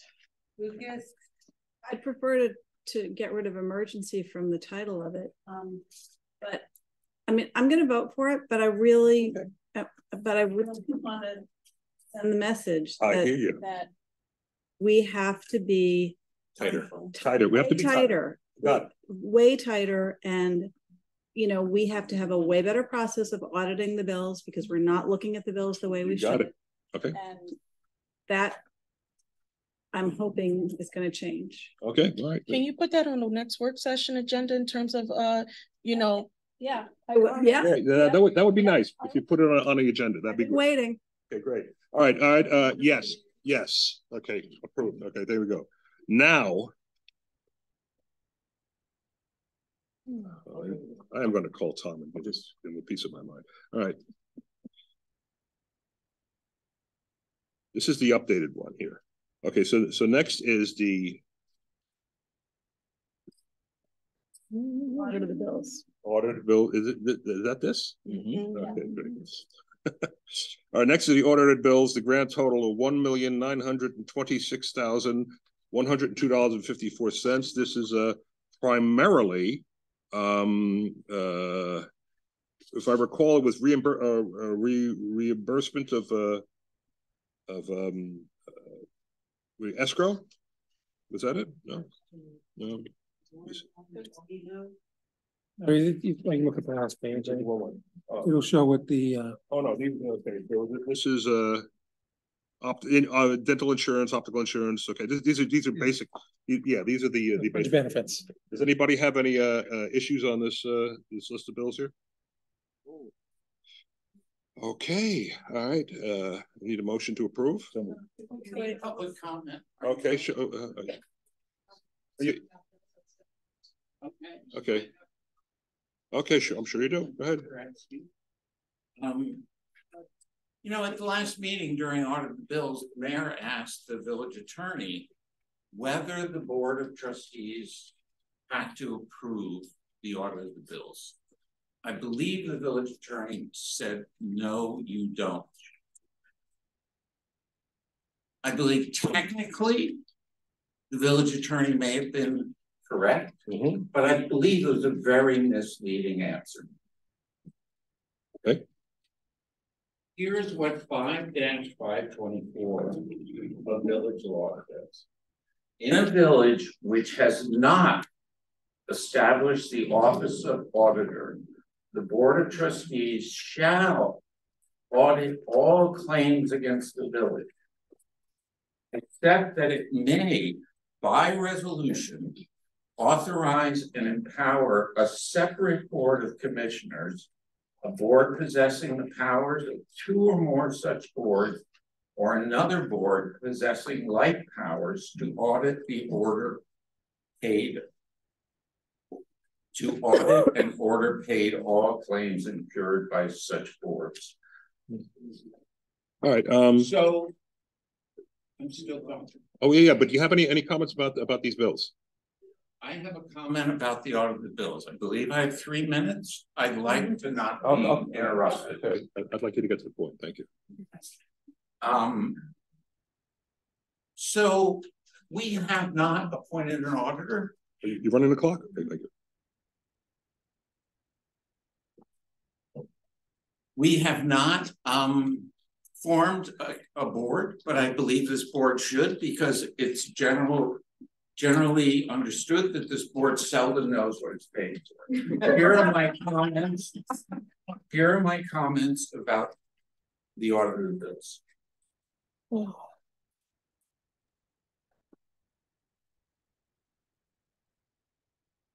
Page twenty-six, top of the page, there are three payments to Richard Polcari for plan review. I've lived in the village forty years. We currently have twice the amount of employees in the building department. We don't have somebody in the building department that can review plans. seems incredible to me. Um, so I don't understand why we're paying an outside person and to do plan review. I really don't. That makes sense? No, sir, not yet. Okay.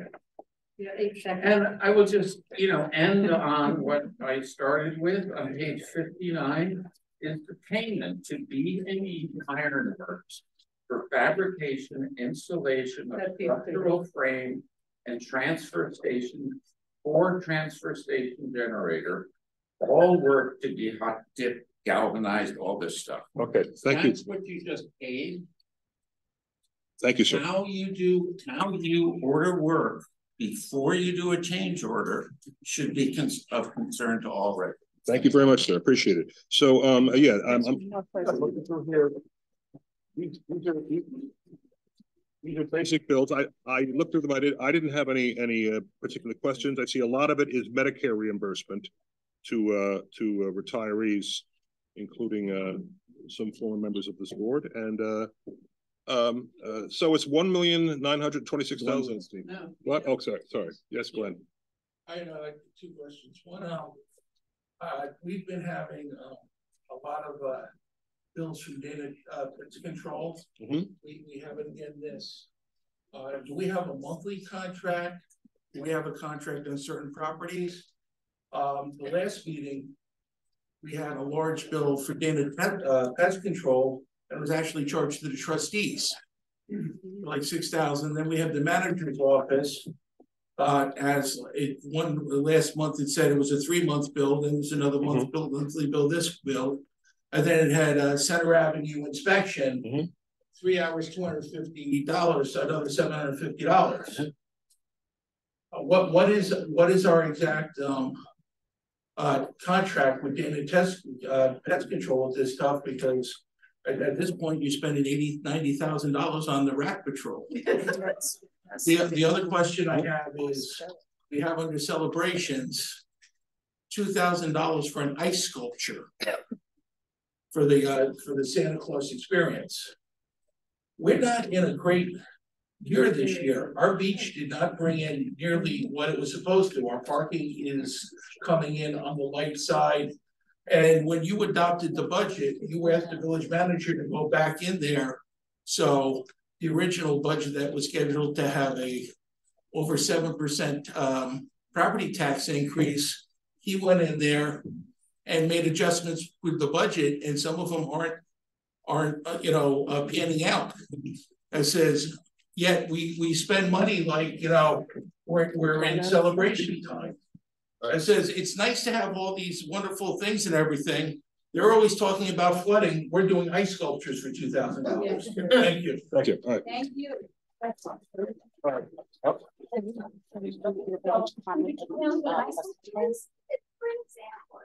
Do, do we, do we, Can somebody? um, Okay, uh, uh, trustee Yazari would like, uh, uh, one of the staff to talk, to inform, inform us about the, um, pest control contract.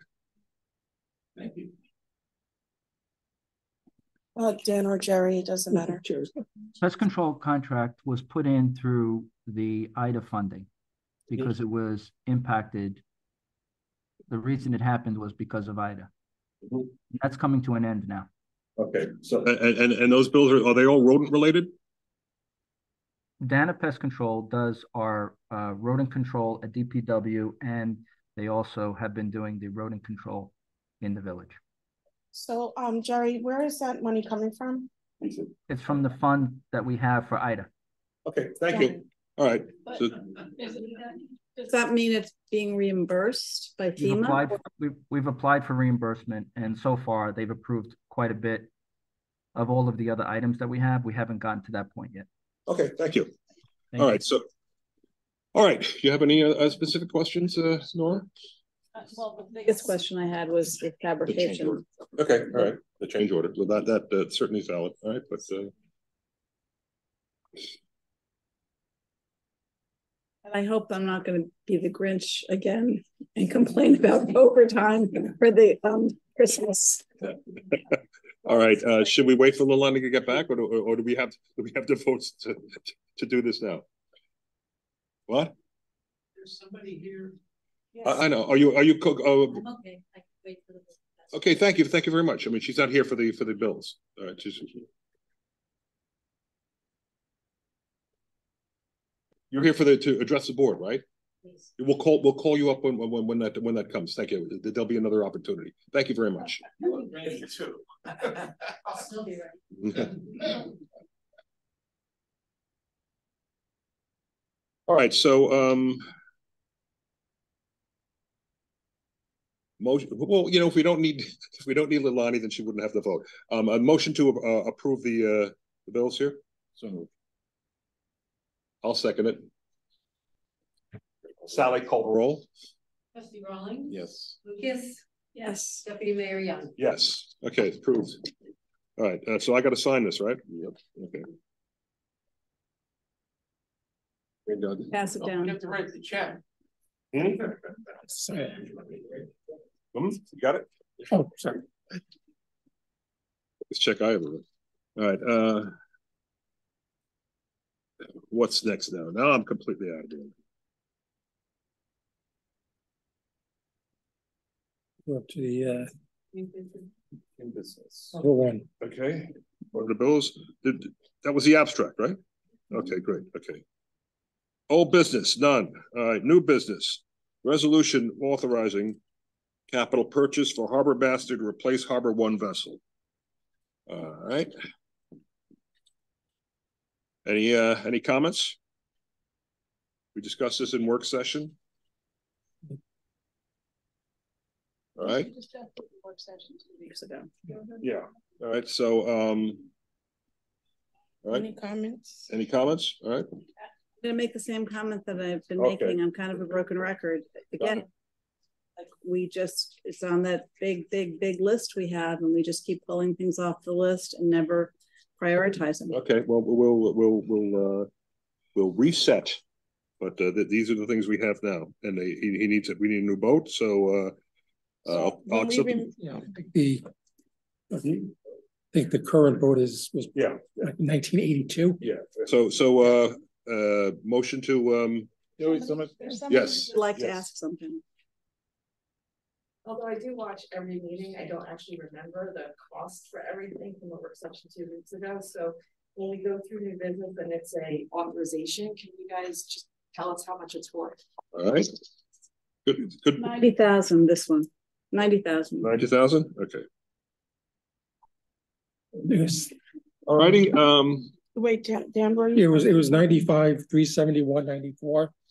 But in, in case there's some increases in cost from the quote, we're asking for a hundred thousand. I just pulled this list Oh, the yeah. last, last, Yeah. we did, when we discussed it two weeks Yeah. ago, it was nine. uh, but it's a, uh one hundred thousand dollar authorization, uh, to cover any, uh, unexpected price. It was ninety for the boat, I think five thousand for the ancillary equipment. All right, so, um. Motion to approve?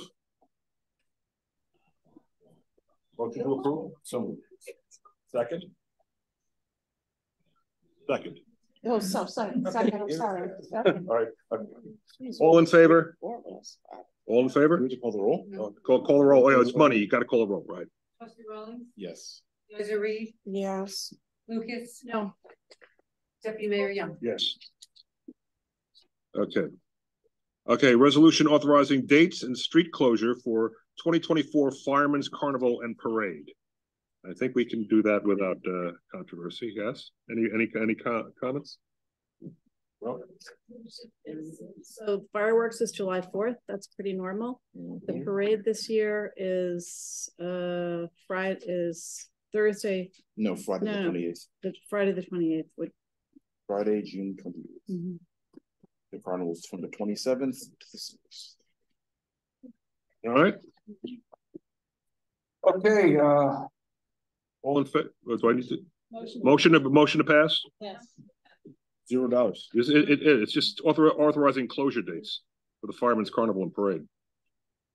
So, I moved, yeah. I moved. Second, I second. okay. We could do that all, do, all in favor?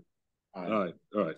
Resolution authorizing funding for capital project for the Parks Department ride on mower. How much is that? Forty. Forty. what? Forty-one thousand. dollars. Includes the Okay. trailer as well. What? Includes the- the trailer too. Trailer as well, which, which is, uh, which is a dual purpose. I remember that. All right, we discussed it. Um, any comments? It's electric. It's a, oh, and it's, and it's electric. That's right. So, so we, okay, yeah, good. Yes, sir. Hi, Rich Lang, Virginia. Hi, Rich, Rich, what's up? Um, so I was looking at some prices and I know you, we have a professional lawnmower, but forty thousand dollars was top of the line. For an electric mower, I think we can, we could probably hire a landscaping company to start doing it for forty thousand dollars. That's, that's an enormous amount of money to cut grass. And you said it, there's a trailer that's involved, but don't we already have trailers? Why, why are we getting a brand new trailer for the, the same type of mower that we've already have? The, um, DPW, I think It wasn't, it was Yeah, we- parks, it was. Oh, Parks and Rec or? Parks Department. And we need the trailer because uh, for an electric mower, it would, you know, drain a lot of the battery just driving it from location to location. Right, uh, do we, are, are we replacing one that was from gas or? Yeah, yeah, it's, it's, a- So it's, it's where's a, the, where's the trailer for that one that we're replacing? we, we don't, we didn't need a trailer because we were able to drive that. That one drives. Oh, that one drives. Yeah, yeah. So basically, we're gonna be buying a trailer to, to, Yeah, to I move it around the village to. to I had that same question. Yeah. uh, Richard, Yeah. and, um, I think that this, the, the, the reason why is because the community wanted, wants to move more towards green energy. And it may not be everybody, but I think there are a lot of people in the environmental committee has suggested it in terms of just moving more towards green energy. And is the reason why we were, we were trying to switch over to these things. And unfortunately, because I had the same question, like why we need a trailer to trail, you know, and I'm, and but that is the reason. If you want more clarification, we do have um Mr. On who can give you more clarification on as to why that was chosen, that particular one and the trailer, and he can tell totally give that information to you if you like it. Have, have, have there been studies to see how long these, this electric mower will last? Are we gonna be buying a new one in three years because the batteries die on them or? Well, I, I, I don't think, I mean, it's a lot of, a lot of these places don't even sell, uh, the, the uh, other ones anymore, so. um, you know, I, I guess going back to my comment earlier, you know, we, we try to make smart decisions, all of us, because we have to pay for our bills. I, I just think asking the community to pay forty thousand dollars for a lawnmower is is ridiculous. Um, I think there's other options that are out there and maybe we can't go all electric for our lawnmower and we can do it some other places, but you know, there, there has to be a cheaper, a f- more affordable way than going all electric for a lawnmower. I mean, the boat that we all know takes a lot more in, in maintenance is ninety thousand. So we're gonna, or now it's a hundred, but we're, we're gonna spend half of that to mow lawns. I just think that, you know, maybe we should look at the, the, a more efficient gas mower for now and wait for the technology to catch up so that tho- those mowers could be a little bit more affordable. Forty thousand dollars is a lot of money. It's a lot of money for this village. And I think it's just, it's, it's not worth it. All right, thank you. Thank you. Peter? Dave, right, sorry. Gonna second that, that, uh, because it is an absurd amount of money for a lawnmower, for a lawnmower that we don't need, because we have gas powered ones. You're looking to do something green to offset is the, the use of gas by installing solar panels.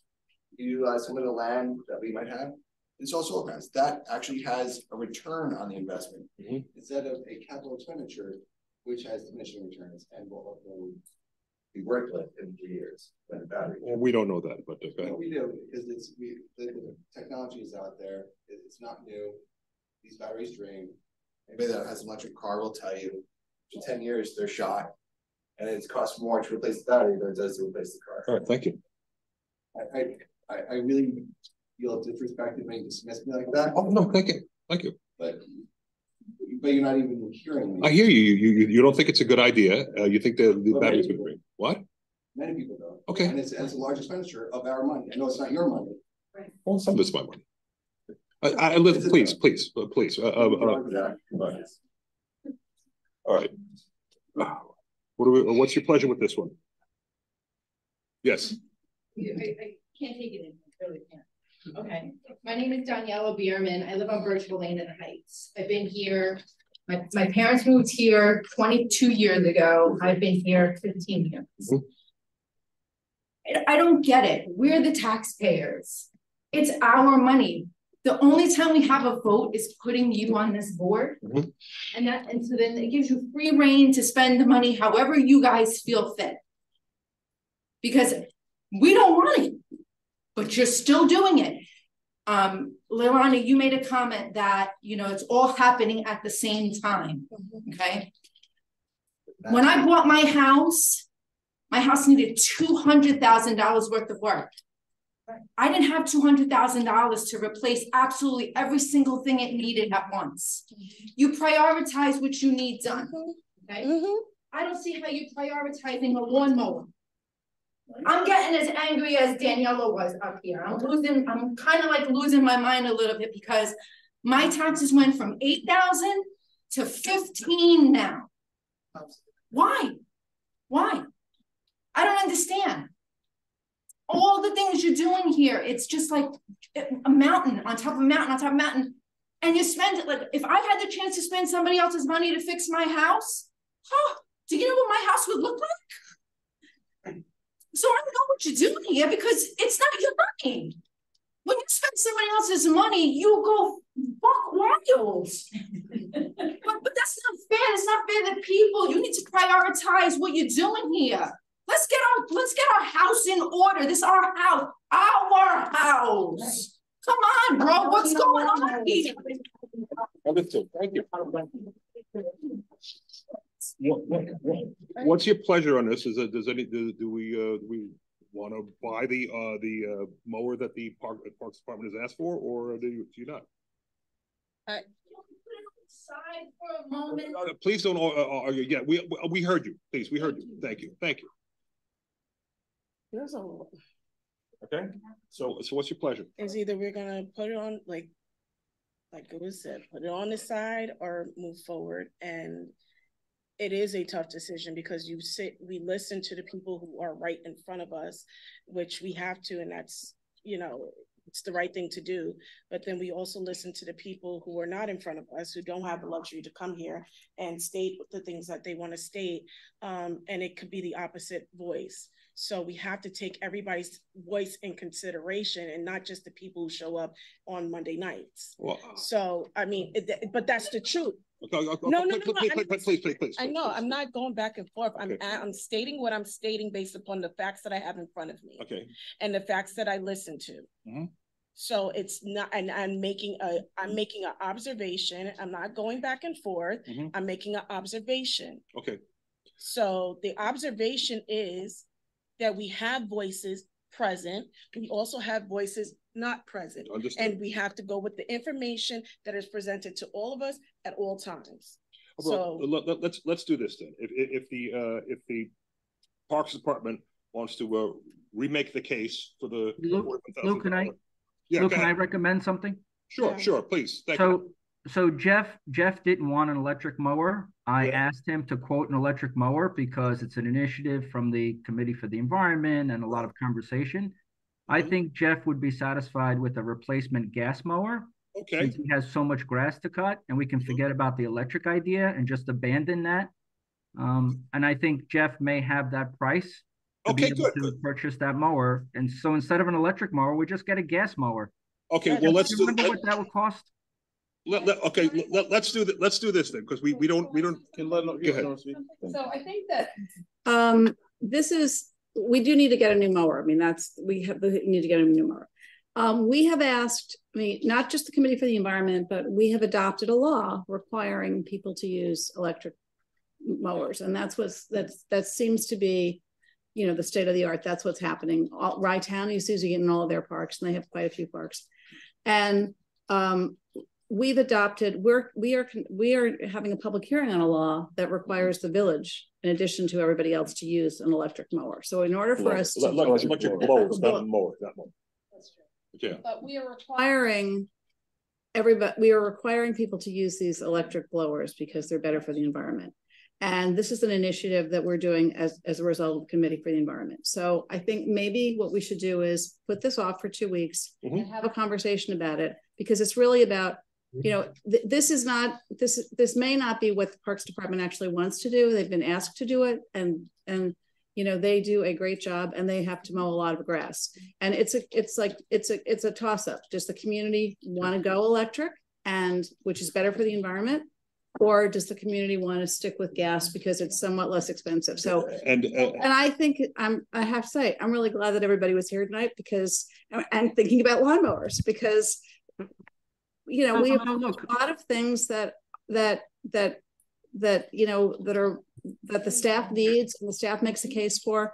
And there isn't a lot of interest in what we buy. And this is something that everybody seems to be interested in. Okay, so- Let's put it off for two weeks. Yeah, yeah, Have- fine. I'm sorry, Jeff, but have a conversation And, and, uh, and see, and pros and cons, because there's some people who really think we should move to this and some people think it's too much money. And let's figure out like what's a good choice for everybody. Good, good, that's good, that's a good idea. Now, the, the, the idea, and when, when the leaf blower thing comes up, um, uh, we're, you know, the proposal is to ban the gas leaf blowers outright.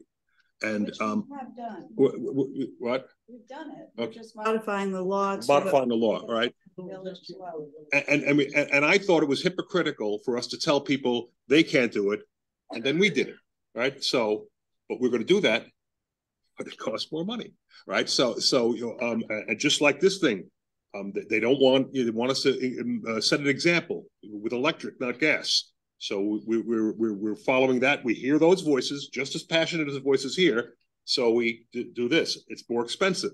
So let's put it off and let you know, you folks and the, and the, and the folks who want the electric stuff can kind of hash it out and we'll, and we'll listen and we'll, we'll decide one way or the other. But I think we could put this, this one off. And thank you for coming up. I mean, I'm not, I wasn't trying to disrespect anybody. I understand forty grand's a lot for a mower. I get it. I I said the same thing, but go electric, go electric, go electric, go electric. That's what you're hearing.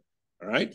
It's not that, it's not what, you know? It's not necessarily what we want. Okay. It's what people. All right, so we're gonna put it off there. We're, we're, we're done with this one, this one. Well, I, mean, I was gonna say, I, I own two electric cars and Yeah. they're forty thousand each, so for a car that I use a ton of, that I Okay, so, understood. you know. I hear you. I believe in the green environment too, but I think that's excessive for a lot. Uh, okay, uh, that's fair, fair, fair. We're gonna, we're gonna wait. We're gonna, we'll, we'll talk to Jeff about it. Maybe he didn't. What? Jerry has something to say. Yeah, go ahead, Jerry. I'm sorry. I'm sorry. So we're bringing, we're bringing back to the board in two weeks, the gas powered mower price to Mhm. replace an existing mower that we have that needs to be replaced. Okay, All right? okay. Well, I mean, and we have this one too, and then there'll be a conversation. Yeah, yeah. I, I think we, we- if we just, if we just go the other way, we're gonna hear the same thing from the other side. And I, and I think that, and I just like, normally, I mean, it, I don't think it needs to go back on work session. This could be a conversation that we have at the board meeting when people can speak And that's a about it. positive thing, and that's what democracy is all about, and we're happy about that. Okay, great. Thank you. Thank you. Thank you for your input. We hear you. Thank you. All right, so next now uh, is, oh gosh, we're gonna be here all night. Um, resolution authorizing funding of capital project for the Recreation Department of Toro Workman. All right, this is uh, how much and, and what exactly we talking about again? I'm, I'm trying to remember this. It was, uh, it's, uh, the, it's twenty-eight thousand dollars, or twenty-eight thousand seven hundred ten dollars. Uh, the, uh, utility vehicle is twenty-five thousand seven hundred ten dollars and, uh, we're asking three thousand dollars for the appropriate lighting package. For the what?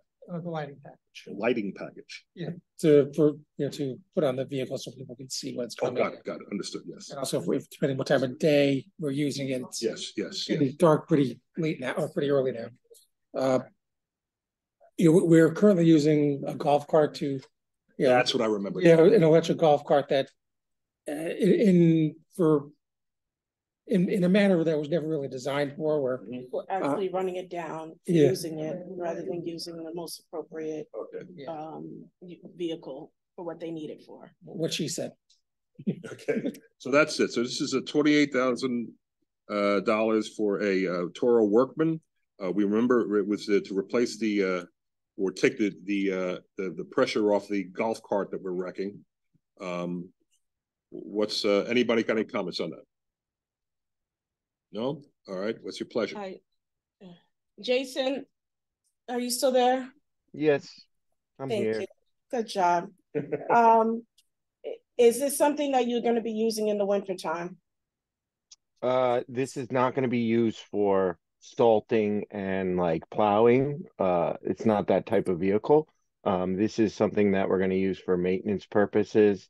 Uh, the park is forty-four acres, so it's quite big and we're all over the place, especially with like the dog park now and different programs. And also beach maintenance, heavy moving sand, moving buoys, and we do it all ourselves on the beach. Mhm. Um, but it's not for snow, if that's what you're asking. Okay, I just want to know the usage for right now, and also, do we know, do you know if this is something like everything else that is going up in price? This is going up in price and it also takes about eight months to a year to even arrive. Um, so if you ordered a year from now, I would say at least five percent is what I've been seeing in the market from year to year. Um, That, that was, in other words, uh, you was, you was, I remember this now. You say if we don't buy it now, we're gonna pay more later.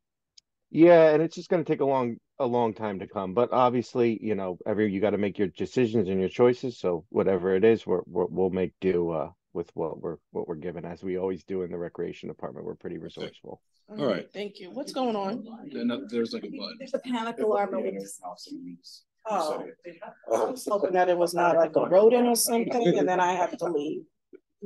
Gotta get some water. All right, so then just hold on, we, I guess under somebody's foot, they hit the panic button, so. So lucky, lucky SWAT, uh, uh, people didn't rush through the door here. We accidentally hit, uh, never. Oh, but that's smart to know. I didn't even know that it was there. Did anybody know that it was there? I knew it was there. Well, good job. Well, Somebody. There's a panic button on the dais. Really, I mean, for the board, but also for the judges who are. Good to have. the- Wow, you, you reacted so quickly. Going off in here. Yeah. All right, um, Been distressed. I, I, I, uh, I, I think, uh, I, I think th- this, this makes sense. I mean, uh, you know, we're, we're not, there's an eight, eight month lag on it. It's twenty-eight grand, it's twenty-eight grand, but, um. I'll take a 28? motion. Um, uh, Deputy Mayor Lou, also, this is a piece of equipment that's gonna last easily twenty years. I mean, we, Jeff has Toros that are, I remember that, yes. yeah, they drag, man. That, that, this is a piece of equipment that will take a beating, so. Do I have a motion to approve this? From anybody? Uh, second, No, no. Oh, Yeah, motion. Motion, motion, oh, so sorry, I'm so sorry. Uh, so moved, okay. sorry. Second, Sally call the roll. Trustee Mullins, No. Geiser Reed,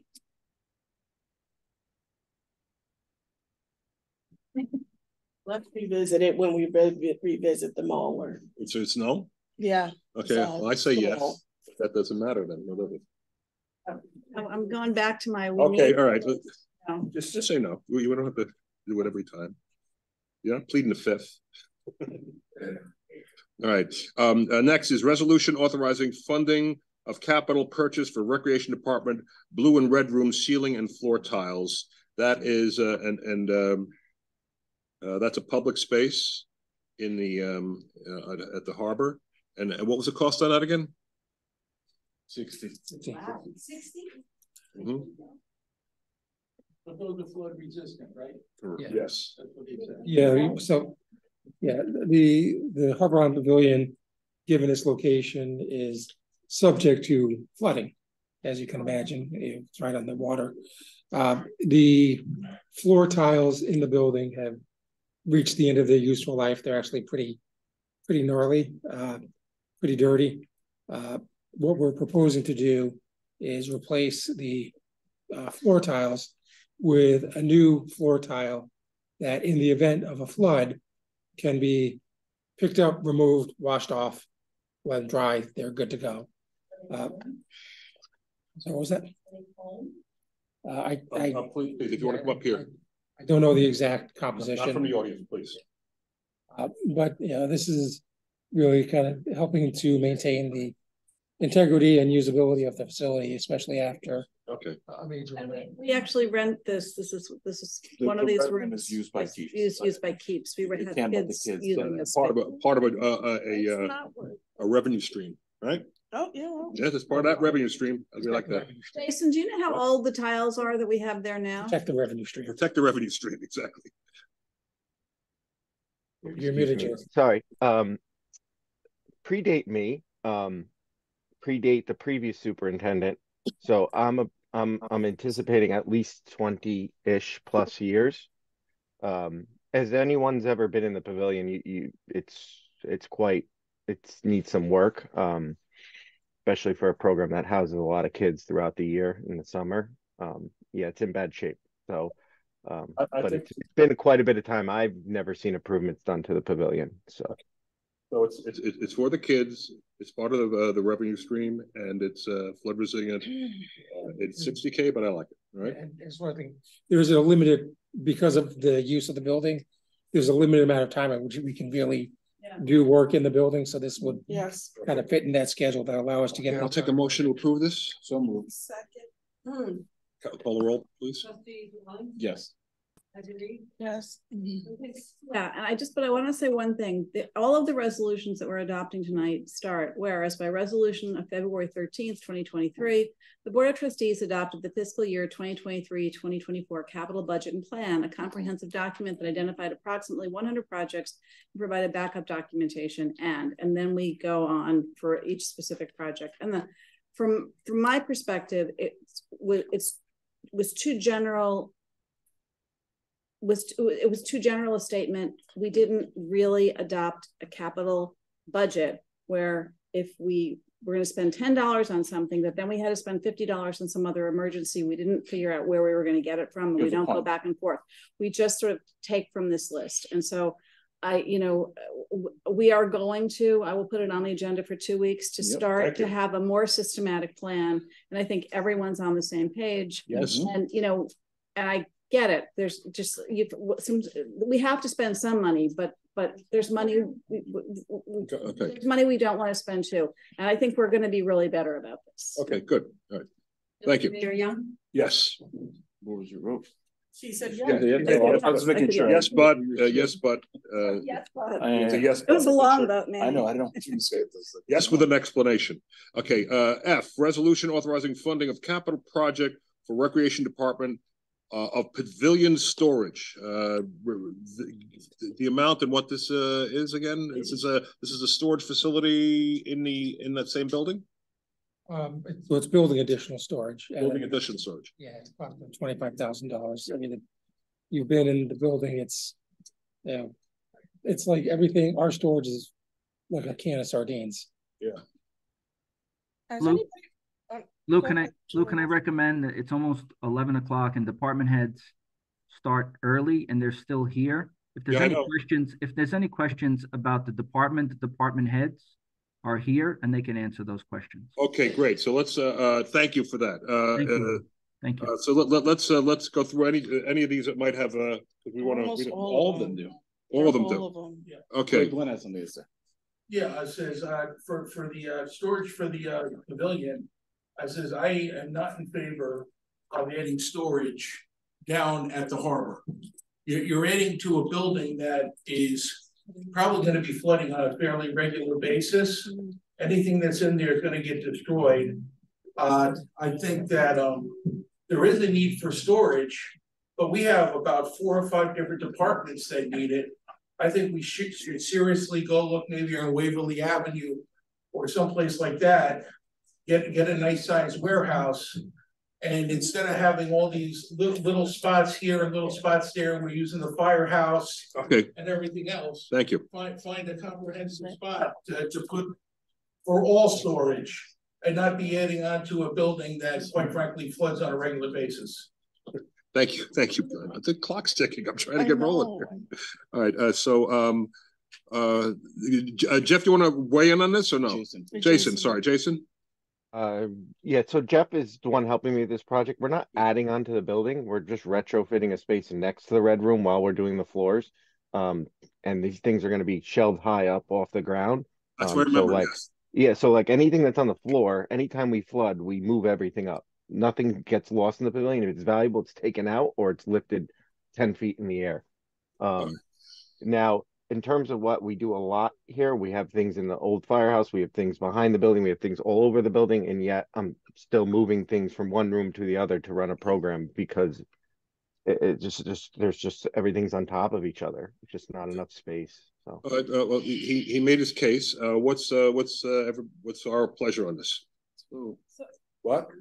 What's the price? Yes? So basically, the storage will make it, y- you'll spend less time moving things around because you're gonna be able to put stuff you use on a regular basis just up high. Yeah, that's like correct? right now, right now I send my staff up to old hooks and they're like going through closets and Right. finding things and they're moved from, you know, we do very seasonal things and and we're very organized and everything's labeled and it's just very difficult right now having things in a million different locations and and we felt like if we're going to do the floors, we can do this project and minimize the And you'll amount get things out of old hooks, which we have to clean out. Right. I mean, we have so many things in old hooks that we can that we can move down and it, it would work. Um, but again, it's up to the board. We'll make. Thank you, thank you. Um, uh, do we have a motion to approve this? Yes, so, uh, uh, uh, so moved, sorry. Second? Uh, Sally? Trustees Rawlings. Nope. Yizar-Reid. Yes. Lucas. Yes. Deputy Mayor Young. Yes. Okay, resolution authorizing funding of capital project for the police department of marine unit vessel. Okay, let's get the price on this and, uh, uh, and, uh, Uh, this was, uh, five hundred, four thousand, seven hundred forty dollars. Our Uh, chief, Dan, our chief is still on. Oh, okay. Oh, there she is. oh, Chief Teresa there? Yep. All right, chief, tell us how much you need this or don't, or couldn't do without it. So I'm going to ask uh, Jeff to weigh in on this one as well. Um, the boat is reached its end of life, um, but Jeff, you could speak to that further, I guess. Yeah, so this is our primary patrol boat that gets used uh, basically all summer, spring, and fall. And with this boat, we would be able to extend our season further into the winter months, like this time of the year when there's still people out. But this boat is more will be more equipped for the weather and conditions that come up this time of the year. The boat that we have now is at its end of life and needs to be, you know, either replaced or a lot of work done to it which really doesn't pay to do that much work to a boat that's that old. Yeah. So also, uh, we'll be still be applying for the grant to try and get this money reimbursed uh, back from a Homeland Security grant. Uh, you, you would, you would call this a public safety, uh, issue? Yes, yes. Okay. Uh, but that said, five hundred four thousand dollars is a lot of money. What's your pleasure? I'm all right with it. I'm all right with it because. Okay, it was- okay, I need a motion then to, Uh, so, uh, goodness gracious, some of, I can't make it, Okay. it's too late. Anybody? Second? Second. Okay, Sally, call the roll, please. Trustees Rawlings. Yes. Yizar-Reid. Yes. Lucas. Yes. Deputy Mayor Young. Yes, all right. Resolution authorizing funding of capital project for the police department uh, for, of, for three Prius vehicles. I remember this, uh, and, uh, and, uh, I, I, I think the price is gonna be uh, three, uh, what, what's the price? The Exact price? The again? chief has it. Hmm? Hundred and eight, roughly, a little over hundred. Hundred ten, yeah. Okay. Any comments on it? It's, it's hundred, it's, Three, three vehicles, hundred and eight thousand dollars. this is replacing two ten-year, old, actually, ten or eleven-year-old Priuses. I think we purchased them in twenty twelve. Correct. Uh, and, uh, based on request, we also hired an additional parking enforcement officer. And we need a vehicle for, uh, that individual as And well. parking enforcement is a revenue stream. We appreciate that. And Correct. the, and the vehicles being replaced, uh, uh, will be sold, you know, we'll get something back, you know, not, not a lot. All right, um, uh, any comments on it? All right, um, I'll move on this one. Second. Sally? Trustees Yes. Geiser Reed. Yes. Lucas. Yes. Deputy Mayor Young. Yes. Okay, resolution authorizing capital project for Harbor Island Park renovation and upgrade. What's the price on this and what are we talking about? Uh, this is, includes a number of items, actually. I think Jeff- Jeff is still Jeff- on. Jeff and Glenn, I think Glenn, But you can say first and now, so. Okay. Let's find out what we're talking about first. I, I, I don't quite remember. You do? You know, it was- Well, I, I want to look and see the liquor business before I. Thanks so- so much. I, I've short circuited my hearing aids. So the, uh, As I mentioned, Jeff is still on. Go ahead. Jeff. Okay. So, so this is, this is a Harbor Island renovation project. It includes the spray grounds, Lanza baseball fields, Harbor Island playgrounds, and a new bandstand. So what's happening at the harbor is Lanza Field is pitched four and a half inches the wrong way towards the playground, which every time it rains, it floods out the playground, especially the toddler area. Mm-hmm. So we would have to strip and repitch Lanza Field along with a new safety backstop to bring us into 2023 and redo the playground because the playground's falling apart and we are on our last leg with the spray ground.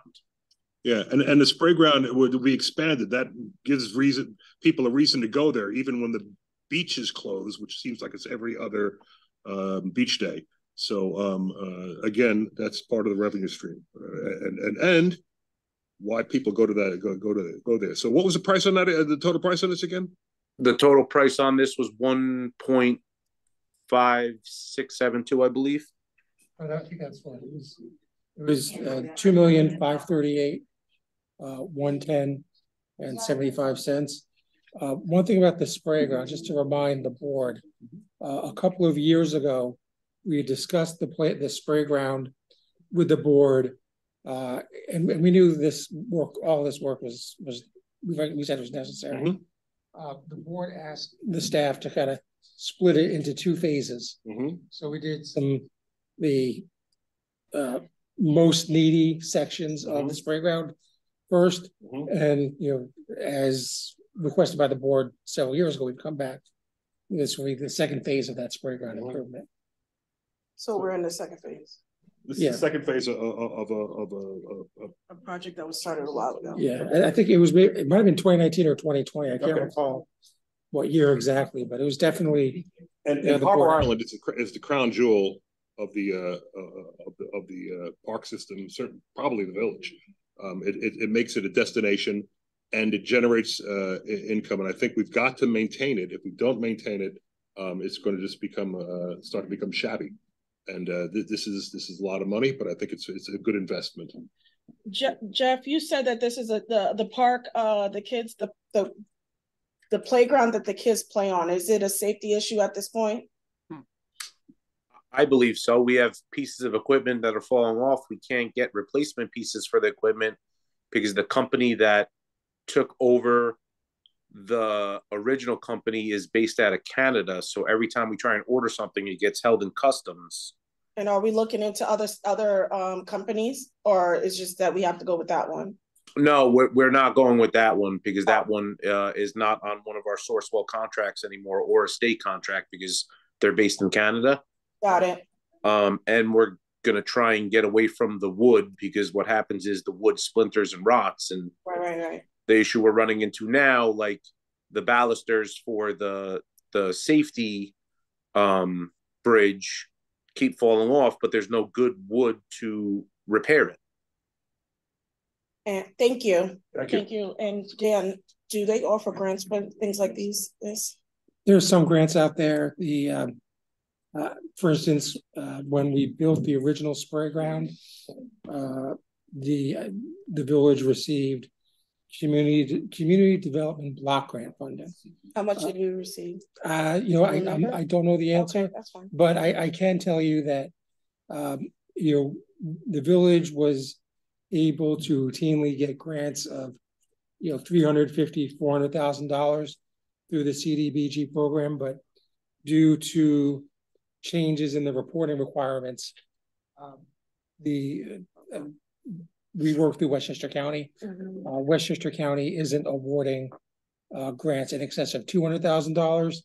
And uh, we are also uh, limited uh, or capped the number of applications we can file. And for the past several years, even with the CDBG applications, we have been uh, focusing on uh, infrastructure improvements, specifically sidewalks.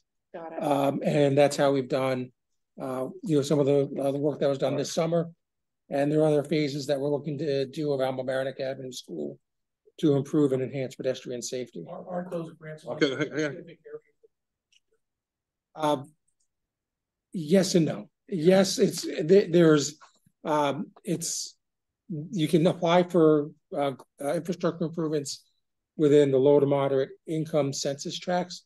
Um, you can, you can also apply for areas outside, but the documentation that's required, you're required to provide documentation demonstrating that more than fifty percent of the users of the facility uh, are in, uh, are either residents or uh, are uh, below the, the moder- mo- moderate income level. And that level of work is significant. Uh, and given the reduction in the grants that we're able to get, it's, it's making it even less of an incentive. And the county uh, strongly encourages the member municipalities of the, um, what they call the Urban County Consortium District to, or to, uh, apply for infrastructure goals like sidewalks and the like. Thank you. I- Uh, just, just to do, uh, go back, it says the parking is not a revenue stream, we break even, okay? Just because we bring in money doesn't make it a revenue stream, if your costs are the same as the revenue, it's not a revenue stream, it's a safety issue. And you want car turnover, we do not make any money. No, no, we don't, but I would like that to happen. Yeah, Okay. And we do Okay, not so- make any money at the beach. No, no, but I would, but- And, okay. and the, the, uh, thi- this is a major project. It has to be looked further into, and I would rather see. You know, if you wanna do this, I'd rather see it done in January, February as part of the operating and capital budget for this year. Because, um, quite frankly, not only do you have the actual cost of the spray park, but you're gonna have a significant increase in the cost of the water for the spray park. We have fifty million dollars worth of projects that have to be bonded over the next five years for the water. You might be looking for a fifty percent, hundred percent increase of the spray park. Mm-hmm. At its current use, that's seventy-five thousand, hundred thousand dollars. $100,000. The beach brought in hundred and seven thousand last year without any personnel. So. I'm not saying that you don't do it. What I say is, I would push it off until February. That way you can see what funding you need. Again, everybody's asking here about funding. Mm-hmm. You don't have a penny for Village Wall. You don't have a penny for the seawall. You don't have a penny for Halstead Avenue. You, you know, you know, you have a lot of, you don't have a, a, a lot of money for a lot of, you don't have a penny for the dam right now. You don't have a penny for the flood mitigation. You don't have a penny for dredging. You know, you're at, you're, you're talking about hundreds, hundred million dollars. That you have to look and see, what are you gonna actually do and what revenue source? You're gonna put, maybe you come up with a revenue source specifically for the recreation department. So they could afford a certain amount for, for, uh, capital projects over the years. But as of right now, all you're gonna do is, if you spend this money, it all has to be bonded, we don't have any money for it. Okay, thank you. We have a four million dollar grant for Halstead Ave. We have a four million dollar grant for Halstead Avenue. Okay, I, I I know, I know. Just let him talk, then. Okay, For Halstead Avenue, and it's gonna cost us a million. okay, yes, yeah, yeah, yeah, Tina, Hi. So I think I have two weeks left on my chair position. of Okay. the Commission. yeah, Um, so I feel like I know a lot. Oh, sure. More than what you guys are talking about. Um, a couple things. I think that um, you guys seem like you're on a trend of saying no, so that's why I wasn't planning on getting up here. Um, but I think at the least, this ground needs attention because it's broken. yes. And Jeff and his guys have had to come in all summer just to turn it on, turn it. Yes. And I think that's the least that we can do for the kids that are coming to the beach and paying fees to come onto the beach and they can't go in the water because the water's always closed. Um. Jeff can correct me or maybe want to kill me after this. Um, but I think part of repairing the spray ground requires digging up part of Lanza Field. So I think it almost kind of goes a little hand in hand, but I Mhm. think it's a lot of money. Um. you guys had a really nice presentation from Fields for Kids not that long ago. Mm-hmm. Mm-hmm. Um, I know a few of those people personally, and I think we've had a few nice conversations after that as well. Mhm. And that was one project, Lanza Field, where personally, aside from me being the chair, I felt that was something that Fields for Kids could work on. Um, as, and, and in making it a regulation size softball field, Mhm. because the girls, the girls high school team has nowhere to play. And they would willingly rent that field while they could repair theirs, uh, but they can't because they have nowhere else to play. So I, Having conversation. I think you should not neglect this playground. And I think a lot of the things that are coming up to you guys is because of neglect Yeah. over the years. Um, but I do think the entire project is way too much money for now. But I think that you really need to revisit the Fields for Kids partnership because it really would be a partnership. Mhm. And they're doing so many things right now Right. that I think that we could benefit from it. And why would you say no? Agreement, agreement. All right, thank you, thank you, Tina. Thank you, we appreciate it. Thank you. And nice job as chair, though. We appreciate it. All right, um, yeah, the, the, the spray grounds act absolutely gotta get, get it addressed. Uh, uh, the, um, the other stuff there, uh, um, the, the, the, pitching of the field and, and, and- the, uh, and the, uh, I don't know, I mean, uh, how do you, how do we, how do you, how do you just say? I think, I, I, from what I remember, if I can recall, I may be wrong, that when Jeff um presented it, it was, like Tina said, it was the, the, the spray ground affects the lands Yeah, of field, the Lanza field affects the, the, um, the playground, and it all comes into play, and then you have the pavilion that is on, kind of on Lanza field that is just, it just flowed, but I also agree, maybe we don't have to do it all at one time, but um, if we, Jeff, if we take one, if we take the spray ground and work with, if we have that conversation with, uh, Fields for Kids, how, do, would that work for you, got, for you? Um, that's not really up to me whether the village wants to work for Fields for Kids or not. No, I'm asking, what I'm asking is, if we end up working with Fields for Kids, if that ends up coming up, and then we just, we, we're not necessarily fixing the, um, the, the playground, but we're fixing the spray ground that, which I also believe connects with the, uh, Lanza field, and if we do partner with, with Fields for Kids, does that work for you in that we just wait for the playground? That would, I mean, that would work for me, but it all depends on whether or not it works for Fields for Kids. I can't, No, I can't, course, no, of course, no, of course. I can't speak for Fields for Kids. The only thing I could speak on is the safety of the playgrounds.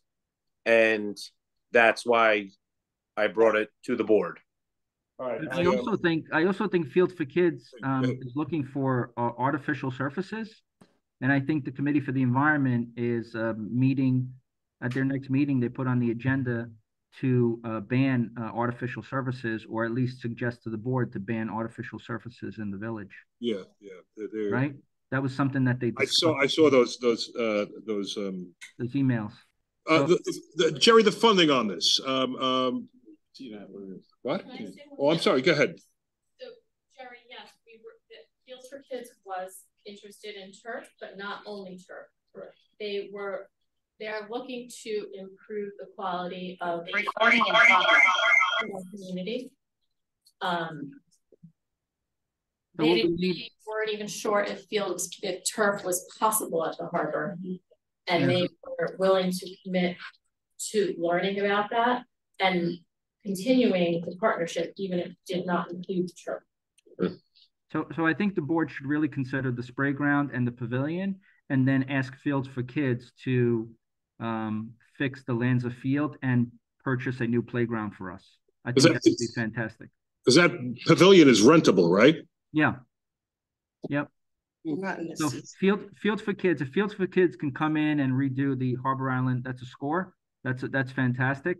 Um, they want to do stuff for kids, I get that, and a new playground in the largest and most used park in the, uh, in the Sound Shore area would be a great idea. At the same time, of course, we're gonna have to have them or ask them to give us money to, um, to fix fields, you know, the, the Lanza field, uh, which I, I don't know why, I'm not sure, maybe Tina can come up, but why are the high school girls softball not able to play? Do the, does the high school, did they lose a field somewhere? Is there something that happened or is there's a new team? I, I didn't go to Mamaroneck, my kid didn't go to Mamaroneck High School, so I don't know. Still play softball, they just won the field hockey state championship. Um, Softball, right?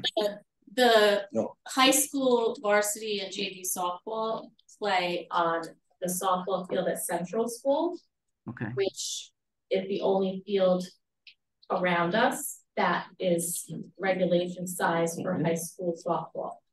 So in order for them to repair their field, they would need somewhere else to play. And honestly, the field, the location of that field isn't ideal either. There's no bathrooms. It's just not what you would want for a varsity team. And I think the harbor, personally, I think the harbor is a beautiful venue and why wouldn't we want other communities coming there for a game, for Yeah. A, a high school game? Jason, I have a question for Jason. Jason, do we charge the high school uh, or the uh, school district for any use of our fields? Yes. All the time. Even the elementary school when they want to have their picnic. Yes, we, we, we do charge the school, we do charge the French American School, we charge Good. pretty much, pretty much everyone So if, it. if Field for Kids renovates Lanza Field and puts in a new playground, we'll be able to charge the high school for the use of that field. So that would work out well for us. Yeah, I agree. So then revisit the conversation. All right, so, um, uh, where, where are we now? So the, So just to prove the, just to prove the pavilion and the spray ground, we'll get, we'll get working. We, we, more comment? oh, yes, yeah, hello, um, uh, Mayor-elect. I'm just hoping that rather than pushing through one point five million dollars. We can look at everything that has to be repaired, because obviously we want the children to be safe, we want everybody to come, we wanna make money off of whatever we have. Mhm. Everybody agrees on that. But expanding the spray ground doesn't sound like an urgent issue. And so can we back out some of the extras of trying to build onto and just work on either the maintenance that was let go or repairing something that's dangerous so that we can keep moving. But we're not putting ourselves in debt when we know we have flooding and we're having all these other big issues that we might need to pull some money from. Right. So I don't know what that number looks like, but if we can pull some of that back and maybe look at it for another year and start planning ahead. Um, we have no guarantee of making money off of this. We're hoping, you know, it sounds like maybe, but you don't really go to the beach for the spray park. It's more like the spray park's there with the beach. Um, cause you don't want to pay to get in just to hang out at a small spray park, I would think. Well, uh, I don't okay, it as a huge revenue generator and I see it as a huge expense for Okay. water. And our water rates went up this year, so, oh, you know, just if we could look at fixing everything we need to fix, but not just Got it. adding everything on, that would got be it. great. not a spray ground, ground- not a spray ground defend. The new, From so from my Lou- understanding, we have no choice. We can't, we can't do any maintenance. fix it. We have to expand. This is, this wasn't like a choice that we Well, wanted to. We don't have to make it- expand it, we We can don't, repair it. we, but then repairing would just be another repair like we've been doing the past. Well, I mean, we could, couple re, years. Eh, eh, we have to rebuild it. Yeah, like we eh, have no But we don't have to double it. And, and there is a concern about, I know you're not gonna agree with me about you this, but it's okay. Yeah, Yeah. I know. Well, no, uh, yeah, right, right. But the, the, the amount, the, the, the cost of the water is significant and we can't, We can't afford to do what we did this summer, which is turning it on, leaving it on all day and then end of the day, se- season, turning it off. That's just gonna Yeah, cost us and- and- a fortune every year. And, and, and, and it's, You've had this for many a. Uh, Glenn, Glenn, Glenn, Glenn, you have to leave please, turn, please, please, have a seat, take a seat, all right? I'm telling you, so you lost, but I'm trying. You ignore the opportunity. Come on.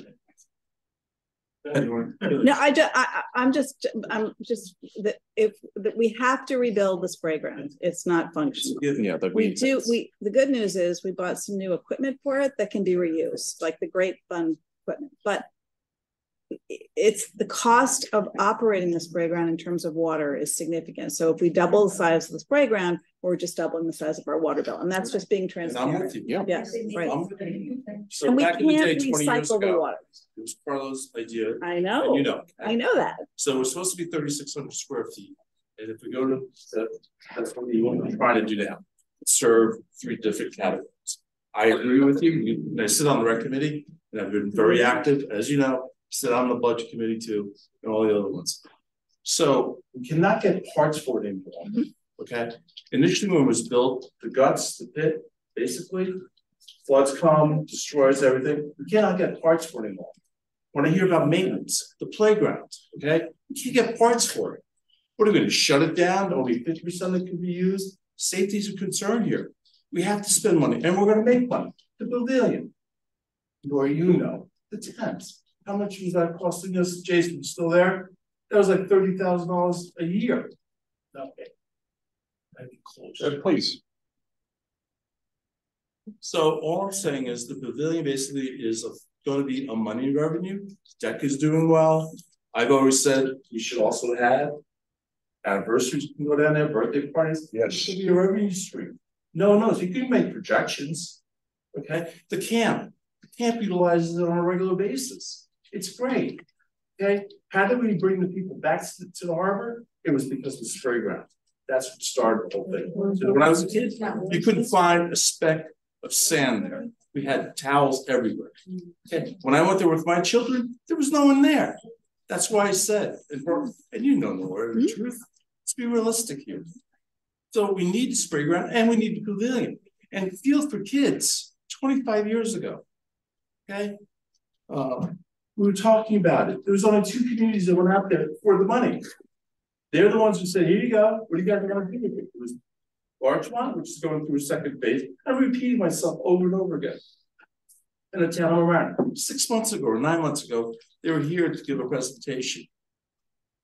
We have never taken a dime from that. Never. So let them, we should go to them and say, we want the money for the playground, the school market, then. Not for them to tell us what we want. It should go the other way around. They want, they want us to. They want, They they want give us, us right. money, Jim Hanley and I, okay, years ago. And that's the truth. We have to spend the money. And again, flooding is the number one issue in America. And we've done stuff to try to fix it. In comparison to years ago. A lot of stuff. Right. Yes. Exactly. I mean, I can go on, Yeah, I know. right? This is the truth. Anyway, I'll leave it. All right, It's your turn. Okay, Sorry. We're gonna be Um, Re- Remember, remember this, display, the, the spray ground is not being fixed for this summer. This, this program is set for next October. That's why I said, rethink it. And you can still pass this in January and February and have to do the work. The spray ground is not being repaired this summer. The fields are not being, this was, this is all planned for next October, November. Mm-hmm. There shouldn't be any reason that you can't look, look at it, and this is, I absolutely agree. Fields for kids, we have three softball fields.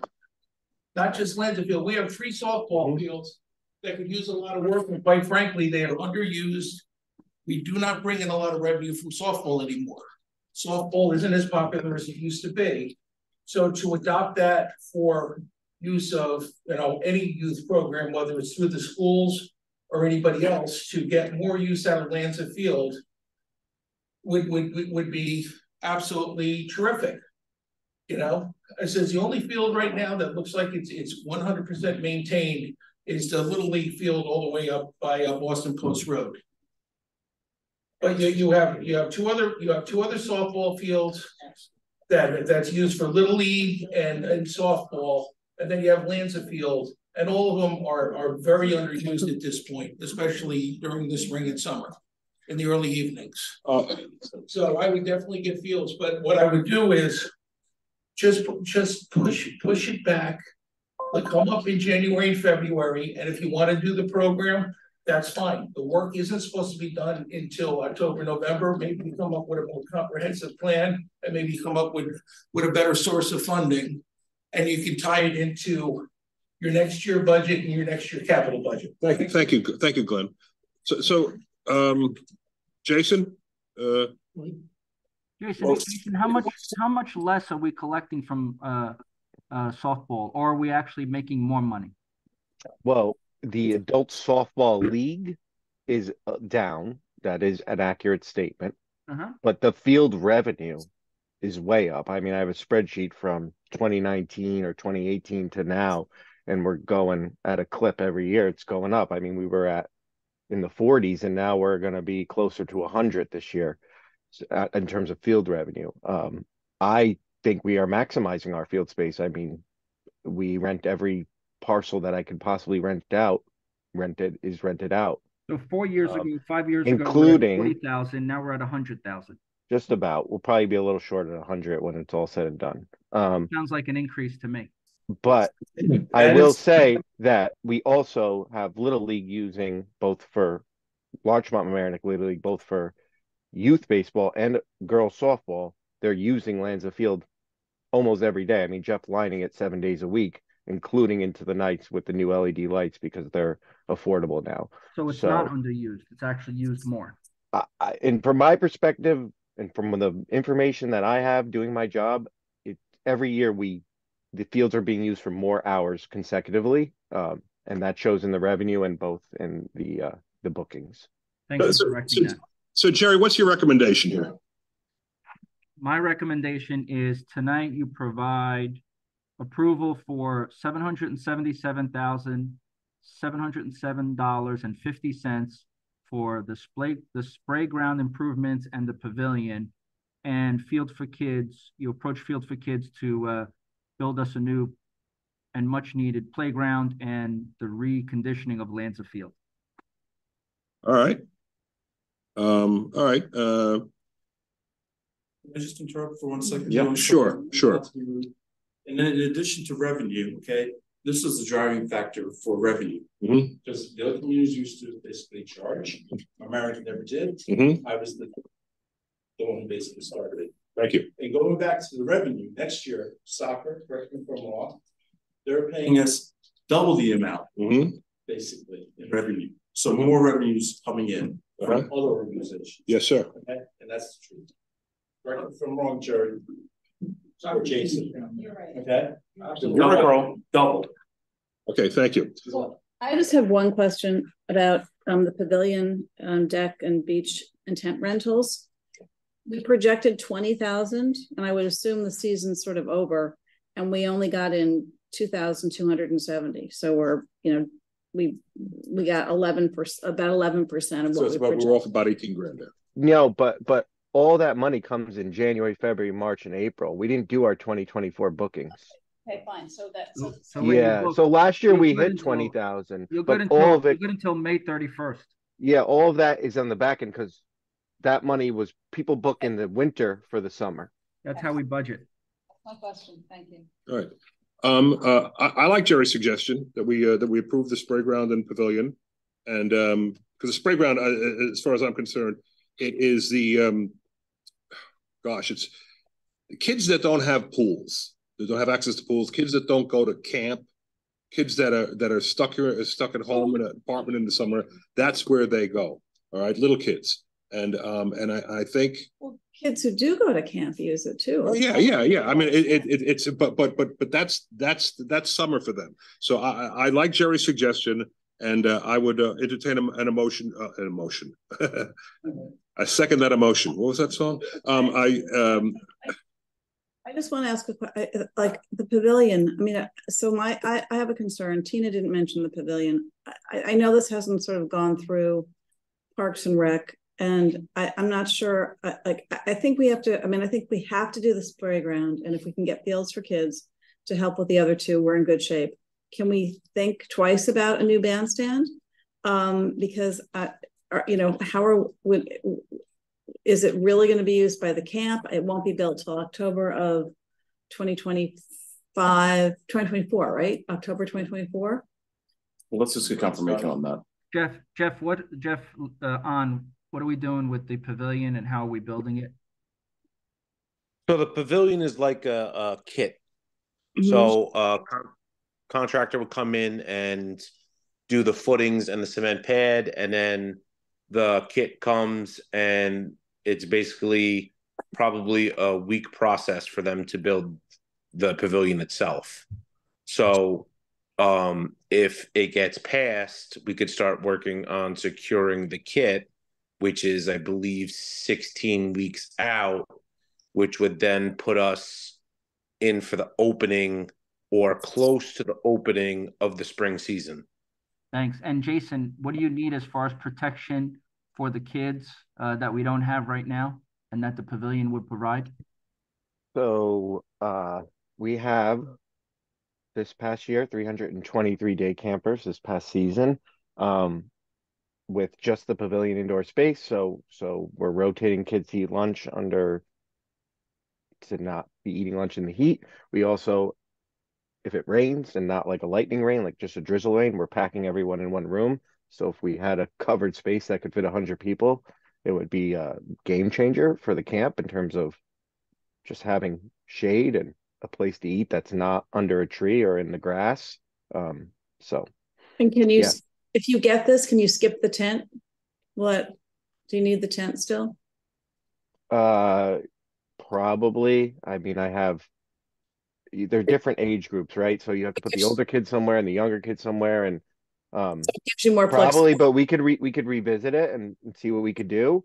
Um, it's two separate locations, but certainly, I can look at anything and try to maximize anything I can. Pretty Jason, what was that. your positive, what was your positive revenue this year in camp? About 40 after all the expenses, you know, staff time, insurance, and I know it's a lot of work. I appreciate Mm-hmm. that. Yeah. Um, but we've modeled our, we've tried our best to maximize our scholarships while also trying to bring in a little bit of revenue, uh, while also keeping municipal gay camp what it should be as cheap as possible for for our residents. Thank you. Excellent. I, I, I would, I would entertain a motion to to go with Jerry's suggestion that we fund, uh, that amount, seven, seven, seven, seven oh seven, and change, uh, for the, uh, spray ground expansion and pavilion, exploring the other aspects later because, uh, the price tag's too big. Wait, what? So move. So move. S- s- Second, Second? sorry. Okay, Sally, call the roll. Dick Rawling, Yes. Susan Reed, Yes. Lucas. Yes. Deputy Mayor Young. Yes, how about that? We all agreed. Thank you. Thank you, Jerry. It was a great idea. Thank you. You're welcome. All right, uh, um, I'm, I'm, I'm moving here. I'm trying to get your staff home. A resolution authorizing capital project for renovation and upgrade of Florence Park. It's a price on that and, uh, I mean, it needs renovation, that's for sure. Um, what's, uh, One point four million dollars. Okay. It includes the uh, rehabilitation of the tennis courts, which we are going to program in the future and collect the revenue. Yeah? We are going to uh, upgrade the basketball courts, which we typically would not really program or have uh, organized sports, although we could. Mm-hmm. And then it includes um, some uh, curbing work, which is important. And then Mm-hmm. it'll be our first pickleball court, pickleball courts in the village. Uh, uh, that's 136,000 and some new Okay. lighting and electrical work for about 50,000. Okay, um, uh, what, what, what are our thoughts about this? Okay, I'll go first. I- Go ahead, you go. Something we've been talking about for. Forever. Since- I was on the PRC of of Yeah. upgrading, you know, Florence Park. The entire park is in disarray. I just think it's, it's insane that we, like, even before I was on the board, that this has been a park that's been heavily neglected. The courts all ripped up from tree roots, the tennis courts are horrible. The playground has like a sinkhole in it. Like, I just think if we don't do this, this is a huge safety issue for any kid or anybody in that neighborhood who uses that park. So I And- just think we must go ahead and, and, and move this. to- It's also a community important. pride issue too. I feel the same way about that park as I feel about, about this building. I mean, you know, I, I, I want to say, aren't you embarrassed? You know, I, I mean, I'm, I- I'm, I'm, I'm embarrassed for us with this and that. And everything.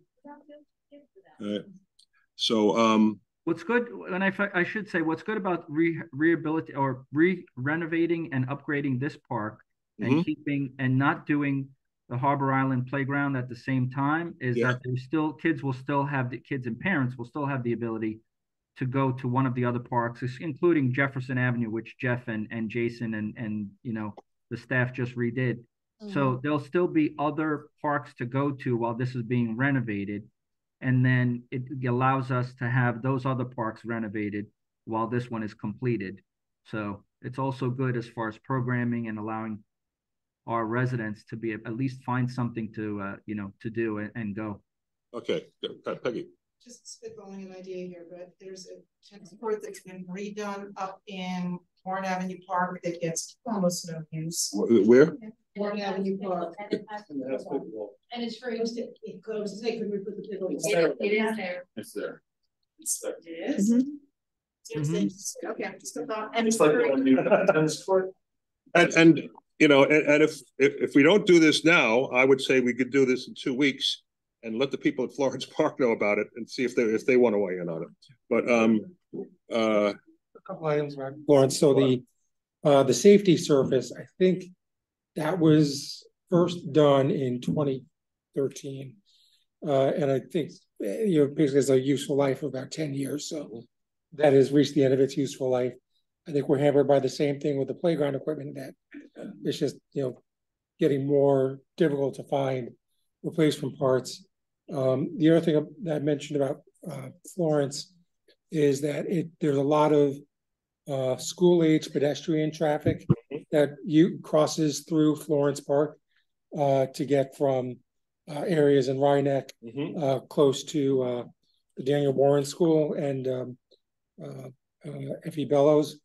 Uh, and uh, so there's a large, just other population that uses uh, Florence, especially because of that walking track. Yeah, It's a heavily, it's our second largest park on our. It- It's second, lar- and, and, and, you know, when you, when you look at, when you look at the condition of the Harbor Island Park, you look at the condition of Columbus Park, you look at the, it's like, um, you know, I mean, Rye Neck's part of the village too. I mean, uh, uh, uh, I, I, I, I feel, I'm embarrassed for, it. I am.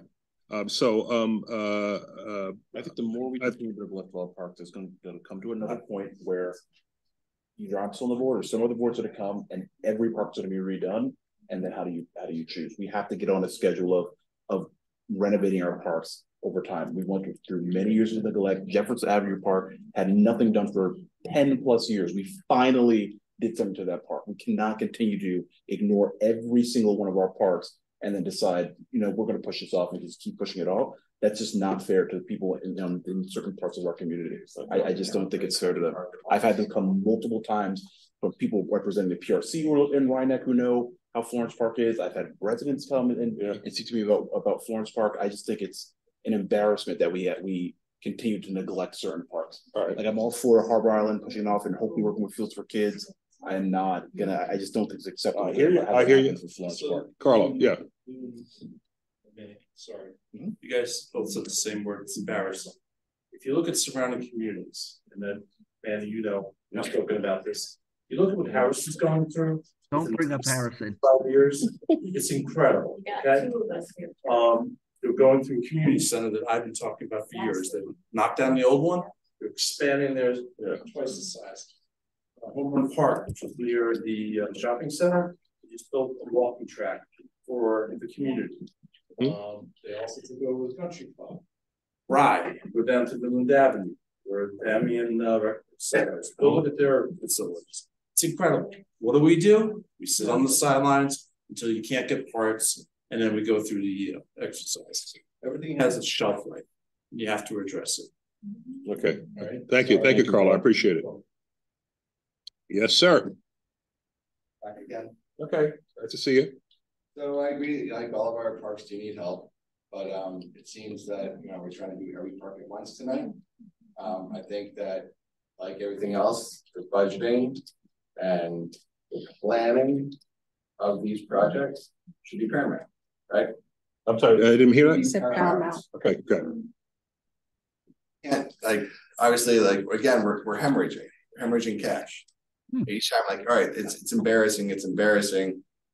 Safety is of most importance, it's fine, but I've been to these parks, I take my kids to these parks all the time. I don't feel unsafe. I don't think they're unsafe. Uh, a wooden park can, I think we can replace wood, right? That's not necessarily a park.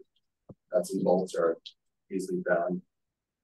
Metal and plastic, which are the types of parts that you are replacing them with, do require proprietary parts.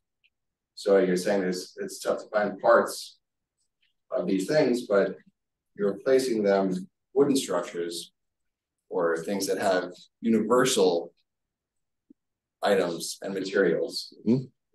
with things that have proprietary materials. That is going against what your, your goal here, that you've stated as a problem, right?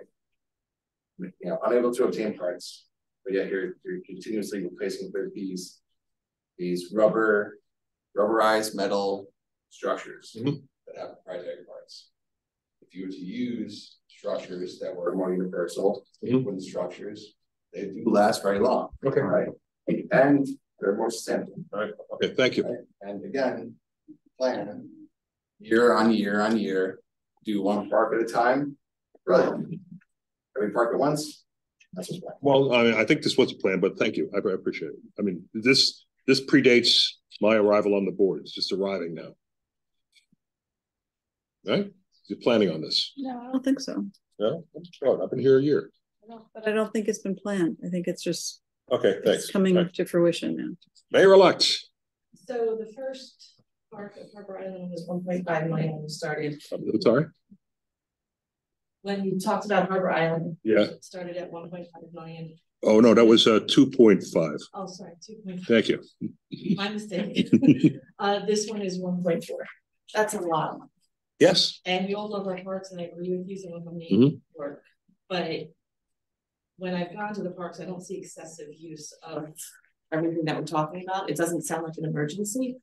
And I don't think waiting a few weeks to allow more residents to speak, because obviously we're just what's left over from affordable housing and flooding. Mhm. Nobody came here with the intent of speaking on Florence Park, so if we could push it off. And talk about you know, having a plan for every park to be on a schedule. Okay. I'd be willing to put this off two weeks and let the people in Florence Park know we're talking about it, and, and then they come and talk. That- That'd be, that'd be great. Um, uh, but, uh, I, I. I'm just, just from the. Okay, what- whatever, whatever, received- but, but, but. I that- think that the that's Florence not- Park, the Florence Park people have come, they have said, they've spoken before. That's why It may say not it. have just been at this meeting, but they have come and spoken before at previous meetings when we, because this is not the first time we've discussed the renovations of the parks. This Okay. is like, this has been stated, not maybe in consecutive meetings, but in various different meetings staggering. So they have come, they have stated what they needed, and in, in, in, all honesty, Florence Park is the only park on that side of the community, and in the Rye Neck section where we have a lot of parks on this side, and it does need maintenance. And if we do go there, and then the people who actually visit it on a daily basis are the staff, and the staff is saying that this is something that is needed, and we have to take into account what they're saying on top of what the, the Parks and Rec has been, um, uh, has been suggesting for, for many years. So it's not just a one-shot deal. It's not something that we just thought of tonight. It is something that, that people, no, no, I'm not saying that you said that. I'm just saying in general, that this is something that has been stated and people have come up. So I'm not basing my, my decision on just a one night only, but I'm basing my decision on what the staff see every single day with in terms of the usage in ter- and in also terms of how they maintain the, the parks. I'm also paying attention to what the Rye Neck side of the, the community needs, as well as any other community. But this is the, that's why I'm paying. attention. So I am the Rye Neck community. No, I I'm understand. very close to Florence Park and I understand what you're saying. Good. It's not that I don't appreciate it. I just also am looking at the bulk, the sheer. Of course. Number of dollars we're talking about. Mhm. And one point four million dollars to renovate an entire park while you're also doing Harbor Island, while you also wanna do affordable housing, while you also want to do flooding. It seems like we're getting into something that's Yeah. not sustainable. Right, But we're not So spending on affordable housing, but that's. but You Have more people come in, talk and maybe push some of this off. All right, thank you. Deputy Mayor. Thank you. I think, you I think we, we have been somewhat deliberate with our parks and playgrounds. I think the first one, we did the safety surface at Florence. Uh, then we kind of renovated Warren Avenue Park, which was in, in pretty, pretty bad shape. Uh, then we did Stanley Avenue Park. Uh, then, you know, uh, last year, well, last year you provided funding for the Jefferson Avenue Playground. Uh, so, you know, we've been trying to be a bit systematic in uh, looking at some of these uh, upgrades to And I- and I- our parks in the last several. Years. I think the stuff you, you installed at Columbus Park is terrific too. I mean, it's uh Yeah. I mean, uh, I, I, I live near there and I'm, I'm, I'm, I'm thrilled to live there. And I would not be so thrilled uh, to live near some of the others. Now Columbus. How are you? Pretty good. Um, John Hofstadter. I, uh used to live in Rye Neck, grew up in Rye Neck and very much uh, as a child frequented Florence Park. And I would say that one way that you could encourage greater use and maybe get more buy-in to spending money in Florence Park would be actually to have some parking there. Yeah, yeah. Every, every community, every park in Harrison that was mentioned earlier has parking adjacent to it, so that people in the community who don't live adjacent to the park or nearby can Mhm. actually go to the park and use it. Florence Park doesn't have that. It's one of the biggest parks in the village. You're absolutely And right. If you're looking for a place for Fields for Kids to contribute money, have you explored Taylor's Lane and investigated using Taylor's Lane for Fields for Kids on a piece of property that is currently not used for anything? We don't have, currently have control of uh, uh, Taylor's Lane. Well, you. Yeah. Uh, not Yeah. really. Yeah. DEC's uh, uh, uh, waiting. to- No, DC timed out. But we're still working on closing it out with the site management plan. Uh, we're awaiting comments from uh, the DEC on our submission. As far as the future use of the site, uh, the, there is currently a deed restriction uh, that says it's to be used for uh, passive or active recreation. Uh, the one thing about uh, Taylor's Lane is that we, we can't do anything that would pierce the cap on the site. Yeah, but the cap is ten feet down. Well, but um, to say that that's, and there are competing interests for Taylor's Lane. Obviously, uh, we, we had advocacy for a recreational use. Uh, the Committee for the Environment has advocated for the installation of solar panels. So it, it's, you know, that, that's a kind of a policy. Uh, and John said, they're, they're, they're, We're not- we're not here to talk about they've been Taylor's competing. Let's talk about F- F- Florence Park, please, John, because it's getting late. Uh, Taylor, Taylor's Lane could be used. Okay. So, you I, I, I'm not sure that I would be, I, I, I think, uh, coming up with a capital plan for all of the parks and doing them in a systematic way would make sense. Okay. Doing it all at once, the way you're proposing seems like a gift to somebody and I can't figure out who.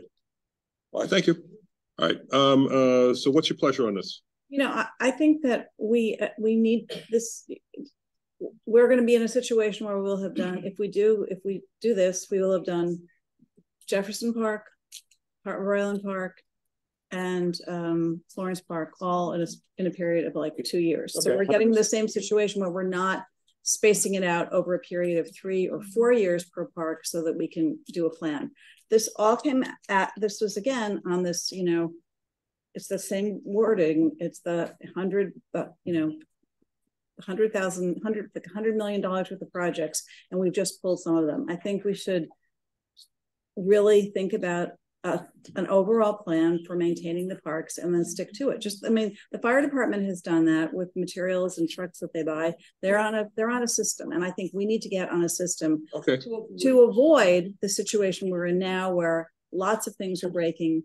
uh, Lots of buildings need repair. I think we need to do it systematically because we don't, so that we have the funds, that we have the capacity to bond and we have the capacity to execute. I, I, I just want to one thing up. If I'm understanding and remembering correctly, the Jefferson Avenue Park did not come out of village funds. I'm pretty sure that came out of a specific fund. Correct. Project. We did not cost any money to tap Nor, village. nor did the, nor did the swings at the Columbus The Park. swings They all at came out of a special fund. That wasn't village. That was developer contribution. The the only contribution we're making is for parks is what we've done tonight. All right, uh, I mean, uh, if, if we're gonna get criticized for doing too little or too much, I'd rather do too much. All right? I'd rather do just enough, not so much. Way to say it. Well, you would have to make, a- can I make a motion to approve this? Sure, um, I'll second it. Um, Sally Collerall? Trustee Rawlings. Yes. Yaz Reed. Yes. Lucas. No. Deputy Mayor Young. Yes. Thank you. All right, um, resolution scheduling a Board of Trustees work session for November twenty-seventh at five fifteen. Any problems with that?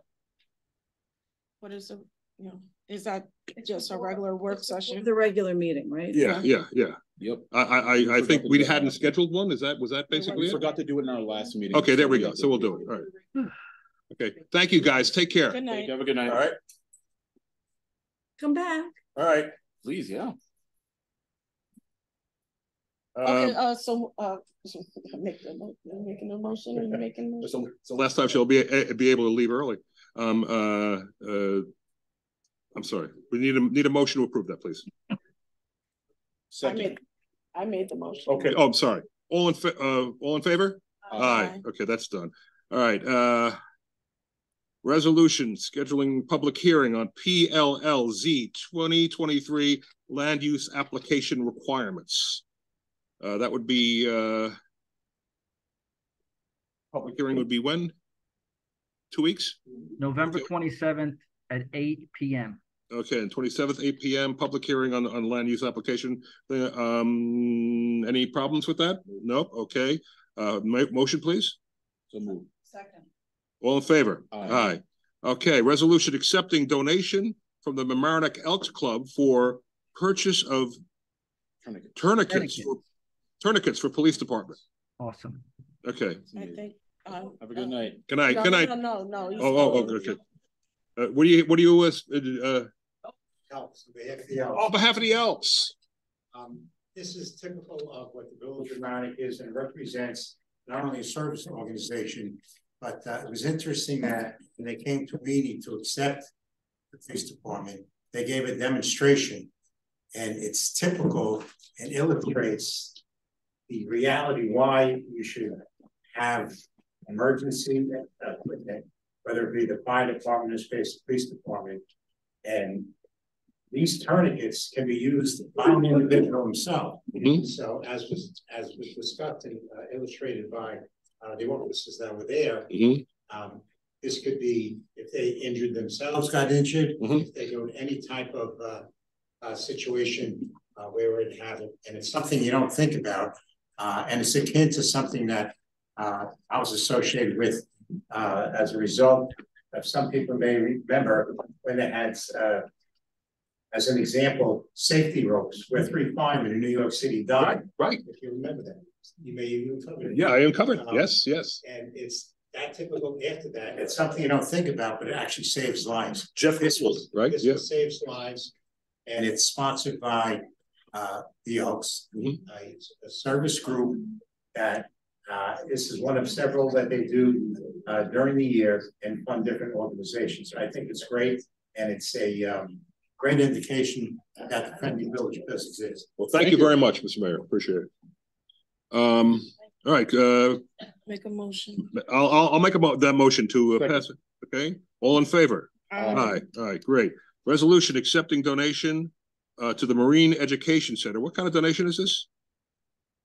Uh, I believe it's for the texting. It was from a variety of residents. They have a box, I think, that Okay. people put money in for donations. in. Yeah. So it was a variety of residents, one hundred and ten dollars. Okay, so we're just taking the money in? Yep. Okay. Yeah, hundred and ten dollars. Hey, revenue stream. All right, here we go. Um, okay. Uh, somebody make a motion? So moved. Second. All in favor? Aye. Or do we need, we, because it involves money? We- No. okay. Uh, resolution We're taking it in. not Take- spending it. Authorizing the purchase of twenty firefighter emergency escape systems, which is a, which is the kind of like the tourniquets, except for firefighters they, to get out of uh get out of a hot spot. And uh, uh, it's it ain't, but it ain't cheap. How much was that? Fourteen thousand. Fourteen thousand. Uh, and uh, money well spent to keep our first responders safe. Uh, any any issues with that? Okay, uh, ne- uh, I make the motion to, uh, to, uh, to buy those, uh, twenty firefighter. Okay, uh, call the roll, Sally, please. Yes. Guys, Reed? Yes. Lucas? Yes. Deputy Mayor Young? Yes, okay. Resolution increasing previously adopted funding authorization for the purchase of a seventy-five yard compactor trailer. This was something we talked about also at the end of the work session. It's an increase, I think, of five thousand dollars. What was that now? It was an increase of five thousand. Oh, It's an increase of five thousand dollars because of, uh. They have to change. The paint, Yeah, it has to get be this, from the they gotta, ch- they gotta, they gotta paint it. Because if it's the wrong color, um, they can't use it at the. All right, uh, any, any, uh. I'm not, not making it up. Uh, yeah, yeah, exactly. I said, yeah, you gotta, uh, it's wrong. So anyway. I'll make the motion. Five grand paint job. Um, uh, okay, second.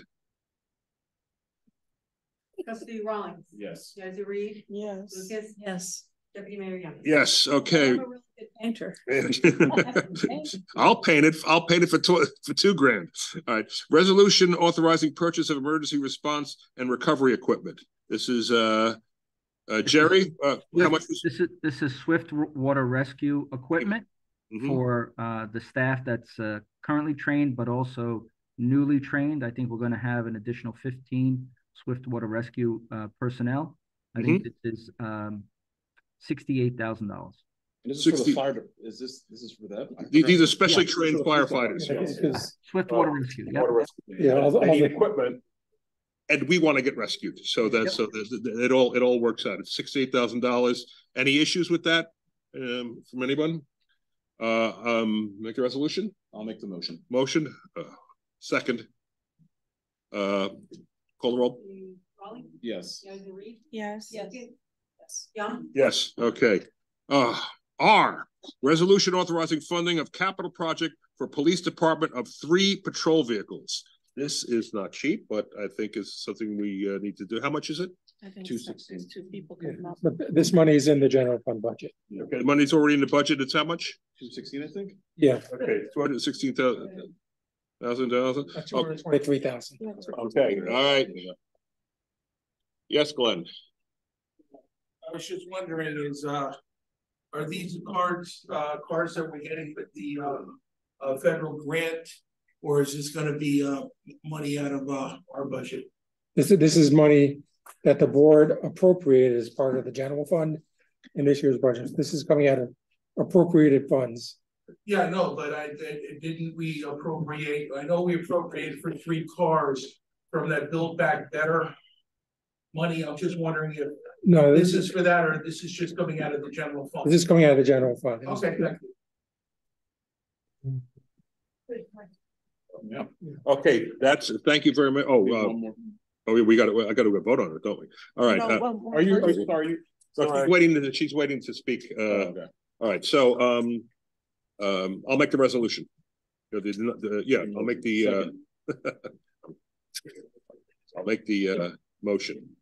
Second, you seconded it? Rawlings. Yes. Guys, Reed. Yes. Lucas. Yes. Young. Yes, okay, all right. Um, invitation to address the board, man. Thank you.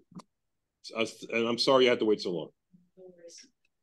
Uh, good evening. Thank you, board and staff and residents for listening to me. I'm Helen Rafferty, uh, with, on Prospect Avenue in Laverne. Um, I just have one comment to make about the affordable housing project that is proposed for the Hunter Tier Lot. Yes. And it has nothing to do with the merits of affordable housing in general or more about affordable housing. You can back up. a little. You don't have to, you don't have to be right on.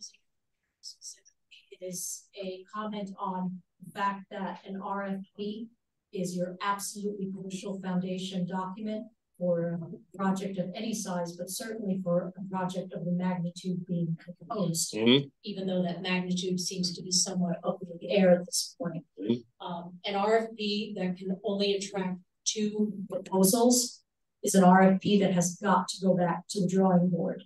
There is no way that a decision of a project like this can be made when you have two proposals coming in. Unless there are several more proposals that we just haven't heard about. I guess that's no. Don't know, no, I, I, I know, Either you have them or you don't, so if you only have two proposals on the basis of the RFP that you generated, you need to generate an RFP that will effectively and efficiently guide this project forward. Um, that's all I have to say, but this really can't keep moving forward because your RFP is clearly problematic when you would have had more proposals sent in. And so whether it's because the scope of the work is far too vague or at least reputable vendors to give you a proposal they feel they can stand by. Whatever the problem is, there is clearly a problem with the RFP and I would ask the board to go back to the drawing board and to create an RFP that will create a more competitive environment for the developers that might sign on. Thank you. thank you, thank you. All right. Um, hold on. oh, there's a, One more shot at the end. Glenn. We want to finish this up while it's still Monday. Yeah, oh, we don't have the clock anymore. No, the clock's about. No chance of that. What? Oh, it's Tuesday. Oh, Okay, I know. Oh, he's got a Well, We were at the end here. Say, friend, oh, yeah, I hope you're doing well. I'm sorry we kept you out this week. Right. Um, there's a couple of things, uh, quickly, uh, we've had representatives from Washingtonville, we have representatives from, uh, Mhm. the Resource Center, and talk about affordable housing. I think we should have a, um, summit, much like you did with the, uh, flood committee, because I think that we need to get all on the same page of exactly what affordable housing is in the village, what programs are available in the village. Because uh, I found out recently, when you talk about section eight housing, one of the things that the town of Mamaroneck mentioned was the fact that sixty percent of the vouchers that they were giving out when they um, when they turned over the program were for people who did not live in either the two towns of the village. Which would mean there's only about two hundred eighty section eight vouchers in the entire village of Mamaroneck or less.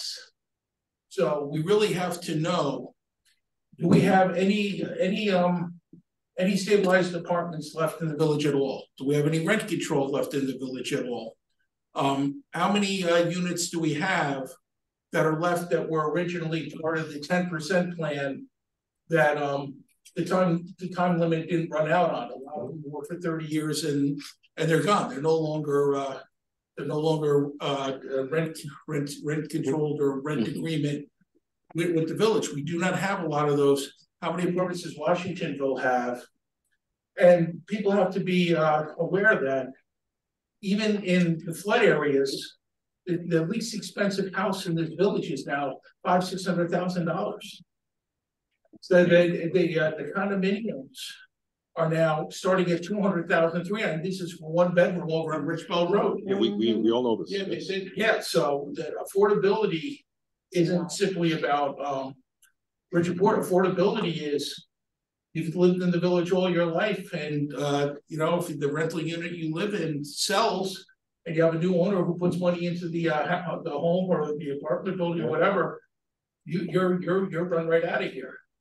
The last thing is, we have a lot, a lot of programs. I mentioned it before. We have a new village hall. We have an old village hall that's still being repaired under a one point six million emergency repair order from two years ago that we still slowly but surely working on. We have the dam. We have Halstead Avenue. We have two projects. We got one, which is a sidewalk project, five million. We're getting four million. We have the paving, which is another good three to four million dollars. Uh, we have the seawall. Then you have the parks, and then you have uh different uh paving operations that uh some some are finished. Some aren't done. The hillside one that you passed today is gonna be three hundred thousand out of our pocket. We have five hundred seventy-five funded, the rest isn't. We got a one point five million dollar bill coming from the project around the Rennick Avenue School, minus what FEMA's um involvement is. How much money do we have coming from FEMA that's still owed to us? You know, these are things, uh, Hillside Avenue Bridge, it says, I'm, I'm sure Dan put all the bills. Did we get the money from the state yet? Did we get the money from the county yet? Are we owed any money from the towns? Uh, We have to be aware of everything that, that, that is paid for and everything that is, and everything that's coming in. That way you have an idea of where your cash is and your cash flow. Thank you, thank you, Glenn, thank you. Did, did you want to say something? No, I was mentioning the time. Okay, time, Nora okay, thank you. pointing that out. I mean, not Norm. Sally. Norm, are you, are you, uh, speaking? All right. Shannon also was waiting to speak right. to. Norm wants to bring, uh, Norm wants to bring in Tuesday. Okay, here we go. Uh, I'd like to underscore Helen's comments. Um. I was fortunate to uh work for an avionics company and I I dealt with FARs, federal acquisition. Federal acquisition regulations and DFARs, same thing for our military. Uh, I think that a, and I'll be very honest up front, I didn't read the F, uh, RFP given out by the village.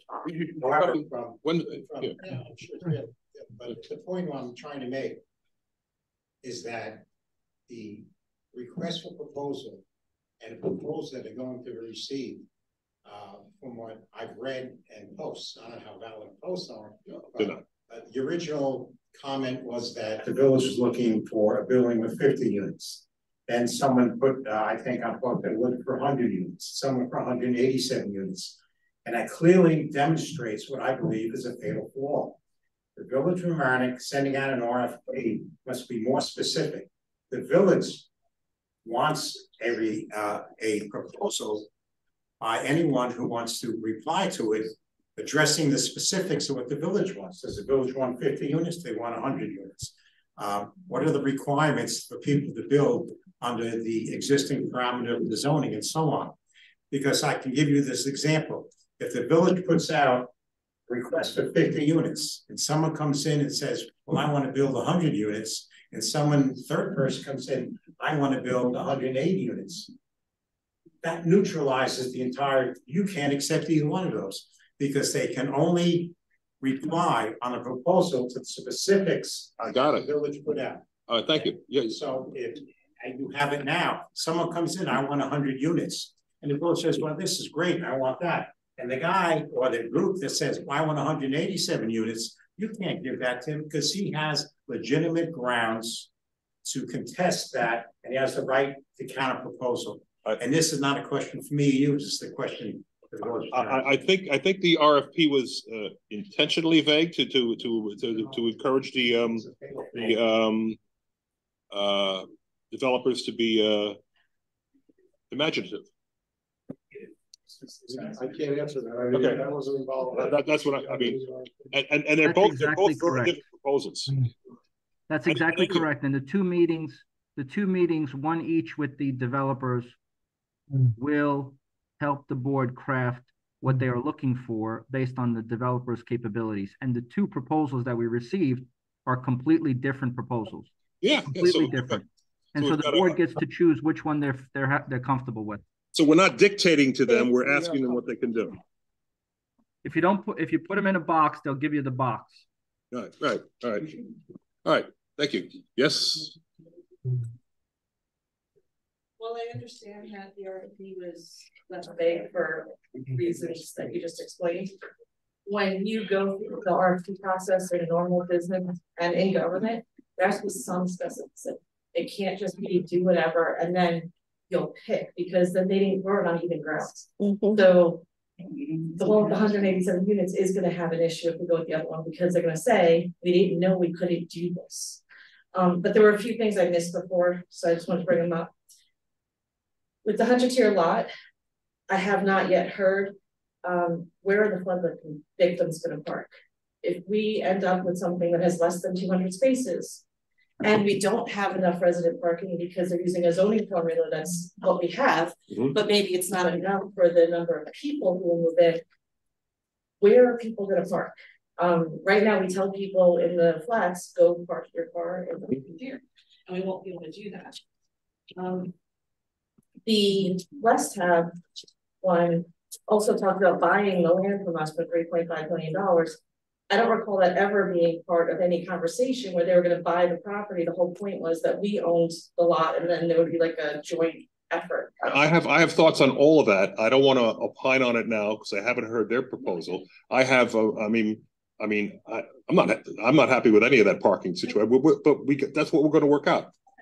Um, and also when I looked at the Westhab, there is an issue, in my opinion, uh, that starting in ten five, and I think it went through like ten twelve or ten fourteen, there are at least five letters of support from community organizations or, you know, community churches, uh, CRC, et cetera. That was at ten five, that's over a month ago. So that means they saw the Westhab proposal before it came into the board, put their letters of support, and nobody else had that opportunity to get any kind of letter of support, so.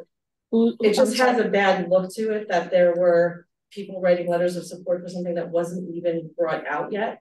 Um, I would think it would come after the fact, so just to be careful, you know, that we're not favoring or trying to create something that is gonna play into one particular group.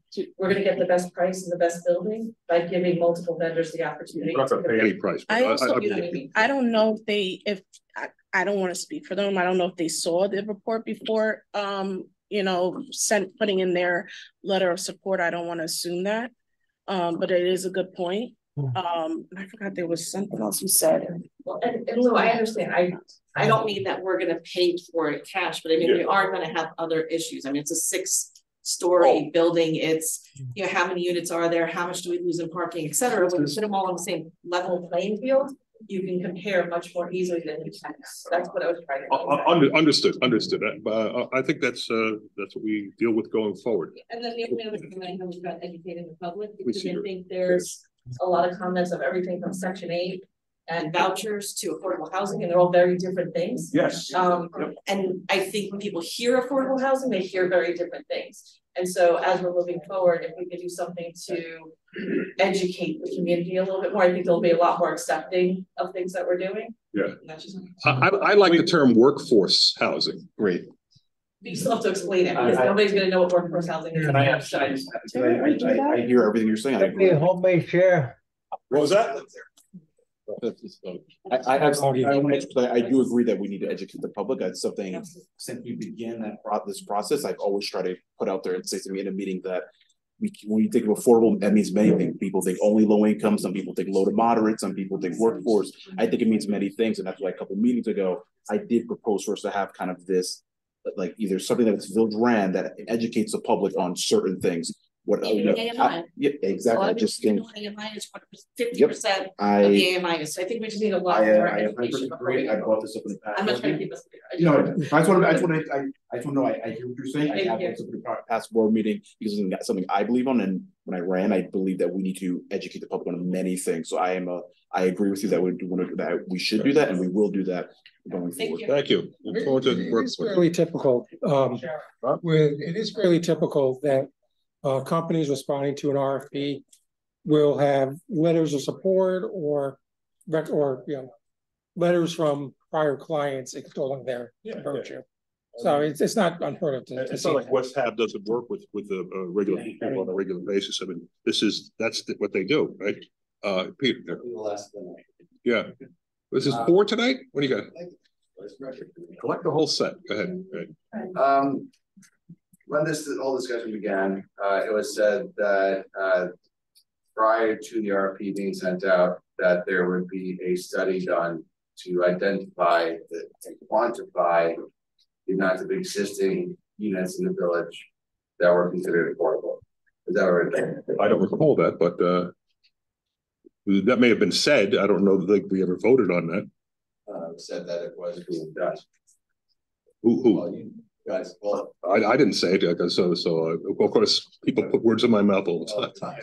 time. The person that would usually sit in that seat. Yeah, um, all right, so, uh, he's, uh, not, not here now. I, I just wanted to, you know, kind of, I just was kind of brought back to my memory, uh, just with, uh, Glenn's early discussion. I mean, I, I do know this, we're short, we're way short on affordable housing. But, but you can't say that without knowing the quantity first. When we have less than we had, uh, well, we could, we could talk, about okay. And, uh, you, you know, make these movements and you say, and you can quantify the number of units that are going to be in this place. You need to know how many do we have now? How many do we need? Without knowing those two numbers, you can't act on anything. I, I, I've, I, no, I don't, I'm talking, well, I don't wanna go against this. But I'm I've saying- heard, I've heard that like we're six hundred short or something Short like that. sweet, but without knowing the numbers, how much we have now, how much we need, you All right. can't say we need anything. Okay. All right, thank you. How many, sorry, spots we need? I just want to confirm. You know, so Maybe we don't need any affordable housing. some of that information in two thousand nineteen when we did the moratorium study and the county um, did a housing assessment and that will have some of it. And the best person to ask is Greg, our planner, but I think he's quite busy right now.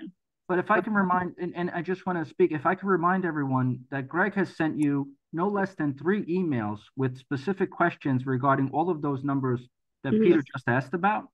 So I know you get a lot of emails and I have this issue that I have one point six million emails that I want to try to delete. But the reality is your, the information is sent to you. You Okay. do have it.